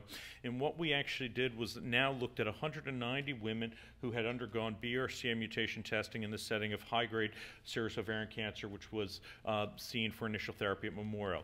This particular cohort was limited to women with high grade serous ovarian cancer as opposed to any subtype, which was the prior study was. And importantly, they had to have genetic testing done within two years of diagnosis. The reason for that is we wanted to exclude out patients who actually were tested because of long survival. And when we did this, interestingly, curves broke out in three. This is the BRCA wild type, BRCA1, BRCA2, each with their own distinct survival curve. Similar analysis was done in the TCGA cohort, again showing the same phenomenon, really suggesting that there may be differences in biology even between BRCA1 mutated ovarian cancers and BRCA2 associated ovarian cancers. Lastly, very quickly, what has the management of women with BRCA mutation taught, us about risk reduction options? Can we do better than risk reducing As, as, a number of the speakers have alluded to before, we've known prior to 2002 and the advent of risk-reducing surgery, we knew risk factors which caused increasing uh, number of ovulatory cycles. Protective factors were things which could decrease the number of ovulatory cycles or estrogen exposure. And we had the, the incessant ovulation hypothesis, which suggested that um, more ovulations, more risk of ovarian cancer, and perhaps with, with more estrogen, unopposed estrogen exposure with the advent of risk reducing surgeries and an exponential increase in it um, following the, the, publication in 2002 of ours and Tim Rebbeck's reports, we began seeing um, invasive serous carcinomas of the fallopian tubes as well as uh, serous tubal intraepithelial carcinomas. And of patients who have risk reducing surgery, um, anywhere from 2 to 5% of women who have risk reducing surgery will actually have an occult an occult cancer diagnosed at time of risk-reducing surgery. But interestingly, as many as 60% of those lesions will be in the fallopian tube only. Given that it's uh, led to the seminal research that was done by Pierre Crum and others that has been described today that has really suggested that there is um, that the fallopian tube may, is a site of origin for at least a substantial fraction, if not all, high-grade serous ovarian cancer. Now, given that, um, and you've seen these two graphs before, if the fallopian tube is the site of origin for high-grade serous ovarian cancer, is it reasonable to consider, let's just remove the fallopian tube? And I think there are a couple of caveats which we have to have before we do that. Importantly, we don't know what is the latency time from the initial neoplastic event in the fallopian tube epithelium, even if it's responsible for all high-grade serous ovarian cancer, until the um, development of invasive cancer. And we also don't know where all of that pathogenesis occurs. Some that may occur in the fallopian tube, some may occur in the ovaries. We've always assumed the transition from normal cell to invasive to invasive cancer cell was a very rapid transition because we've never been able to find a precursor lesion in the ovaries. However, as has been discussed by, uh, by a number of speakers this morning, if in fact ovarian cancer or is, in, is fallopian tube cancer, we may not have found the precursor just because we've been looking in the wrong place. And if that's the case, is it possible fallopian tube cancer behaves like every other epithelial malignancy, including breast, lung, colon, skin, cervical, in which the malignant transformation doesn't occur over months, but rather years to decades? And if that's the case, the horse may actually already be out of the barn um, by the time we take out the fallopian tubes. Additionally, we may not even be able to identify because some of this is even happening at a molecular level for example, if the, the, P53 signature it doesn't have a histologic, uh, it's not something you can identify on H&E. It's only something which you can look if you use immunohistochemistry. So you have to look as a window into what's going on molecularly. Um, and so we, since we don't know the latency, I think we have to be cautious. Secondly, as uh, Dr. Kurman and others have said this morning, we don't know what proportions of pelvic cancers are explained by the fallopian tube hypothesis. And lastly and importantly, deferring oophorectomy will, decay, will negate the benefit conferred by risk reducing salpingo-oophorectomy against breast cancer. Still, the primary driver of mortality in women with BRCA1 and BRCA2 mutations is their risk of breast cancer. And if we actually do salpingectomy um, without actually addressing the, the breast cancer risk, we may be doing the patients a disservice. Given this, I think that until we study this more, probably salpingectomy doesn't have a role in women with BRCA1 or BRCA2 mutations outside of a research context. That being said, Doug Levine is actually PI of a proposal that is actually being, uh, that is going through the gynecologic oncology group right now, specifically designed to look at a number of these important issues in risk reducing salpingectomy. And I think it's something we should strongly support uh, participation in this and other similar protocols. Where do we go from here? Can we better identify individuals with inherited ovarian and fallopian tube cancer who may benefit from treatment with specific traditional or targeted therapies? That's going to be something which I think some of the other uh, speakers today will touch on. Can we identify patients with somatic BRCA dysfunction who may benefit from therapies useful in inherited pelvic serous cancer? And lastly, we'll advance in our basic understanding of the molecular pathogenesis and progression of hereditary ovarian fallopian tube cancer, allow us to eliminate the burden of serous cancer entirely. I want to thank you for your attention. I'd like to acknowledge some of the funders of my work, um, and I look forward to your questions.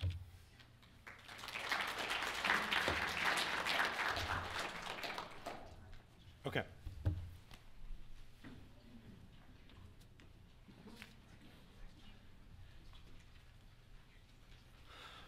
Our next speaker is uh, Dr. Kala Visvanathan, who's Associate Professor of Epidemiology and Oncology Johns Hopkins, Director of the Clinical Cancer Genetics and Prevention Services at the uh, Sidney Kimmel Cancer Center. And Kala will be talking uh, about a, lot, a little bit about, maybe more about Project 5, which I had mentioned in my overview, looking at the epidemiologic risk factors and possible biomarkers that correlate with the presence of uh, ser uh, serous tubal intraepithelial carcinomas.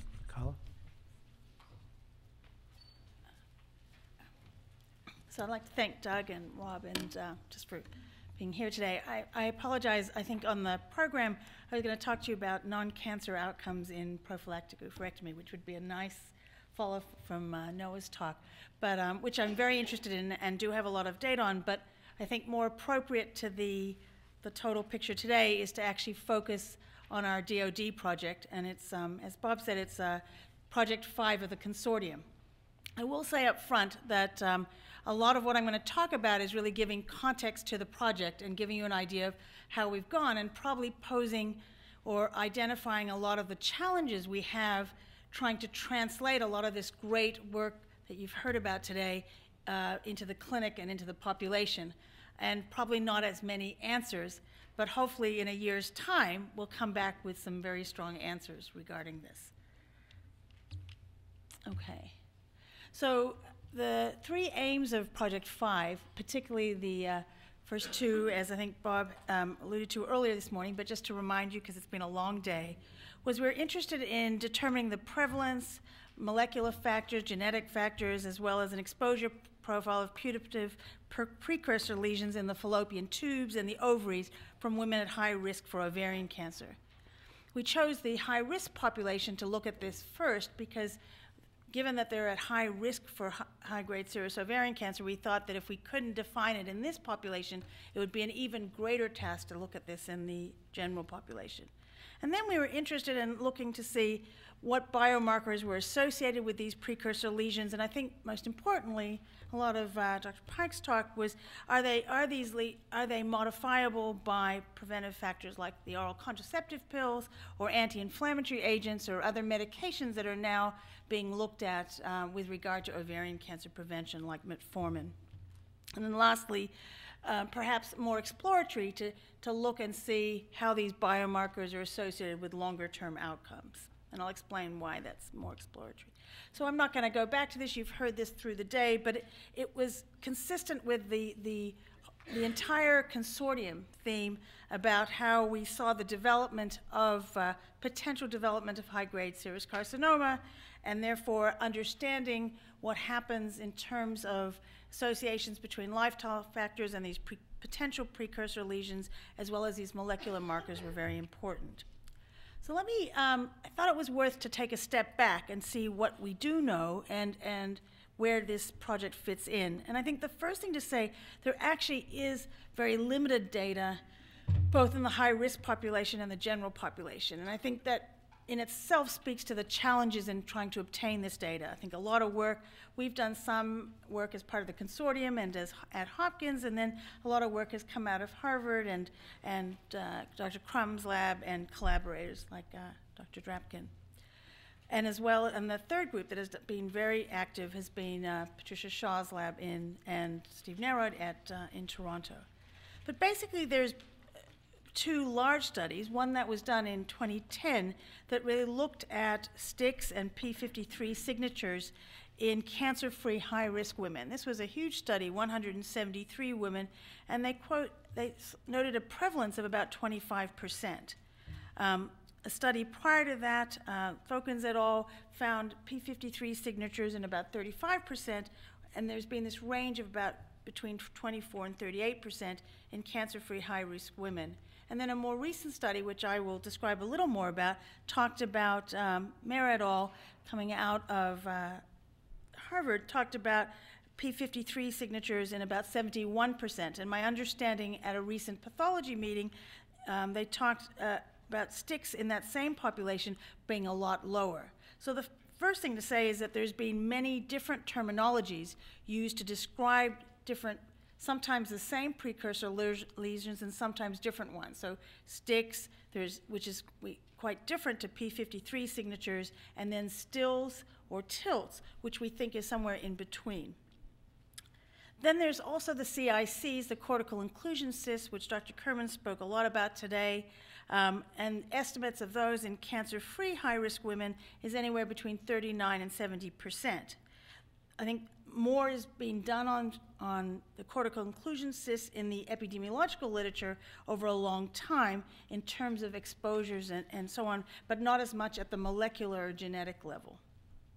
And then lastly, there have been a variety of studies that have looked at occult carcinomas, and the ranges there have been anywhere between 5 and 17 percent. There's also the ovarian surface epithelium, and I mentioned STILs. So as you can see, there's, there's huge ranges of of what are, if these are precursor lesions, and what is the prevalence of them. So that was the first sort of challenge that we encountered.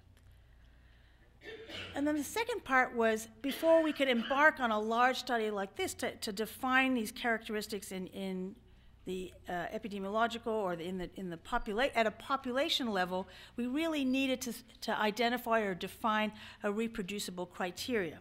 I know, uh, I think the first person to publish on this is Dr. Crum. They did a study where they actually showed the, the challenges of trying to get a reproducible criteria. So we embarked on this as a group in the consortium as a whole, and we really used an iterative approach to get to sort of this, to the stage that we're at now.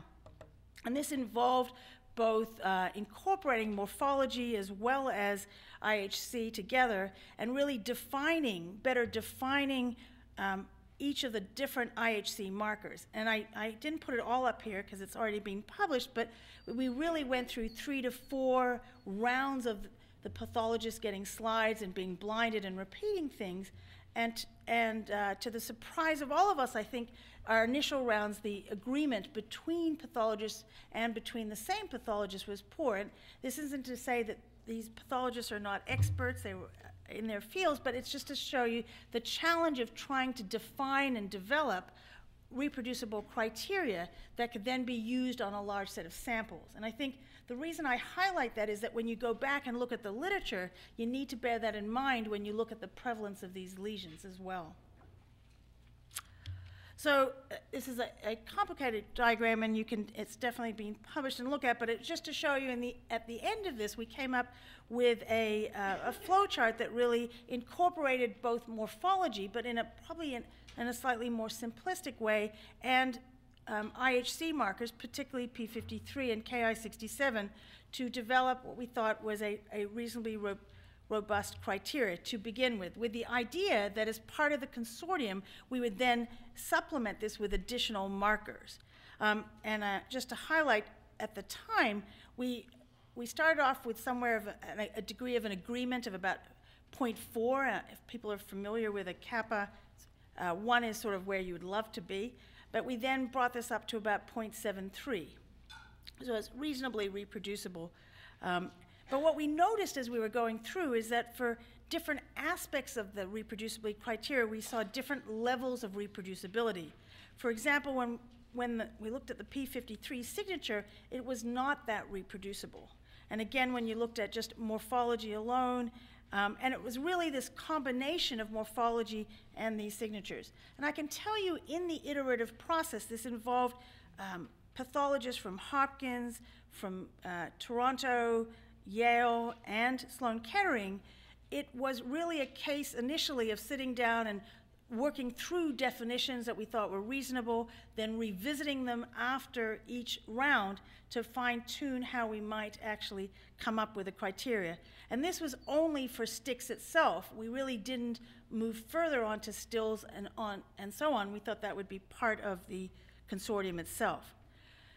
I think the, the promising news was that after that was done, that criteria was then put on a website and it was then validated by testing it in three independent faculty not involved in this group and three fellows. Um, they, they took a training set and then they re uh, looked at a set of slides and they also got a reasonable degree of agreement. So at least we had a baseline where to start in terms of uh, going forward to develop a reproducible criteria.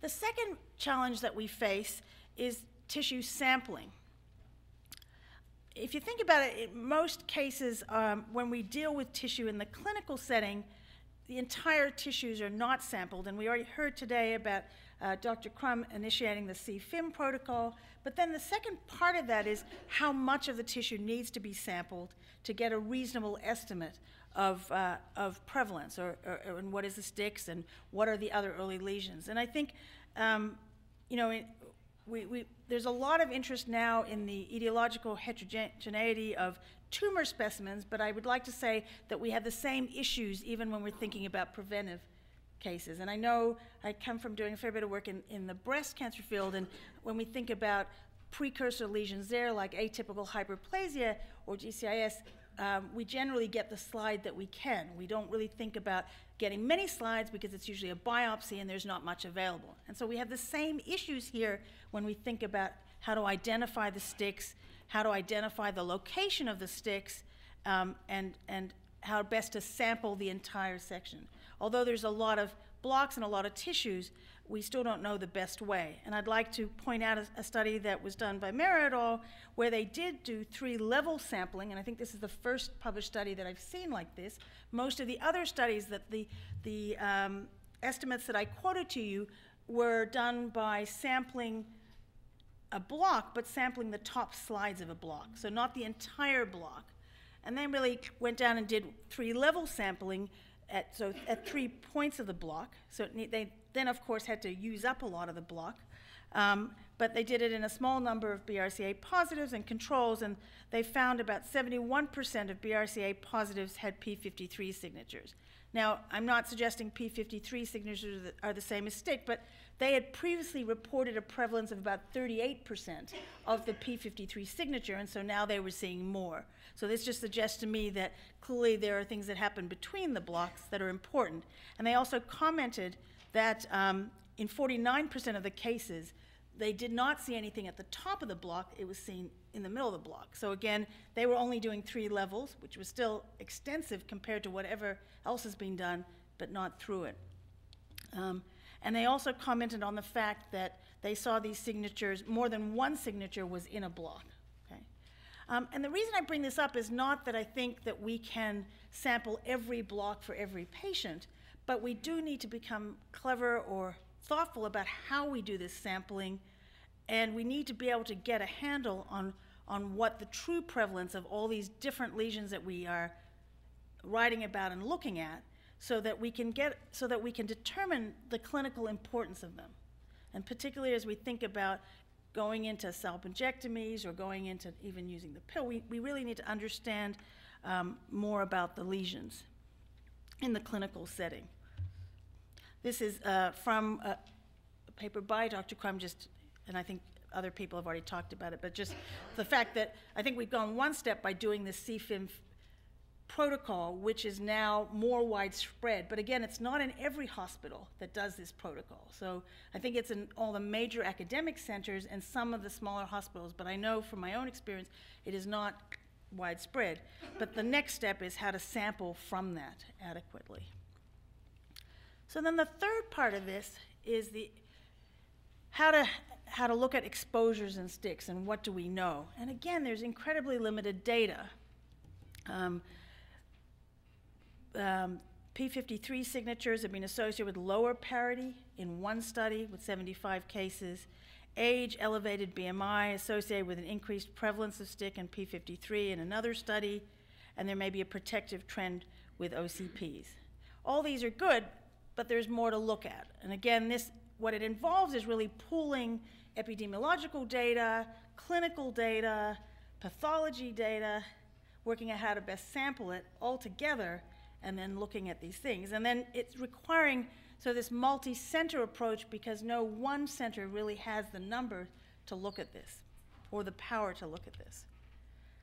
And then there's markers, and I think um, everyone has talked about markers, and, and Dr. Shih particularly. Um, but I wanted to bring up sort of just a different angle of that. So again, we have a base that we're starting from in terms of STICs and, and sort of the, the Ki67P53, but we want to build on that. So as you heard today, and I'll show you a little more, there's numerous markers, which are great, that may be different in STICs, might be upregulated versus not, but how do we choose the markers we should look at now in larger numbers? Like what is, the, what is our thought process? Do we look at the ones that are, that are always present, or is it, is it more important to look at the ones that are unusual?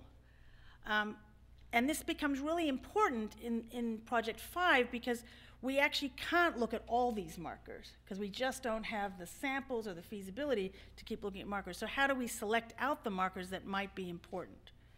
Um, this, I think, uh, Ie-Ming has already talked about, so I will move through. But I, I'm going to use this uh, example, which is from Ie-Ming's lab of Ki67, to say so one aspect is most of the studies so far done with markers have been in the context of having a high-grade serous carcinoma and an adjacent STIC. Okay? These have been very important studies because they at least give us some idea of whether the marker is present in the STIC. But um, now when we go forward, we're talking about these markers in the context of cancer-free women, and we're basically selecting out the markers now where they are very low levels in normal epithelium and high levels in STICs and HCG. So, is that, so that is one of the ways we're doing that. But as you saw today, there are many markers like that. And I think one of the challenges we have is to work out which markers might be fit. And I think something like proliferation, Ki67, telomeres, because it relates to DNA damage, again, showing these comparisons between STICs and normal epithelium and high grade. We clearly don't want them high in the normal epithelium is important. Um, and I'm going to show one. And I think, I know Ie-Ming already spent a lot of time on this, so I will not, but I think one thing I wanted to highlight with laminin one is that one of the reasons this is very exciting is because it doesn't, it may not overlap always with P53, so we may be able to use these markers in complement. So these are the sort of things that we're working through with all the other projects to work out how do we prioritize and think about the markers we should use in trying to look at STIC in this and early lesions in these high risk populations. We're very fortunate to have many, but at the same time, um, it is hard to know which ones to select out, and I think a challenging thing. So now coming down to how, just sort of how Project 5 is working and, and the progress. So Project 5 itself is really targeting high-risk women. We're looking at women greater than 30 years of age at the time of bilateral salpingo-oophorectomy. They are at high risk for ovarian cancer. Either they are, have a known mutation in BRCA 1 or 2, or they have a very strong family history that puts them at high risk of having a mutation based either on their family history or BRCA Pro. So for, for those who don't know, it's, it is a, a software that calculates the probability of having a mutation, and that would be greater than 20%. They have to have undergone a bilateral salpingo-oophorectomy, and the key here is the tissue has to be processed by the SEE-FIM protocol, or there has to be at least 80% of the tissue available. And this is actually a, an important limiting factor because the SEE-FIM protocol was not introduced till the 2000s in a lot of places. And then women with no prior history of ovarian cancer, except skin cancers, and um, we, we are including those with a breast cancer within 10 years. So the whole project is, it has all four sites are involved, and it really has two phases. One is really, if you like, dipping into existing samples from each um, each site, and the other is combining existing samples with prospective samples. And the reason for that is in the, in, we, were, we had the chance to incorporate some additional questions, particularly on medication intake and stuff, in the prospective aspects of this. So we were fortunate that a, all these sites are collecting samples in, in different ways, and some of them have ongoing high-risk cohorts that we were able to tap, um, and others have just have a large volume and are able to go back to the, to the records. But what it meant is that we have pulled the questionnaires from all these four sites and then created a master template of the types of questions we think can be answered across the sites um, in terms of both epidemiological and clinical data as well as outcomes. And at the same time, we've had to link that data to the pathology databases at these sites to see which uh, people do, do, the, do they actually have tissue on. And so, believe it or not, it's been, it's been a, a fairly major venture to actually get everybody to be interacting with each other and working out who are the eligible patients.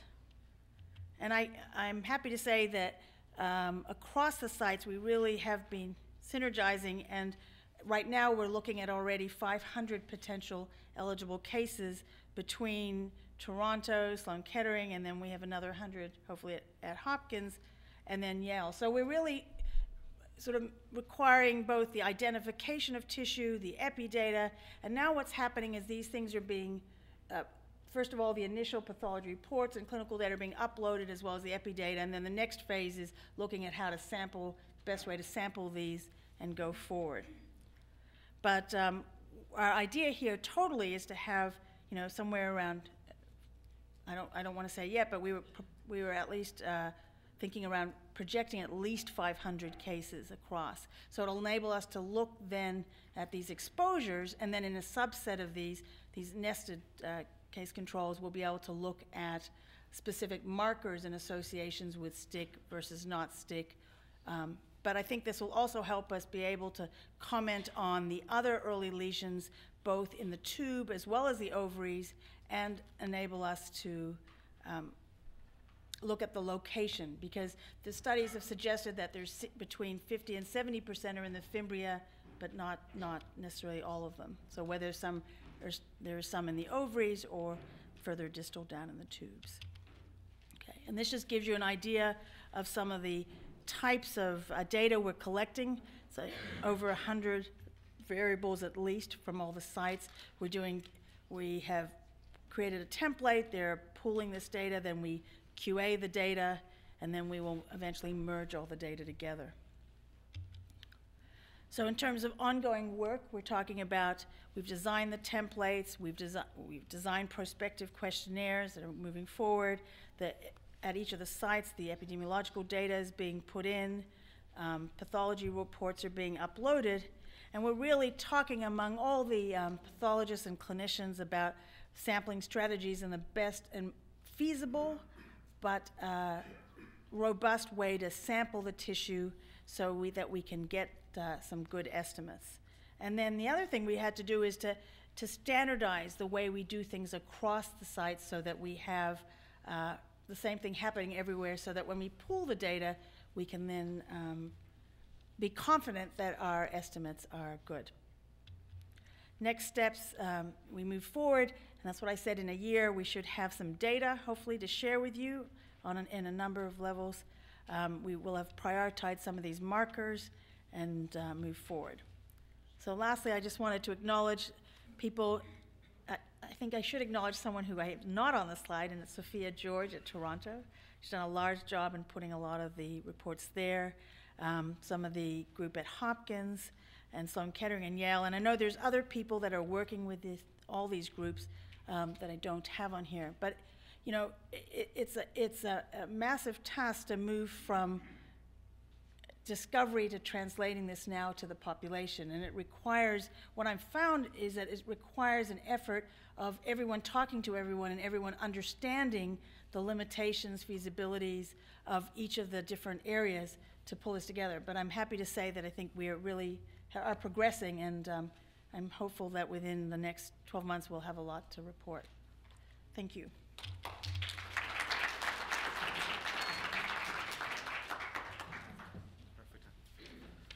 Uh, good afternoon. Um, it's my pleasure uh, now to introduce our keynote speaker, um, Simon Powell, who uh, grew up in Manchester, England, and attended uh, University of Oxford.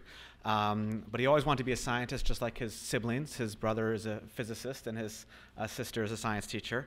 And so he went to, uh, after going to Oxford, he got an MD and a PhD from University of London in the United Kingdom, and then did a residency at Hammersmith uh, Hospital and uh, Whittington Hospital, and then a fellowship at the Royal Marsden in the UK. And just at a very similar conference like this one, he was giving a teaching lecture, and he ran into the chairman of radiation oncology, who was working at Harvard, who heard his lecture and said, "That was a great lecture. Why don't you come work for me in Boston?" And so that's how he ended up coming over the pond, working initially at Harvard, going to Wash U, where he was a chairman for a number of years before joining us, I believe, a few years ago, where he currently is the chairman of the radiation oncology department, and also runs a extremely enviable uh, laboratory that's well funded by the, the NCI with, with very, um, very uh, high quality uh, papers in high impact journals and excellent uh, peer review grant funding, uh, where he studies uh, how DNA repair processes are disrupted in human cancers and how they can be exploited, exploited therapeutically.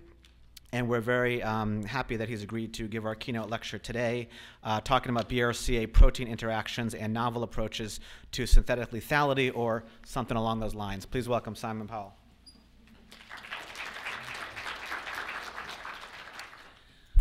Well, thank you very much, Doug. I, I have to watch what I say in those interviews that you can use uh, for the introduction, but it was all true. And I apologize to uh, the change in order, but since I agreed to give this talk, uh, the NCI decided to fund uh, to, to have our site visit tomorrow, which uh, and Craig Thompson needs all the support he can get for the site visit tomorrow. So for those of you, I know it's the last talk of the day, and I already heard it was a busy day. I hope this isn't information overload, but I'm going to try and give an outline of this very interesting DNA repair pathway controlled by the BRCA1 and 2 proteins. And I'll be successful if at the end of the day you realize just how many layers there really are to this pathway. So here's an intact DNA molecule uh, which is protected by lots of DNA repair pathways.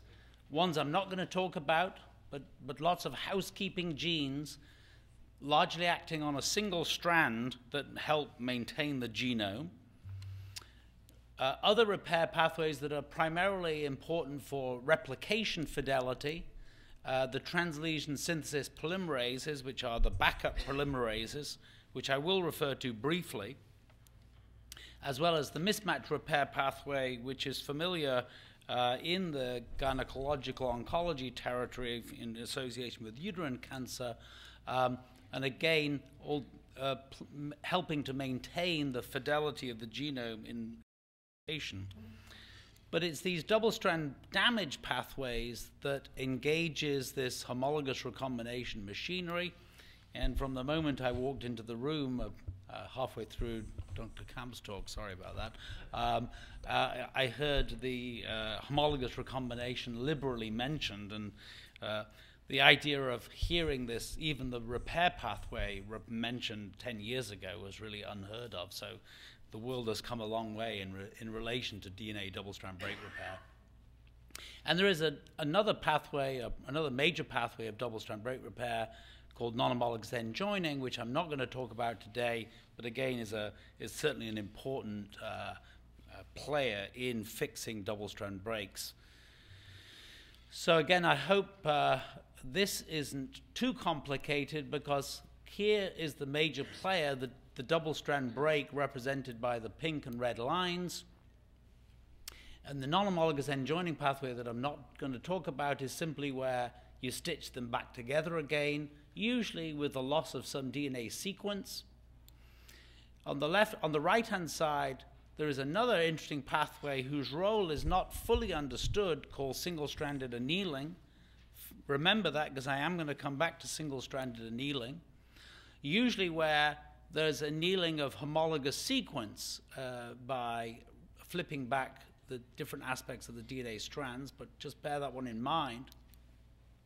But center stage is this complicated pathway of homologous recombination whose, where there are multiple steps. I'm going to simplify it into the strand break and the processing, usually that leads to this resection. I'll come back to resection.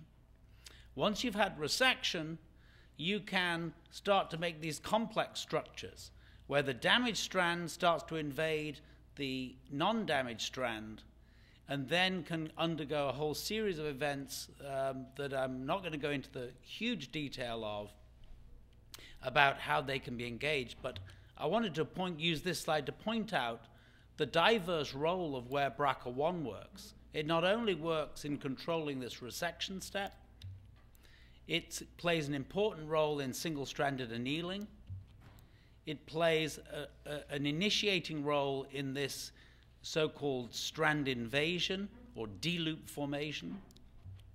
Whereas BRCA2, the other player in this pathway, really has its role very clearly defined. Its role is to mediate this RAD51 driven D-loop formation. That's all it does. Now, it's pretty important, but that is all it does.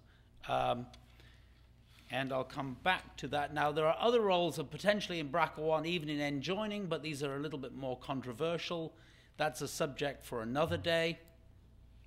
And um, there are a whole host of accessory proteins that help in each of these stages of this BRCA1-2 pathway.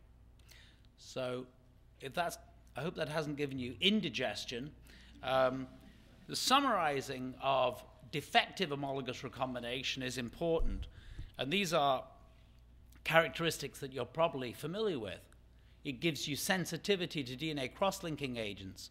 And the PARP inhibitors, um, uh, which act through a different mechanism, or the mechanism is still hotly debated, but one of the mechanisms is to act through a, a backup pathway. It produces chromosomal aberrations, which is not characteristic of some of the other DNA repair pathways in cancer. And in particular, it produces chromatid type aberrations. And again, the reason it produces chromatid type aberrations hopefully will be obvious by the end of the talk because it produces gaps in DNA after replication. Hence, their post replication G2, and as a result, they produce chromatid aberrations, breaks, and exchanges. The chromatid exchange, of course, is the classic uh, tri-radial, quadriradial type of structures that we're familiar in seeing in BRCA deficient cancers. Now, the lack of any of these homologous recombination proteins produces uh, a significant reduction in the ability of cells to proliferate, particularly if they're knocked out acutely, and particularly in any stem cell pool population. And as a result, if you knock out almost any member any member of the homologous recombination machinery, and there's about at least 30 of them on that chart I showed you, they're all lethal, except for RAD54. But they're pretty much all lethal. In other words, you need this pathway to get through normal proliferation, normal replication. And of course, we wouldn't be here if they didn't predispose to cancer. So again, here is the, those steps of homologous recombination in a little uh, simpler detail. Resection of the 5' end to expose a 3' tail. invasion of the 3' tail into the non-damaged duplex, extension of the D loop um, in this direction that produces what's called second end capture. So this, this non-damaged displaced duplex starts to anneal with the other end of the break. And then you get this double Holliday junction, this double crossing over that allows you to close the gap um, on the damaged strand, hence the old phrase of DNA gap repair. And we tend to focus on this part of the pathway because this is where BRCA1 is working, this is where BRCA2 is working. But I want to impress on you that there are a whole series of events that are critically important to complete the homologous recombination step, uh, which are these extensions, this second end capture, um, this what, what's called um, essentially the tract length or the gene conversion tract length or the stability of this complex. And then, of course, you've got to get rid of these crossovers, and that's another enzymatic step called resolvases. And more reason, they're all they're all an important key player. We just haven't highlighted genes that are highly relevant in this phase of the of, of the of the rea- of the pathway.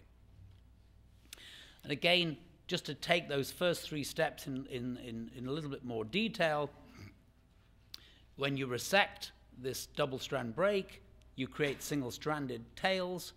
Um, once you have single stranded DNA, it's rapidly bound by the single stranded DNA binding protein RPA. Once you have RPA, it appears to be a, a this is a good substrate for recruitment of BRCA2 as has been shown biochemically by a number of groups, uh, including uh, Nikola Pavletich here when he helped solve some of the crystal structures of BRCA2. And then there's a, there's a lot of huffing and puffing and, and massive use of effort by the cell to convert this into this, which is the RAD51 filament. I've simplified this to the key players, but there are uh, about 12 or 13 proteins involved in just making sure that this transition works appropriately. So the cell really takes a lot of care to make sure this happens well. So where does the BRCA1 and 2 pathway fit in? Well, again, along the left-hand side, I've got this same idea of double-strand break, resection, strand invasion, which hopefully you, we're all uh, on board with. And then DNA repair, like any other signaling pathway, is a series of sensing, uh, mediator, and effector steps. And the layers um, that you can see in the DNA damage response are, are complex. You've got responses to DNA damage that are the, if you like, the chromatin modifications that occur where numerous proteins uh, bind and surround this area. And this is certainly the primary pathway that leads to the recruitment of BRCA1, which initially is recruited, if you like, in the vicinity of the break. It's not recruited initially directly to the break. The protein that's recruited directly to the break is this interesting uh, uh, protein complex called the MRE11 complex, um, which is responsible for both binding to the break and helping to mediate this resection in concert with the, with the, the initiator of resection, another protein here called CTIP. Now, BRCA1 starts to get involved in this part of the reaction where there's this interesting switch off between being recruited to the site of the break and then helping to initiate this resection step. So this in of itself is an awful lot of activity just to get BRCA1 to the scene of the action. Now, there's a number of other players at the scene of the action. These, these DNA damage responsive kinases, the ATM and the ATR protein, that are, um, is, are important players in any aspect of the DNA damage response. And they signal through CHEK2, and there's an interaction between CHEK2 and BRCA1 that we think is very important. And only when all of this has happened, and again, this is a simplification, only when all of this has happened can you then start to recruit these downstream players. PALB2, which is a, another interesting new protein that was discovered relatively recently as a partner and a localizer of BRCA2 that, that is an important part of this bridge to allow the recruitment and, and functioning of RAD51. So a while ago, we highlighted that this phosphorylation of uh, BRCA1 by CHEK2 was an important functional connection. And this was shown by creating a mutation in the BRCA1 protein at a specific serine site that when you created it, it made the protein highly dysfunctional in homologous recombination. So here we're looking at homologous recombination on the y-axis, and then we're looking at wild type and various other mutations. This is an, a mutation in the site phosphorylated by the ataxia-telangiectasia protein, which actually functions quite well. But this single amino acid alteration is highly defective, suggesting that this was an important uh, modifier, modification of the BRCA1 protein to trigger this pathway of homologous recombination. And here's just a, an empty vector uh, in this background cell that's BRCA1. This cell that probably many of you are familiar with, a BRCA1 defective tumor cell derived from a BRCA1 mutation carrier. Now, the other thing that made this mutation interesting is that it's a dissociation of function mutant because other aspects of BRCA1 signaling are actually completely intact. And here's just one example where this, this defective protein in repair actually functions quite well in its ability to inhibit DNA synthesis at S phase checkpoint function of the BRCA1 protein. So it's a very specific defect. And so we were very interested to follow this further. And I hope this projects, but here is the BRCA1 protein in wild type. And you can see that after you damage the DNA, and here it's done using ionizing radiation as much for convenience that I'm a radiation oncologist, but it's a good way to damage cells, as we all know. Here is showing that the BRCA1 protein gets recruited to sites of DNA damage, which the host cell does not. The, there is detectable protein there, but it can't localize to damage sites because it lacks the BRCT domain. And here you can see is that this 988 mutant does also get to DNA damage sites. So it's that first step in the reaction is intact, but it's the later part of the reaction that, that, is, that is not present. So because here in the wild type BRCA1, you can see the RAD51 gets localized to the sites of DNA damage quite nicely, whereas this defective mutant does not. So there's this clear separation between this initial step in the BRCA1 pathway and this later step, the link to RAD51. And so we really wanted to look at that in more detail, and we looked at this by saying, well, is it really due to CHEK2? Because CHEK2 has been an interesting protein, certainly in familial breast cancer, um, and I, I, forget how much it's prevalent in ovarian. It's also a minor player in ovarian, isn't it? So we, we, we, we thought this made some sense in relation to uh, this the pathway concept and the fact that you get mutations in one or other members of the pathway, but not in multiple players. And so we wanted to know whether this effect was really due to CHEK2, so we depleted CHEK2 by siRNA showed that BRCA1 got recruited just like wild type, but BRCA2 and RAD51 did not. So there was this separation between the upstream and the downstream. Here again, looking at the effects of damage induced recruitment of proteins to sites of DNA damage. And in, and in case we were still skeptical, we also used a knockout uh, rather than a depletion to find additional confirmation in the, the Bert Vogelstein uh, system. I know a lot of you are here from Hopkins, so you'll be familiar with that. Uh, this is the CHEK2 knockout made in the Vogelstein lab, where again BRCA1 gets recruited, BRCA2 struggles to get there, and RAD51 doesn't get there at all. So you can see that there's this, this CHEK2 phosphorylation site is actually very important. And we were interested to know what was actually going on at a biochemical level. Um, this is again taking the wild type CHEK2 and the CHEK2 knockout. The observant of you may have noticed that there was also a reduction in the level of BRCA2 protein. This is real, and I'm not going to go into the details of it. But what we did in this experiment was to complement the BRCA2 protein by overexpressing it to make sure that we had the same levels of BRCA2. That helped stabilize the RAD51 protein levels, so we now are comparing like with like. So this isn't just a protein defect, because now if you look over here, and we now look at the ability of RAD51 to get into the chromatin by, by fractionating the chromatin-bound fraction of the cell, you can see that the RAD51 only gets there if CHEK2 is wild type. If CHEK2 is gone, or even if you complement back the BRCA2 protein that gets the protein levels back to where they should be, the RAD51 can't get there. So it really is, the protein just doesn't work very well. And this goes to, the, you may ask, and I frequently am asked, so when does BRCA1 ever talk to BRCA2? And the answer is not very often.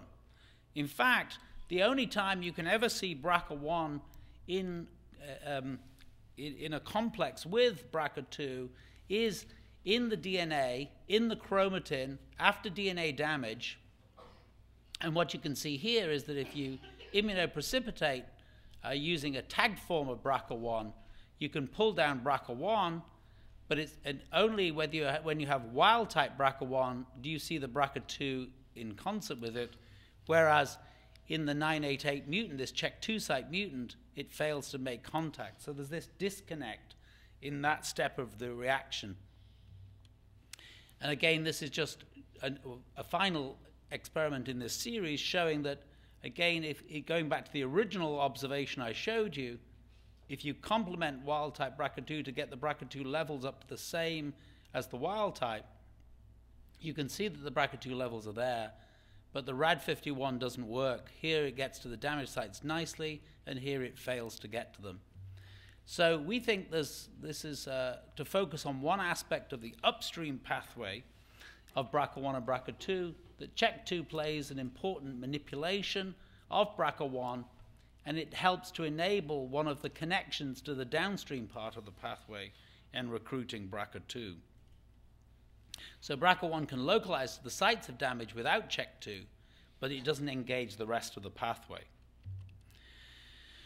And so now I'd like to focus on a second uh, story that, um, again, gets at this, this, this fundamental uh, mechanism as we get from the resected uh, double strand break in, into this, this ability to make D loops.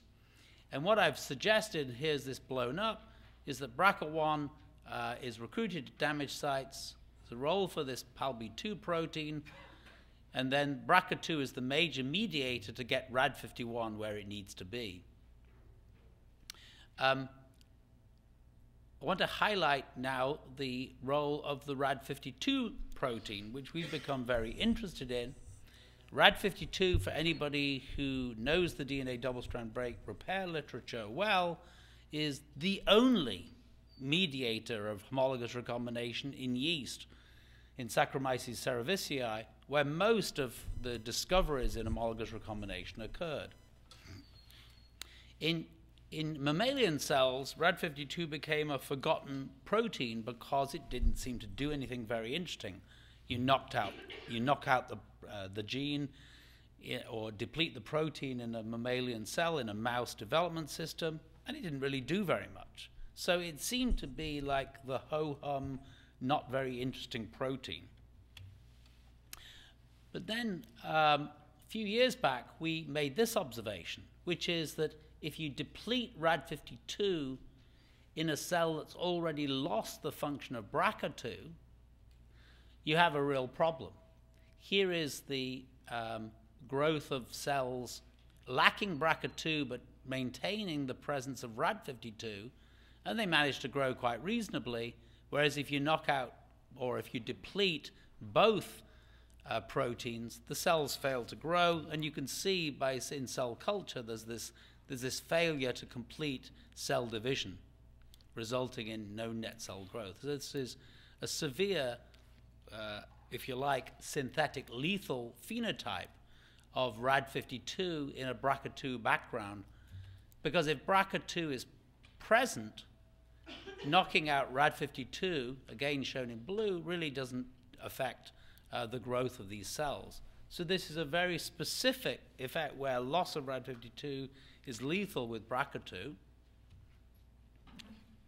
Oops, that's called a mistake. Uh, now I've got to go, I've hit the, I've hit the N button before I should. Sorry about that. Uh-oh. Close your eyes. Um, sorry, sorry, sorry, sorry. I should have known not to be ham-fisted. I'll use the arrows. So here is the ability of the BRCA2 deficient cells to grow, sorry, of the BRCA2 proficient cells to grow without RAD52.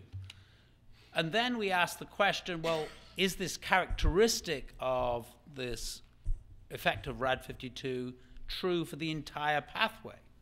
And the answer is yes. If you knock out BRCA1, either by depletion or in a, in a, in a cell harboring mutations, you can see that, again, this is looking now at homologous recombination measurements. You see a reduction of BRCA1 affects homologous recombination. RAD52 on its own does very little. The two together, uh, very severe phenotype. And if you, PALB2 is, is also very similar. So BRCA1, PALB2, BRCA2 all show synthetic lethality with RAD52. And a picture is often makes that story even clearer. Here again are our favorite RAD51 foci, these, these, these proteins that accumulate at sites of DNA double strand breaks. And here you can see when you deplete RAD PALB2, there's a little bit of RAD51 uh, foci formation ability left. If you deplete RAD52 on its own, doesn't do much at all. But if you deplete the two together, the ability to make these RAD51 dots, which we assume is equivalent to the formation of those D loops, uh, disappears completely. So a very striking phenotype. And again, summarized by this schematic in which this BRCA1, BRCA2 pathway, which I again have simplified uh, on, on the left-hand side here, is backed up by this RAD52 pathway that becomes highly relevant when any part of this pathway is disrupted. So it becomes a salvage pathway, which makes it potentially an attractive target for therapy. And this is certainly an idea we are pursuing in conjunction with uh, other collaborators, Bill Holloman at uh, Cornell, um, as well as Mike O'Donnell on translesion synthesis polymerases. We're looking at the strategy of potentially targeting RAD52 don't ha- uh, I didn't I don't have a magic drug as yet, so when we get one, we'll let you know. But we're certainly looking at the ability whether it is a potentially druggable pathway. But then you ask the question so, what is the real function of RAD52? I mean, okay, so we've shown that it does something when the cells are under stress, but what's it really doing? Uh, is it just a backup pathway, which a lot of DNA repair pathways do have backup pathways, or does it have a real role? And so we looked into this uh, in a little bit more detail, particularly at this, this coordination between the D-loop formation and the second end capture step that I outlined at the beginning. So again, just in case you were sleeping, um, which I hope you're not, I'm keeping an eye on everyone just to make sure everyone's paying attention. Um, here is the D-loop formation. This is the second end capture. BRCA2 plays this role. Uh, RAD52, we think, actually may play an important role in this second step. Now, if this is normally rate limiting, um, and there may be a, a, a, it may be that the loss of RAD52 uh, isn't critically noticed by this, this pathway, although that's something we're interested in, in looking at. But then we looked into, we've been looking for a long time for proteins that cooperate with RAD52, both from the point of view of finding a target that's druggable, but also from the point of view of trying to understand what this protein does. And I won't go over the details of all of the work we did to try and find partners, but the only one we found um, is a protein called HELQ. Now, HELQ is probably not a protein that anybody in the room has heard of, um, but it's certainly become quite interesting from our point of view. Oh. Sorry, I don't know how the best. I've got a. I didn't. I've never made that mistake before. Many apologies. I guess it's hard to turn your head. Okay, sorry about that. I really will try to avoid it in future. So, um, HELQ, it, it, plays this important role. Um, but we think in this step of the reaction. So it's, if you like, it's one step downstream from the BRCA2 dependent step. And again, um, I'm not going to talk about further downstream today. So HELQ, as you might imagine, with the title HELQ is a helicase um, which acts on, on single-stranded, which is a single-strand dependent DNA uh, ATPase, like many helicases are, belongs to the superfamily 2, um, and has been basically been shown to have 3' helicase activity. Um, and again, just exactly what its role is has been debated between removing lagging strands or other actions as part of maintaining uh, genome integrity. Uh, one earlier report had suggested it may have a role in homologous recombination from uh, Alan D'Andrea's group at Dana-Farber, where it appeared to be, have some epistasis with the Fanconi D2 uh, protein, which he's very interested in, and also produce sensitivity to topo 1 inhibitors as well as uh, cross linking agents such as mitomycin C. So we looked at whether HELQ had any activity in these uh, pathways, either homologous recombination or single-stranded annealing, and the answer was yes. Not a huge effect, but definitely significant. So whereas BRCA1 and 2 will decrease homologous recombination by 5 to almost tenfold, very large effects, these are smaller effects, but it has a, also a significant role in single-stranded annealing. But this was the most important finding we had, is that it was completely epistatic with RAD52. So RAD52 in and of its uh, alone has a relatively small effect on recombination, as I showed, barely detectable. HELQ has an effect on homologous recombination, but there's no, in contrast to everything we'd seen with the BRCA pathway members, HELQ did nothing uh, so, uh, in, in addition to RAD52, whether it's for homologous recombination or this other function of single-stranded annealing.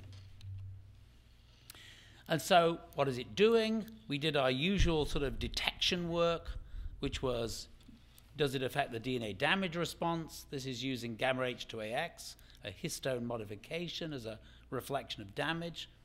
No effect there. Does it affect the recruitment of RPA, that single-stranded binding protein, no effect there. So this basically pushed us downstream of resection. And um, what we also found is that HELQ does interact, though, with RPA.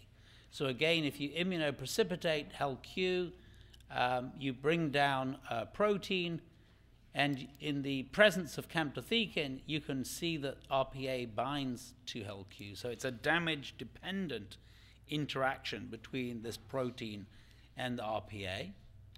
And we think it's probably phospho-RPA in recent work that I didn't have chance to make into a slide. We don't need HELQ specifically for RAD51 focus formation. So again, suggesting it's downstream of that D-loop formation.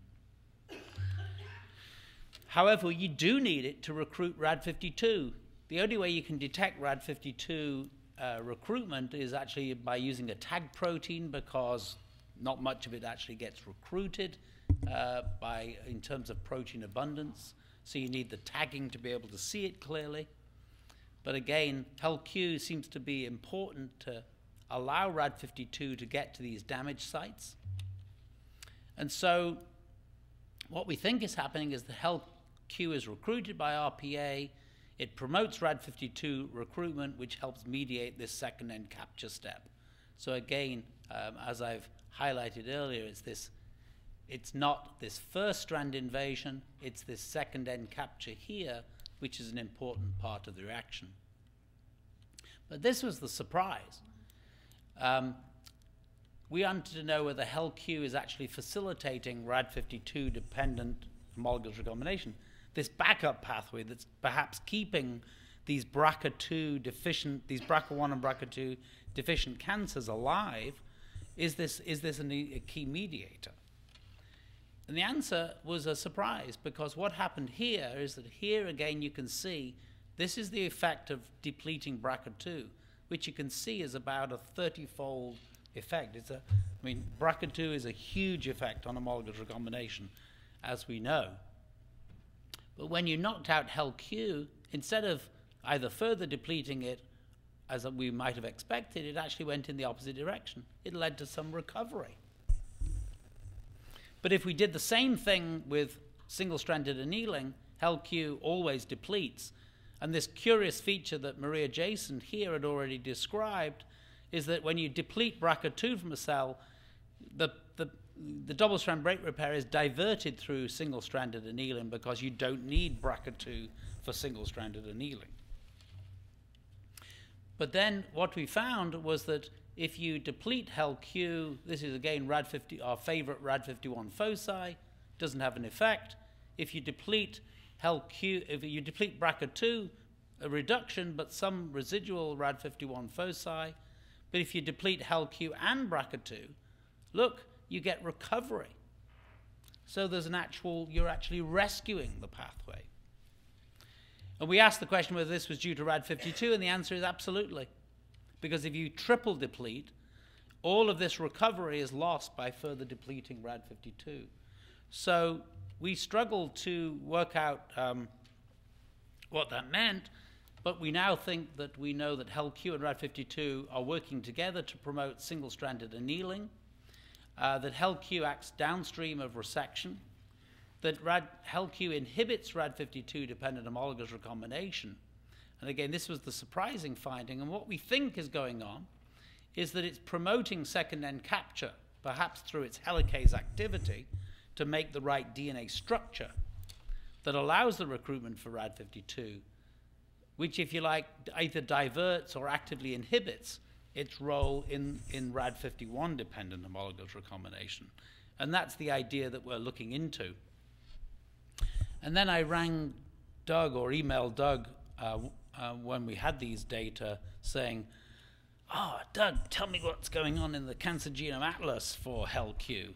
Because it, it, figured it must be interesting, and I'd heard there were uh, reports of, of defects. So this was the screenshot he gave me, just to show that I do read your emails, Doug. And here we can see, um, um, here is, um, this is the Cancer Genome Atlas data where there was sequencing and copy number data available.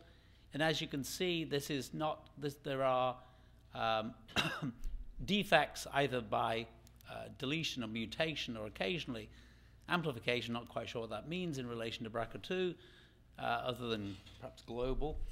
Um, but nonetheless, you can see that there are the, as you expected, non-overlapping uh, effects for BRCA1 and BRCA2, which is clearly the most prevalent finding.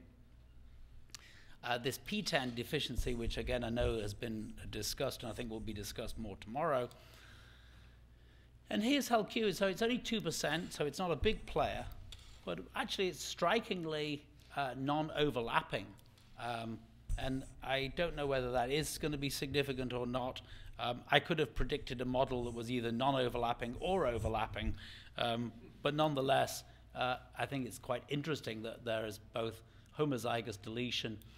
And uh, any of you um, involved in the Cancer Genome Atlas will know that it's not just somatic homozygous deletions that are becoming interesting, but even uh, single allele deletions and, and gene dosage that actually may be contributing as well. So um, I know this is a, an area that will be, be growing. So just to summarize, uh, this first half, uh, we've, we've basically shown you that the BRCA1, BRCA2 pathway primarily works to promote RAD51 and this pathway of homologous recombination. We've shown you that, that CHEK2 is an important initiating, makes an initiating modification of BRCA1 that allows this pathway to work, although the detailed mechanisms of what this phosphorylation does, whether it's working at the level of CTIP, whether it's working at the level of phosphorylated RPA, or whether it's working directly at PALB2 recruitment, is something we're still investigating. So these, there's layers that are occurring right at the level of BRCA1. And then um, I've also shown you evidence that there are supportive role players such as RAD52. And the only uh, protein that we found so far that, that is cooperating with RAD52 uh, that's primarily involved in the second end capture step. But when this is missing, the RAD52 protein plays more of a role in this or can help uh, this RAD51 mediated step. And this um, left hand side of the slide is there to remind me that this homologous recombination pathway is not just to manage the double strand break that's created uh, um, either post replication or in G2, where there's an easily available non damaged duplex. But perhaps it's actually involved in managing uh, double strand breaks that occur either directly at the replication fork, where the leading strand runs into a gap on one strand, here shown on the lagging strand, which creates a one ended double strand break. We know that that is not a good substrate for, for other parts of the repair pathway. So, recombination may well be helping this type of lesion or another type of lesion that's produced uh, in association with replication, where if you have a lesion on the parental strand, the replication fork comes by, hops over a number of types of lesions, as Ken Marians has recently very elegantly demonstrated, um, and produces the, these things called daughter strand gaps. And I'll come back to that, but again, the processing these daughter strand gaps by base excision repair produces essentially a post replication double strand break. And so then this becomes somewhat analogous to this, where we don't know where the replication fork is. But I think it's important to remember that maintaining the genome integrity by this pathway is not just triggered by this lesion, but it's these replication associated lesions that really is what's driving it. Synthetic lethality, I've raised as a, a concept, although its, its, its poster child uh, was summarized in, in this slide from one of the two Nature papers published back in 2005, where the PARP inhibitor, which, uh, which inhibits single strand break repair, although it may not be its only mechanism of action, capitalizes on the ability to create this one ended double strand break, as I just showed you, and that you need homologous recombination to repair this type of lesion. And in the absence of BRCA2, you become extraordinarily sensitive to uh, this uh, Newcastle University derived PARP inhibitor shown by this amazing sensitization that was reported. And again, um, this is just a, a diagram summarizing that it's not it's not just double strand breaks, but it's these replication lesions that produce these daughter strand gaps. And again, the PARP inhibitor emphasizes the ability, either shown on the, this slide, to create these one ended double strand breaks, but also it's, it's, what, it's what converts this type of lesion into um, potentially into a double strand break. Um, uh, if, if the replication fork has gone by. But another backup pathway is this translesion synthesis polymerase pathway. If you create this daughter strand gap, it's the translesion synthesis that comes behind the replication fork to fix these lesions.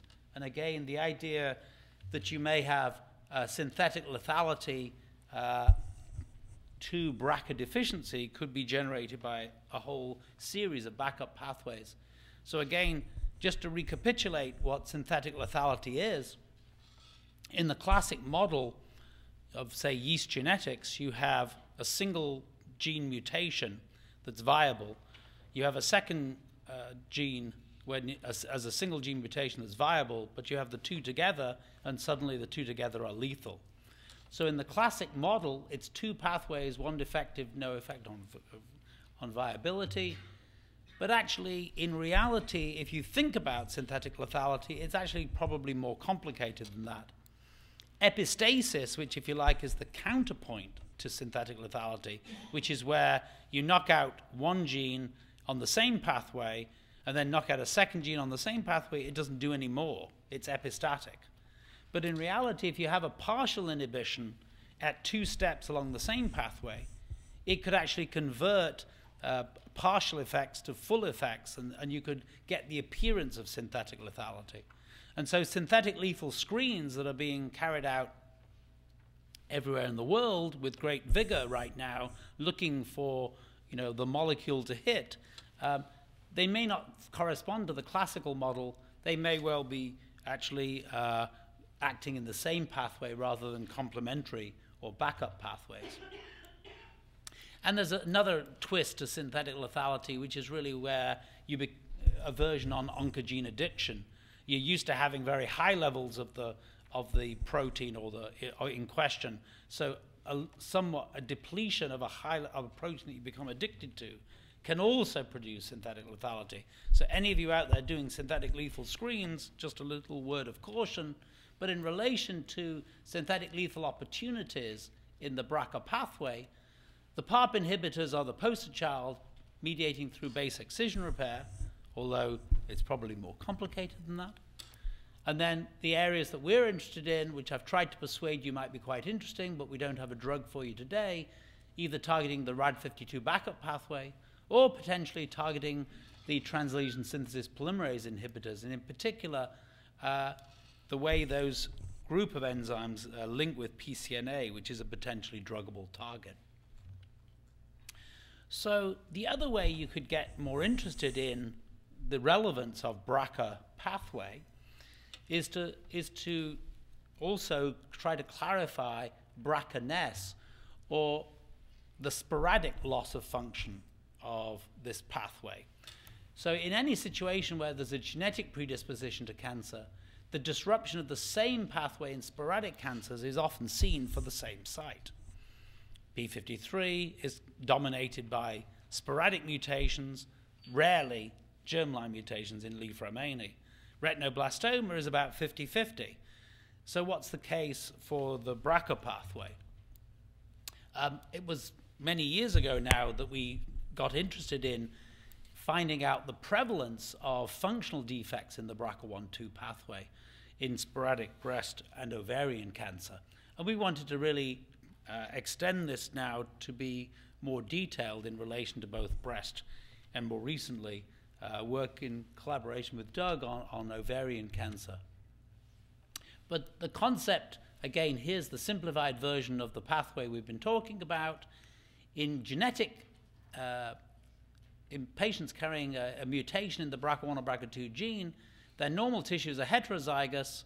The tumors, uh, in almost all situations, it's a controversy, I know, so I won't dwell on it. Um, different people have different views, but the, frequently the, the second allele is lost, be behaving like a classic tumor suppressor. But it, sometimes in wild type background, you get this functional defect that is acquired. So how do we know? Well, many 10 years ago now, we started testing breast cancer samples, taking biopsies from patients undergoing neoadjuvant chemotherapy. When, we, when these samples are acquired, we, we, we got them before the pathologist could stick them in formalin or anything else frozen so that the cells were viable. Uh, we only handled them for four hours after, after we again showed a little bit of radiation to them to impart some DNA damage. And then we could freeze them, section them, and ask whether this same pathway functioned in the real breast cancer samples. So here are the cells in culture. um, where I've shown many examples of these RAD51 foci, very florid, uh, very extensive throughout the nucleus.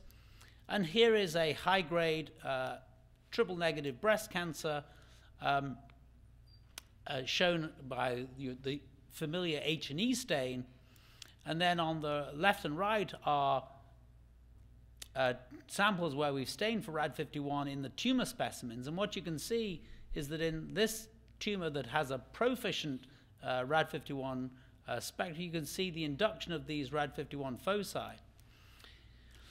It, on the right hand side, there are very few of these RAD51 foci. You always see a few basal level, uh, but there is very little ability to induce. So this assay became the ability to induce RAD51 foci. We've refined it somewhat since those initial days. Now we actually take tumor samples, disaggregate the tumor, get much prettier uh, cell nuclei, and here you can see a proficient cell in which BRCA1 and RAD51 gets recruited, whereas here is on the, on the right-hand side, in spite of 10 gray of ionizing radiation, not a single BRCA1 uh, recruitment focus and not a single RAD51 within this field. And again, this, is, this and this are strikingly different. And at the top, we just have a control for DNA damage showing that these cells are alive and they are responding to DNA damage. So again, just in case there's some technical aspects. So you can categorize tumors into proficient and deficient by the ability to induce these, to see this increase in BRCA1 and this increase in RAD51. Now, compared to cells in culture, you don't get 100% of the cells responding because it's really only the proliferative compartment of the cells that will show this reaction. But I think you can see that this, this reaction here is clearly different from this reaction here, this, this lack of induction. And what these BRCA pathway defects, as we're calling them, are actually categorical. Here is the analysis of, I think, the first 70 or so patients, in which you can see that the tumors either showed this very flat, complete lack of response of RAD51, or they showed a significant response, and there was, there was essentially a bimodal distribution. This wasn't just a spectrum, uh, which really was uh, quite striking to us. And here, if we look at BRCA1, same, same characteristic, and again, here's one example where BRCA1 was recruited but RAD51 wasn't, suggesting that the upstream part of the pathway was intact, but the downstream pathway was defective. And so, again, as we applied this to the first, uh, oh, what is that, 71, I think it is, cases of uh, breast cancer that we looked at, triple negative, HER2 amplified, ER positive, this HR defective characteristic is seen across the, the spectrum. Uh, and although it's enriched in the triple negative form of breast cancer, which I guess is you know, analogous to serous adenocarcinoma of the ovary, um, you see it also in HER2 amplified breast cancer, not rarely, and even in ER positive, and we suspect this is more the luminal B rather than luminal A type, you see a, significant uh, prevalence. So this was very surprising to us, even though the sample size is small. We then asked, okay, how do we know that this, this, this assay really is telling us something significant? So we did a pilot study of looking at six tumors that we'd categorized as deficient and six that we'd categorized as proficient and matched them for the IHC subtypes. In other words, we had two of each of the categories. We did uh, DNA extraction of the tumors, array CGH, and looked at um, the pattern of landscape changes in the genome. And essentially, in the repair deficient cancers, you frequently saw these large segment deletions and large segment amplifications, which was very characteristic, whereas the repair proficient also showed instability, but it was a much more granular pattern, much less gains and losses that we saw. And if you plot this, oh, here's the whole genome pictures which I'm not sure tells you very much other than I think it's, I'm trying to make this into a painting to put on my wall. Um, but again, if you really look at granular detail, you'll see that, again, the deficient cancers have larger blocks, uh, the distribution of where they occur is an interesting subject. But if what we did here was we then plotted the number of deleted segments against the segment lengths deleted. And essentially, until you get to five megabase deletions, which are big chunks lost, there was very little separation of the curves. It's really these two curves only start to separate in this region between 5 and 15 megabase, mega, megabytes, megabase pair deletions. So big chunks of the chromosome getting deleted. And then, and as you get out here, which is like whole chromosome arms or whole chromosomes, there's no further change. So the, the, the divergence between the repair deficient and the repair proficient was in this very narrow window, which we think is another manifestation of homologous recombination deficiency. And the fact that these uh, two curves separated very nicely based upon this categorization, we really felt uh, corroborated our functional assay with a, with a, a, a different but verified form. So defects in this pathway, we think in breast cancer are common in maybe as much as 25%. So instead of dealing with 5 to 7% hereditary form of breast cancer, we're dealing with maybe 25% with some form of functional defect. And it's not specific to triple negative.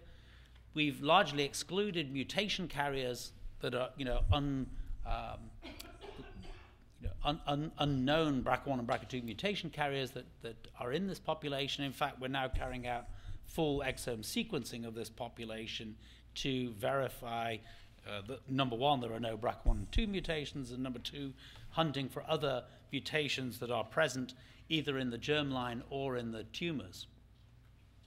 But it's quite interesting that the commonest defect is actually upstream in this pathway. It actually acts above BRCA1 recruitment, a part of the pathway that we didn't uh, go into uh, much detail, and we're very interested in looking into that.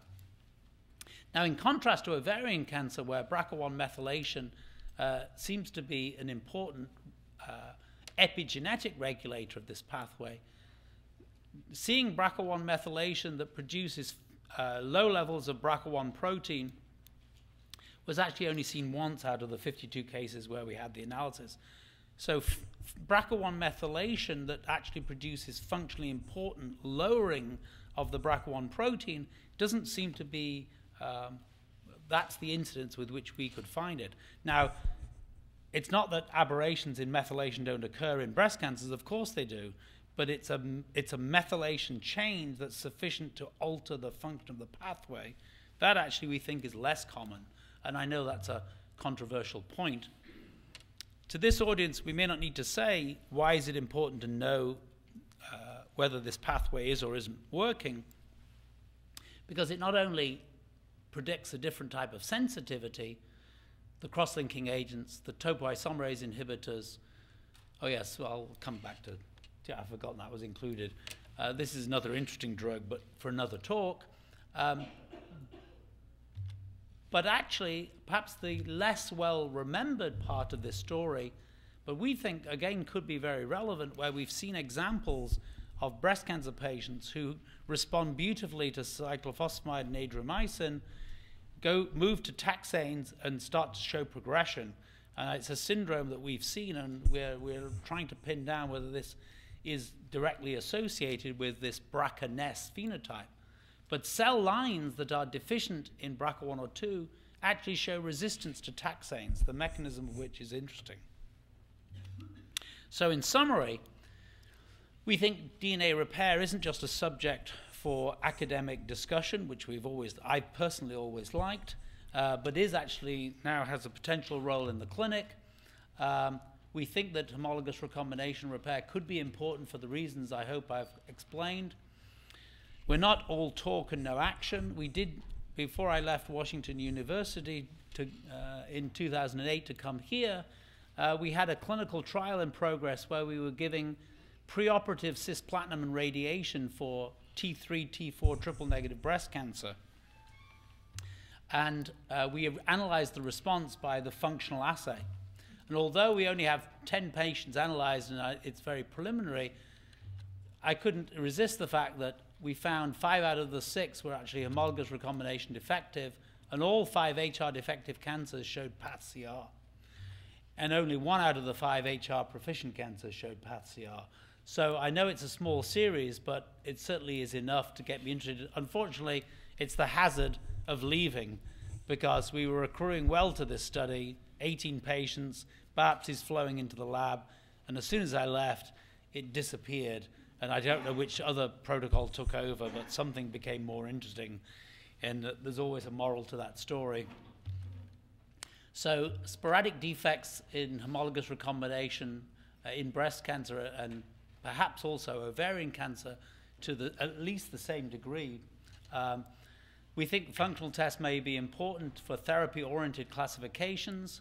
Uh, that sporadic breast cancer show functional defects, uh, maybe in as many as a quarter. Shown that the functional assay was supported by array CGH categorizations. And that, uh, oh yes, we've also, I didn't have time to go into how we've also found this phenotype in cell lines, and we're zooming in on perhaps an area which seems to be particularly prone to being affected. But either way, it enlarges the therapeutic opportunities for DNA repair based therapies and should produce more in terms of personalized cancer therapies. So, those are the people who did the work. I'm not going to name them one by one because there was no time. But we're a very happy group. Here you can see us in one of our many Manhattan uh, uh, social outings when we're resting from measuring homologous recombination. And with that, I'll close, and uh, if the day allows it, uh, happy to answer any questions. Thanks,